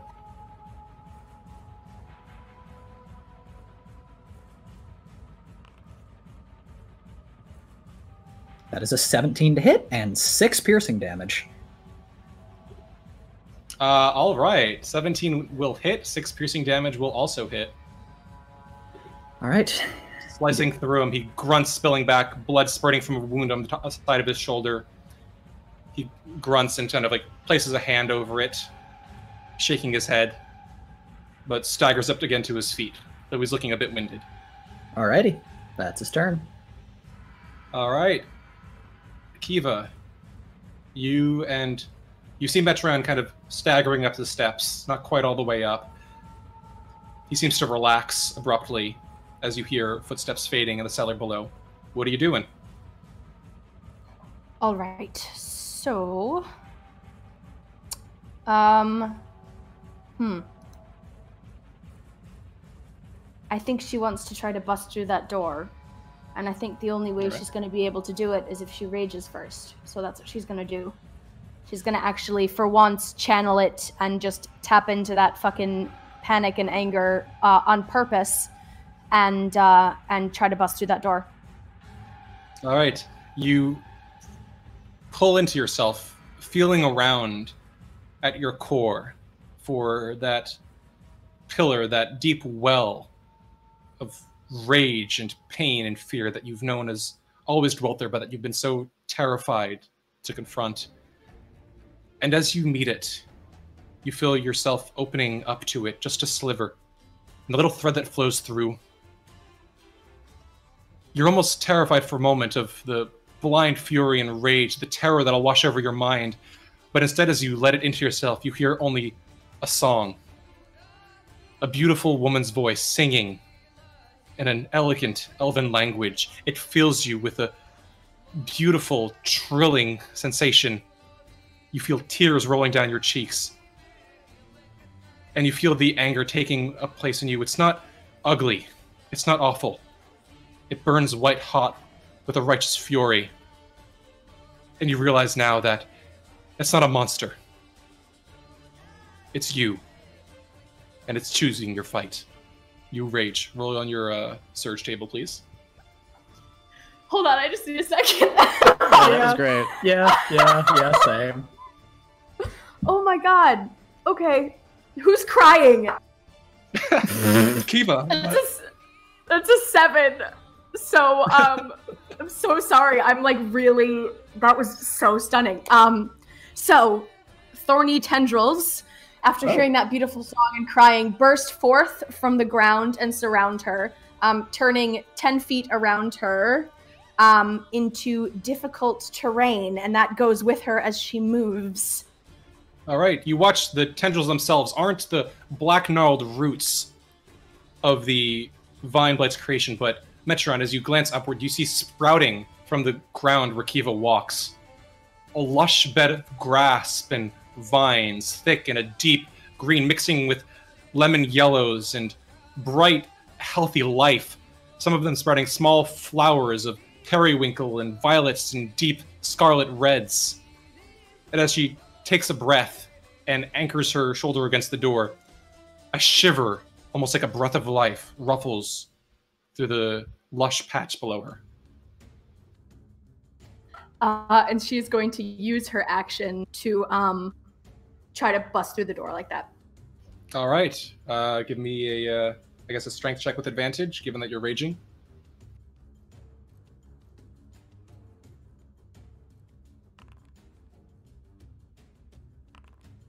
Nice. Natural 20! All right, and for a total of. 21. All right, coming together, pulling all of that righteous fury, this defiance, and as the Elven Woman's song that seems so familiar to you, the voice so much like your own, but older, more distant, mournful but proud and defiant, welling up in you. You don't realize that your eyes are shimmering with bright blue tears falling down your face until you burst through the door, slamming it, the wood crunching and splintering beneath your weight as the barrels beyond go scattering, flying in all directions. Your chest heaving, you peer out into the room beyond.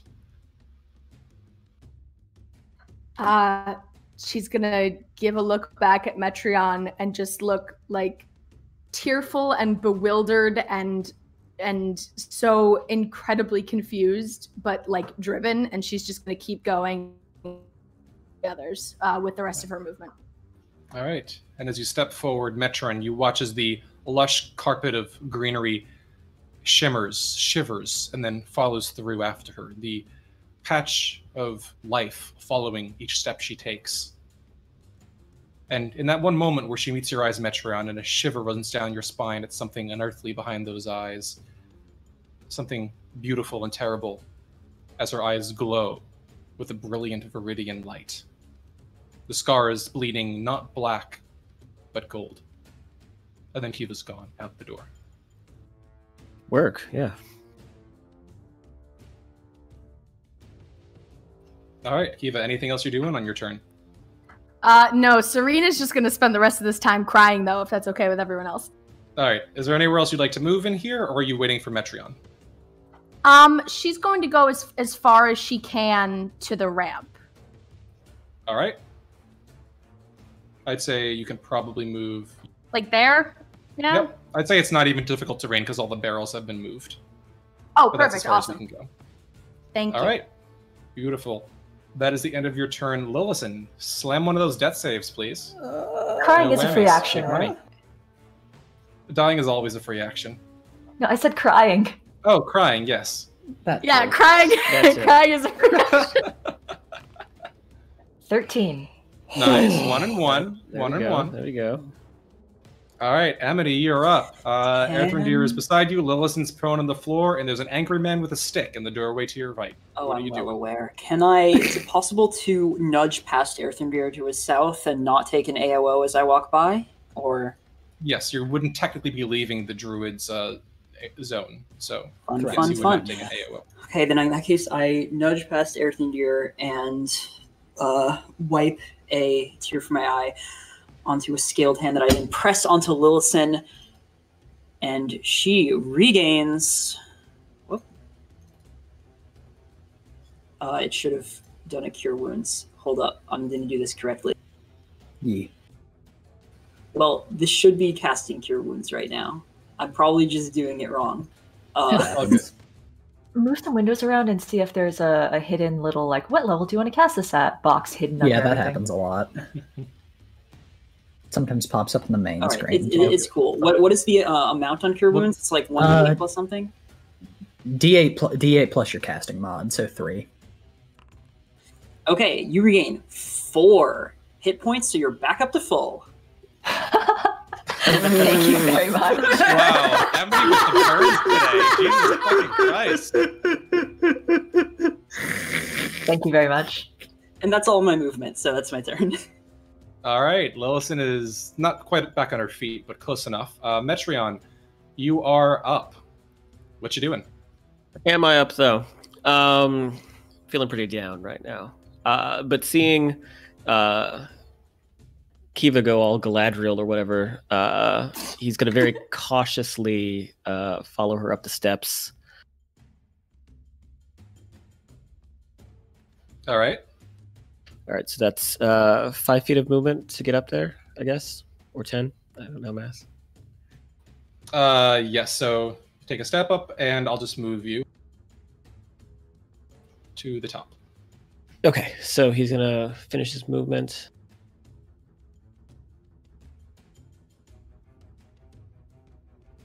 Let me out. It's not letting me out. Please let me out. All right, let me uh, open the door for you. There you go. Thank you.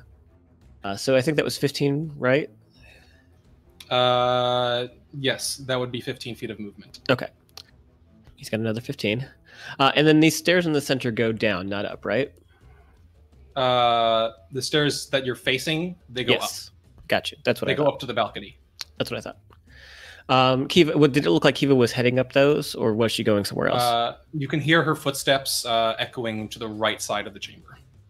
So, like closer You can actually see a faint, a very faint trail of growing and then withering away uh, lush green plants off to the right. Ah, got you. Okay. Um, and so that's 20 feet. Uh, I'm just going to follow her then.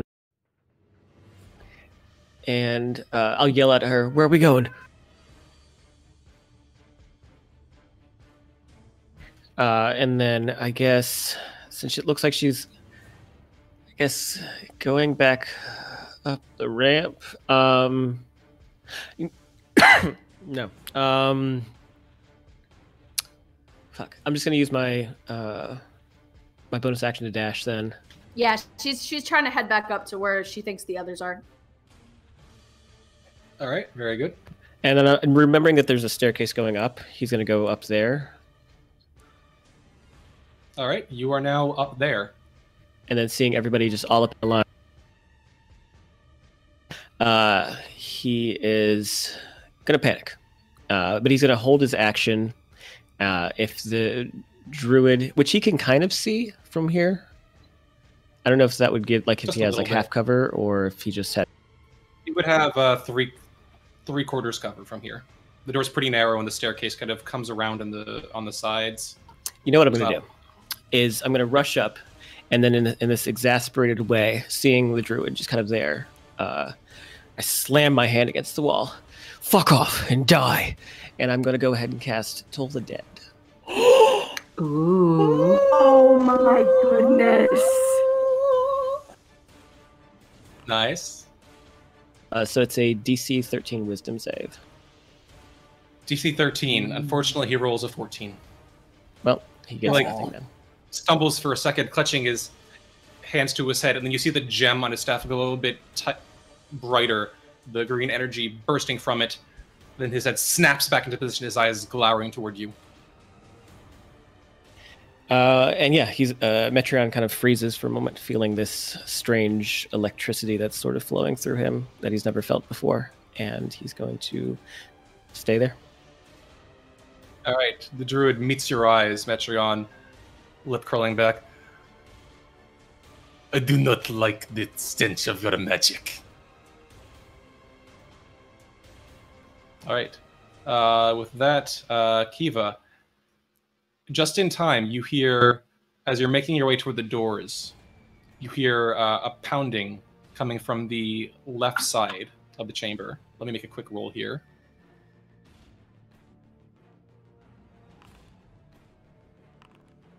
All right, you watch as you hear the doors slam open, and you can just briefly see uh, the two needle blights emerging from the opposite side of the chamber. Um, you can see their shadows faintly through the uh, through this lower part of the area before they move out of sight on the opposite side.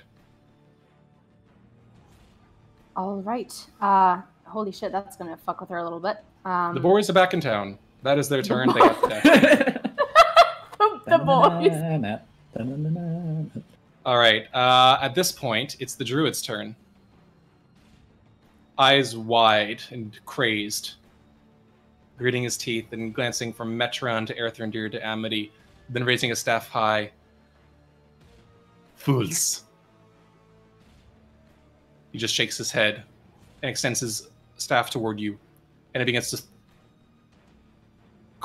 glow and throb with a deep green light that a lot of you are now quite familiar with. I wish I weren't. And there's a moment of pause. And then it unleashes a thunderous blast of force toward the three of you. Nope, don't like that. Con save. Now, I believe, just checking, he's only he's only cast uh, uh, Thunder Wave once so far, I believe. So far, yes. Uh, yeah. All right. Thunder Wave, possibly a Bark Skin, and an Entangle. Very good. All right. So this is con Then- save. This is going to be a con save from each of you. Can I have advantage Eleven. because I finally found wine? No. Eight. Oh, 19.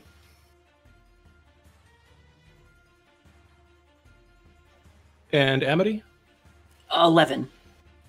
All right, very good. So, uh, with that, um, Amity and Erthrindir fail, Metreon succeeds. So, Amity and Erthrindir, you each take 12 points of force damage and are pushed back against the walls, taking an additional 2d6 damage. Oh. Do I like scoot down the hall to the left, or Uh, no, this is from the direction of the druid. That's in another five points of force damage to each of you. So 17 total. Correct. Very down. Oh my god, is Amity Metreon, down? Oh my Down, god. but not dead. Metreon Okay. takes six points of force damage. And is not pushed. I presume you mean thunder, right? Sorry, yes, thunder damage, not force. Apologies. Uh, Kiva, you can hear a thunder, uh, the sound of echoing, booming thunder from the upper floor. Uh, that's not good. I don't like that at all. All right. Uh, with that, that is the end of the druid's turn. Um, the ravens' turns. They will quite happily dive bomb these two needle blights.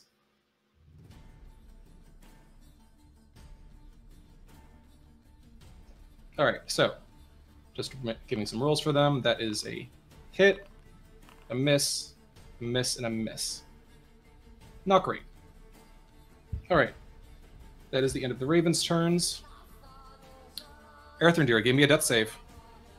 If I must, and I must. Oh, come on.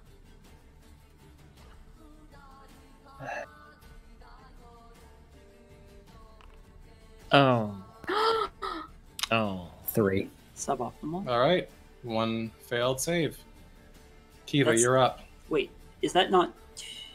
Oh, oh, sorry. I saw the red and I assumed everything was very Yes, bad. yes. Yeah, thought I thought too the so too. time, That's why I it's freaked just- out. It's just Foundry. Yeah. Okay, all right. So, Jesus Christ.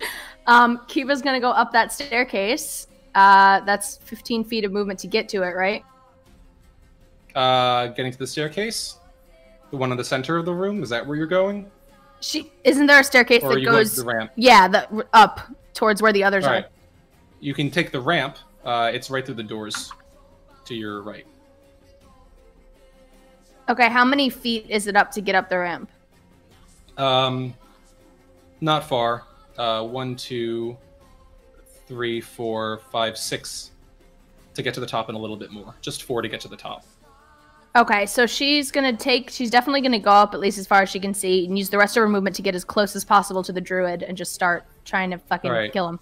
Uh, you are on the second floor now. If you'd like to check that out, uh, you have an additional 10 feet of movement left before your action. Okay. Yeah, I'm not sure. I guess Erthrindir isn't occupying his space anymore. She can probably take that. She's Well, I, not I can't. in I, same yeah, I area as can't us. see any Oh, of I, you. I misunderstood. My apologies. So you can you get the sense that ahead and to the left is where the thunder was heard. Uh, you still have your action. What are you doing? Um. Okay, fuck it. She's gonna take the dash action and just get to where everyone else is. Um, where where is everyone?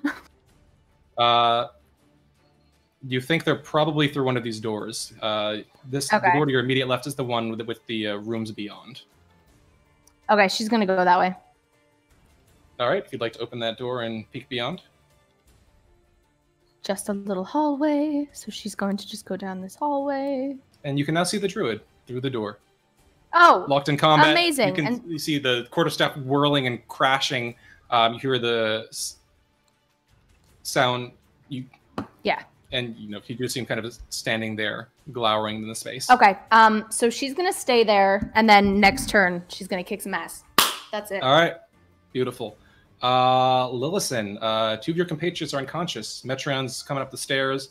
There's a druid in the room, and you hear footsteps approaching from the eastern side. What you doing?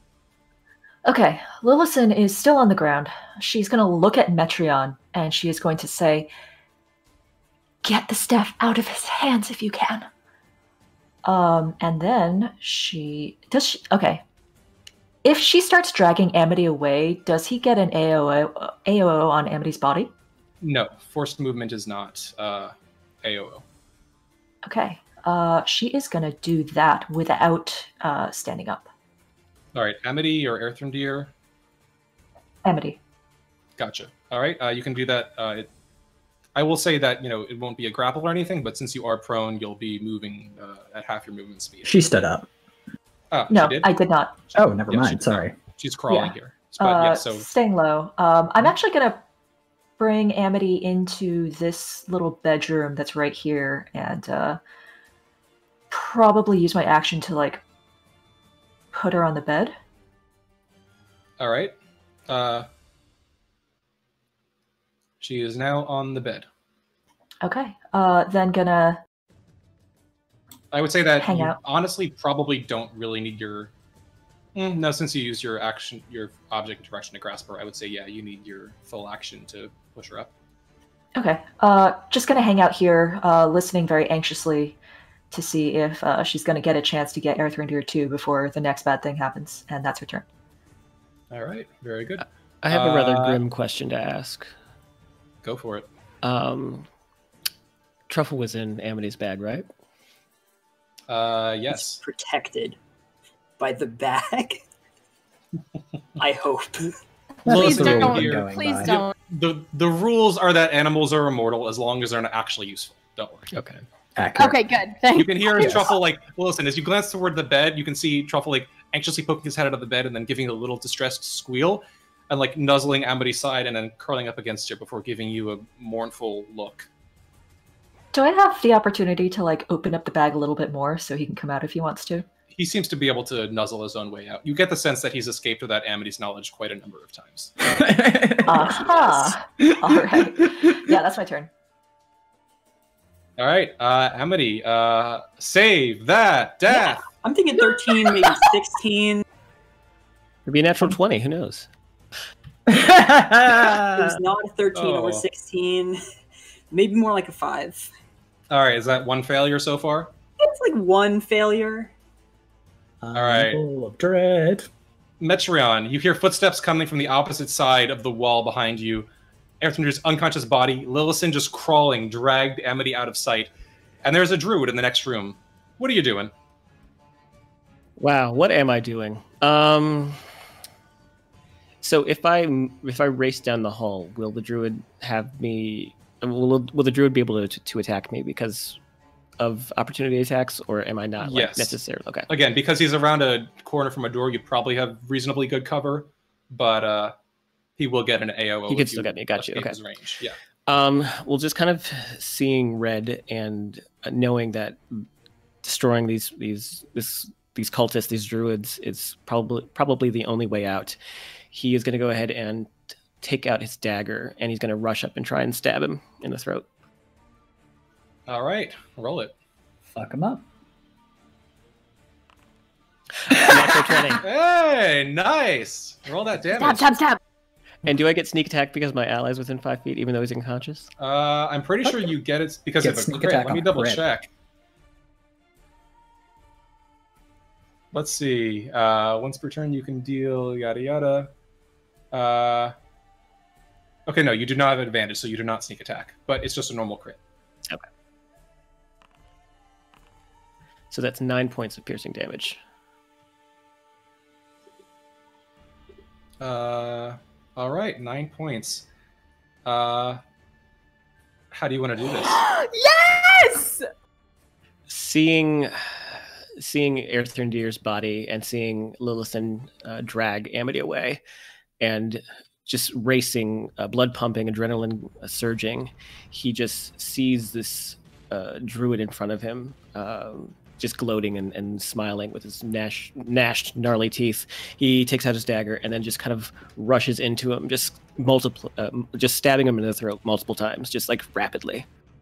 All right.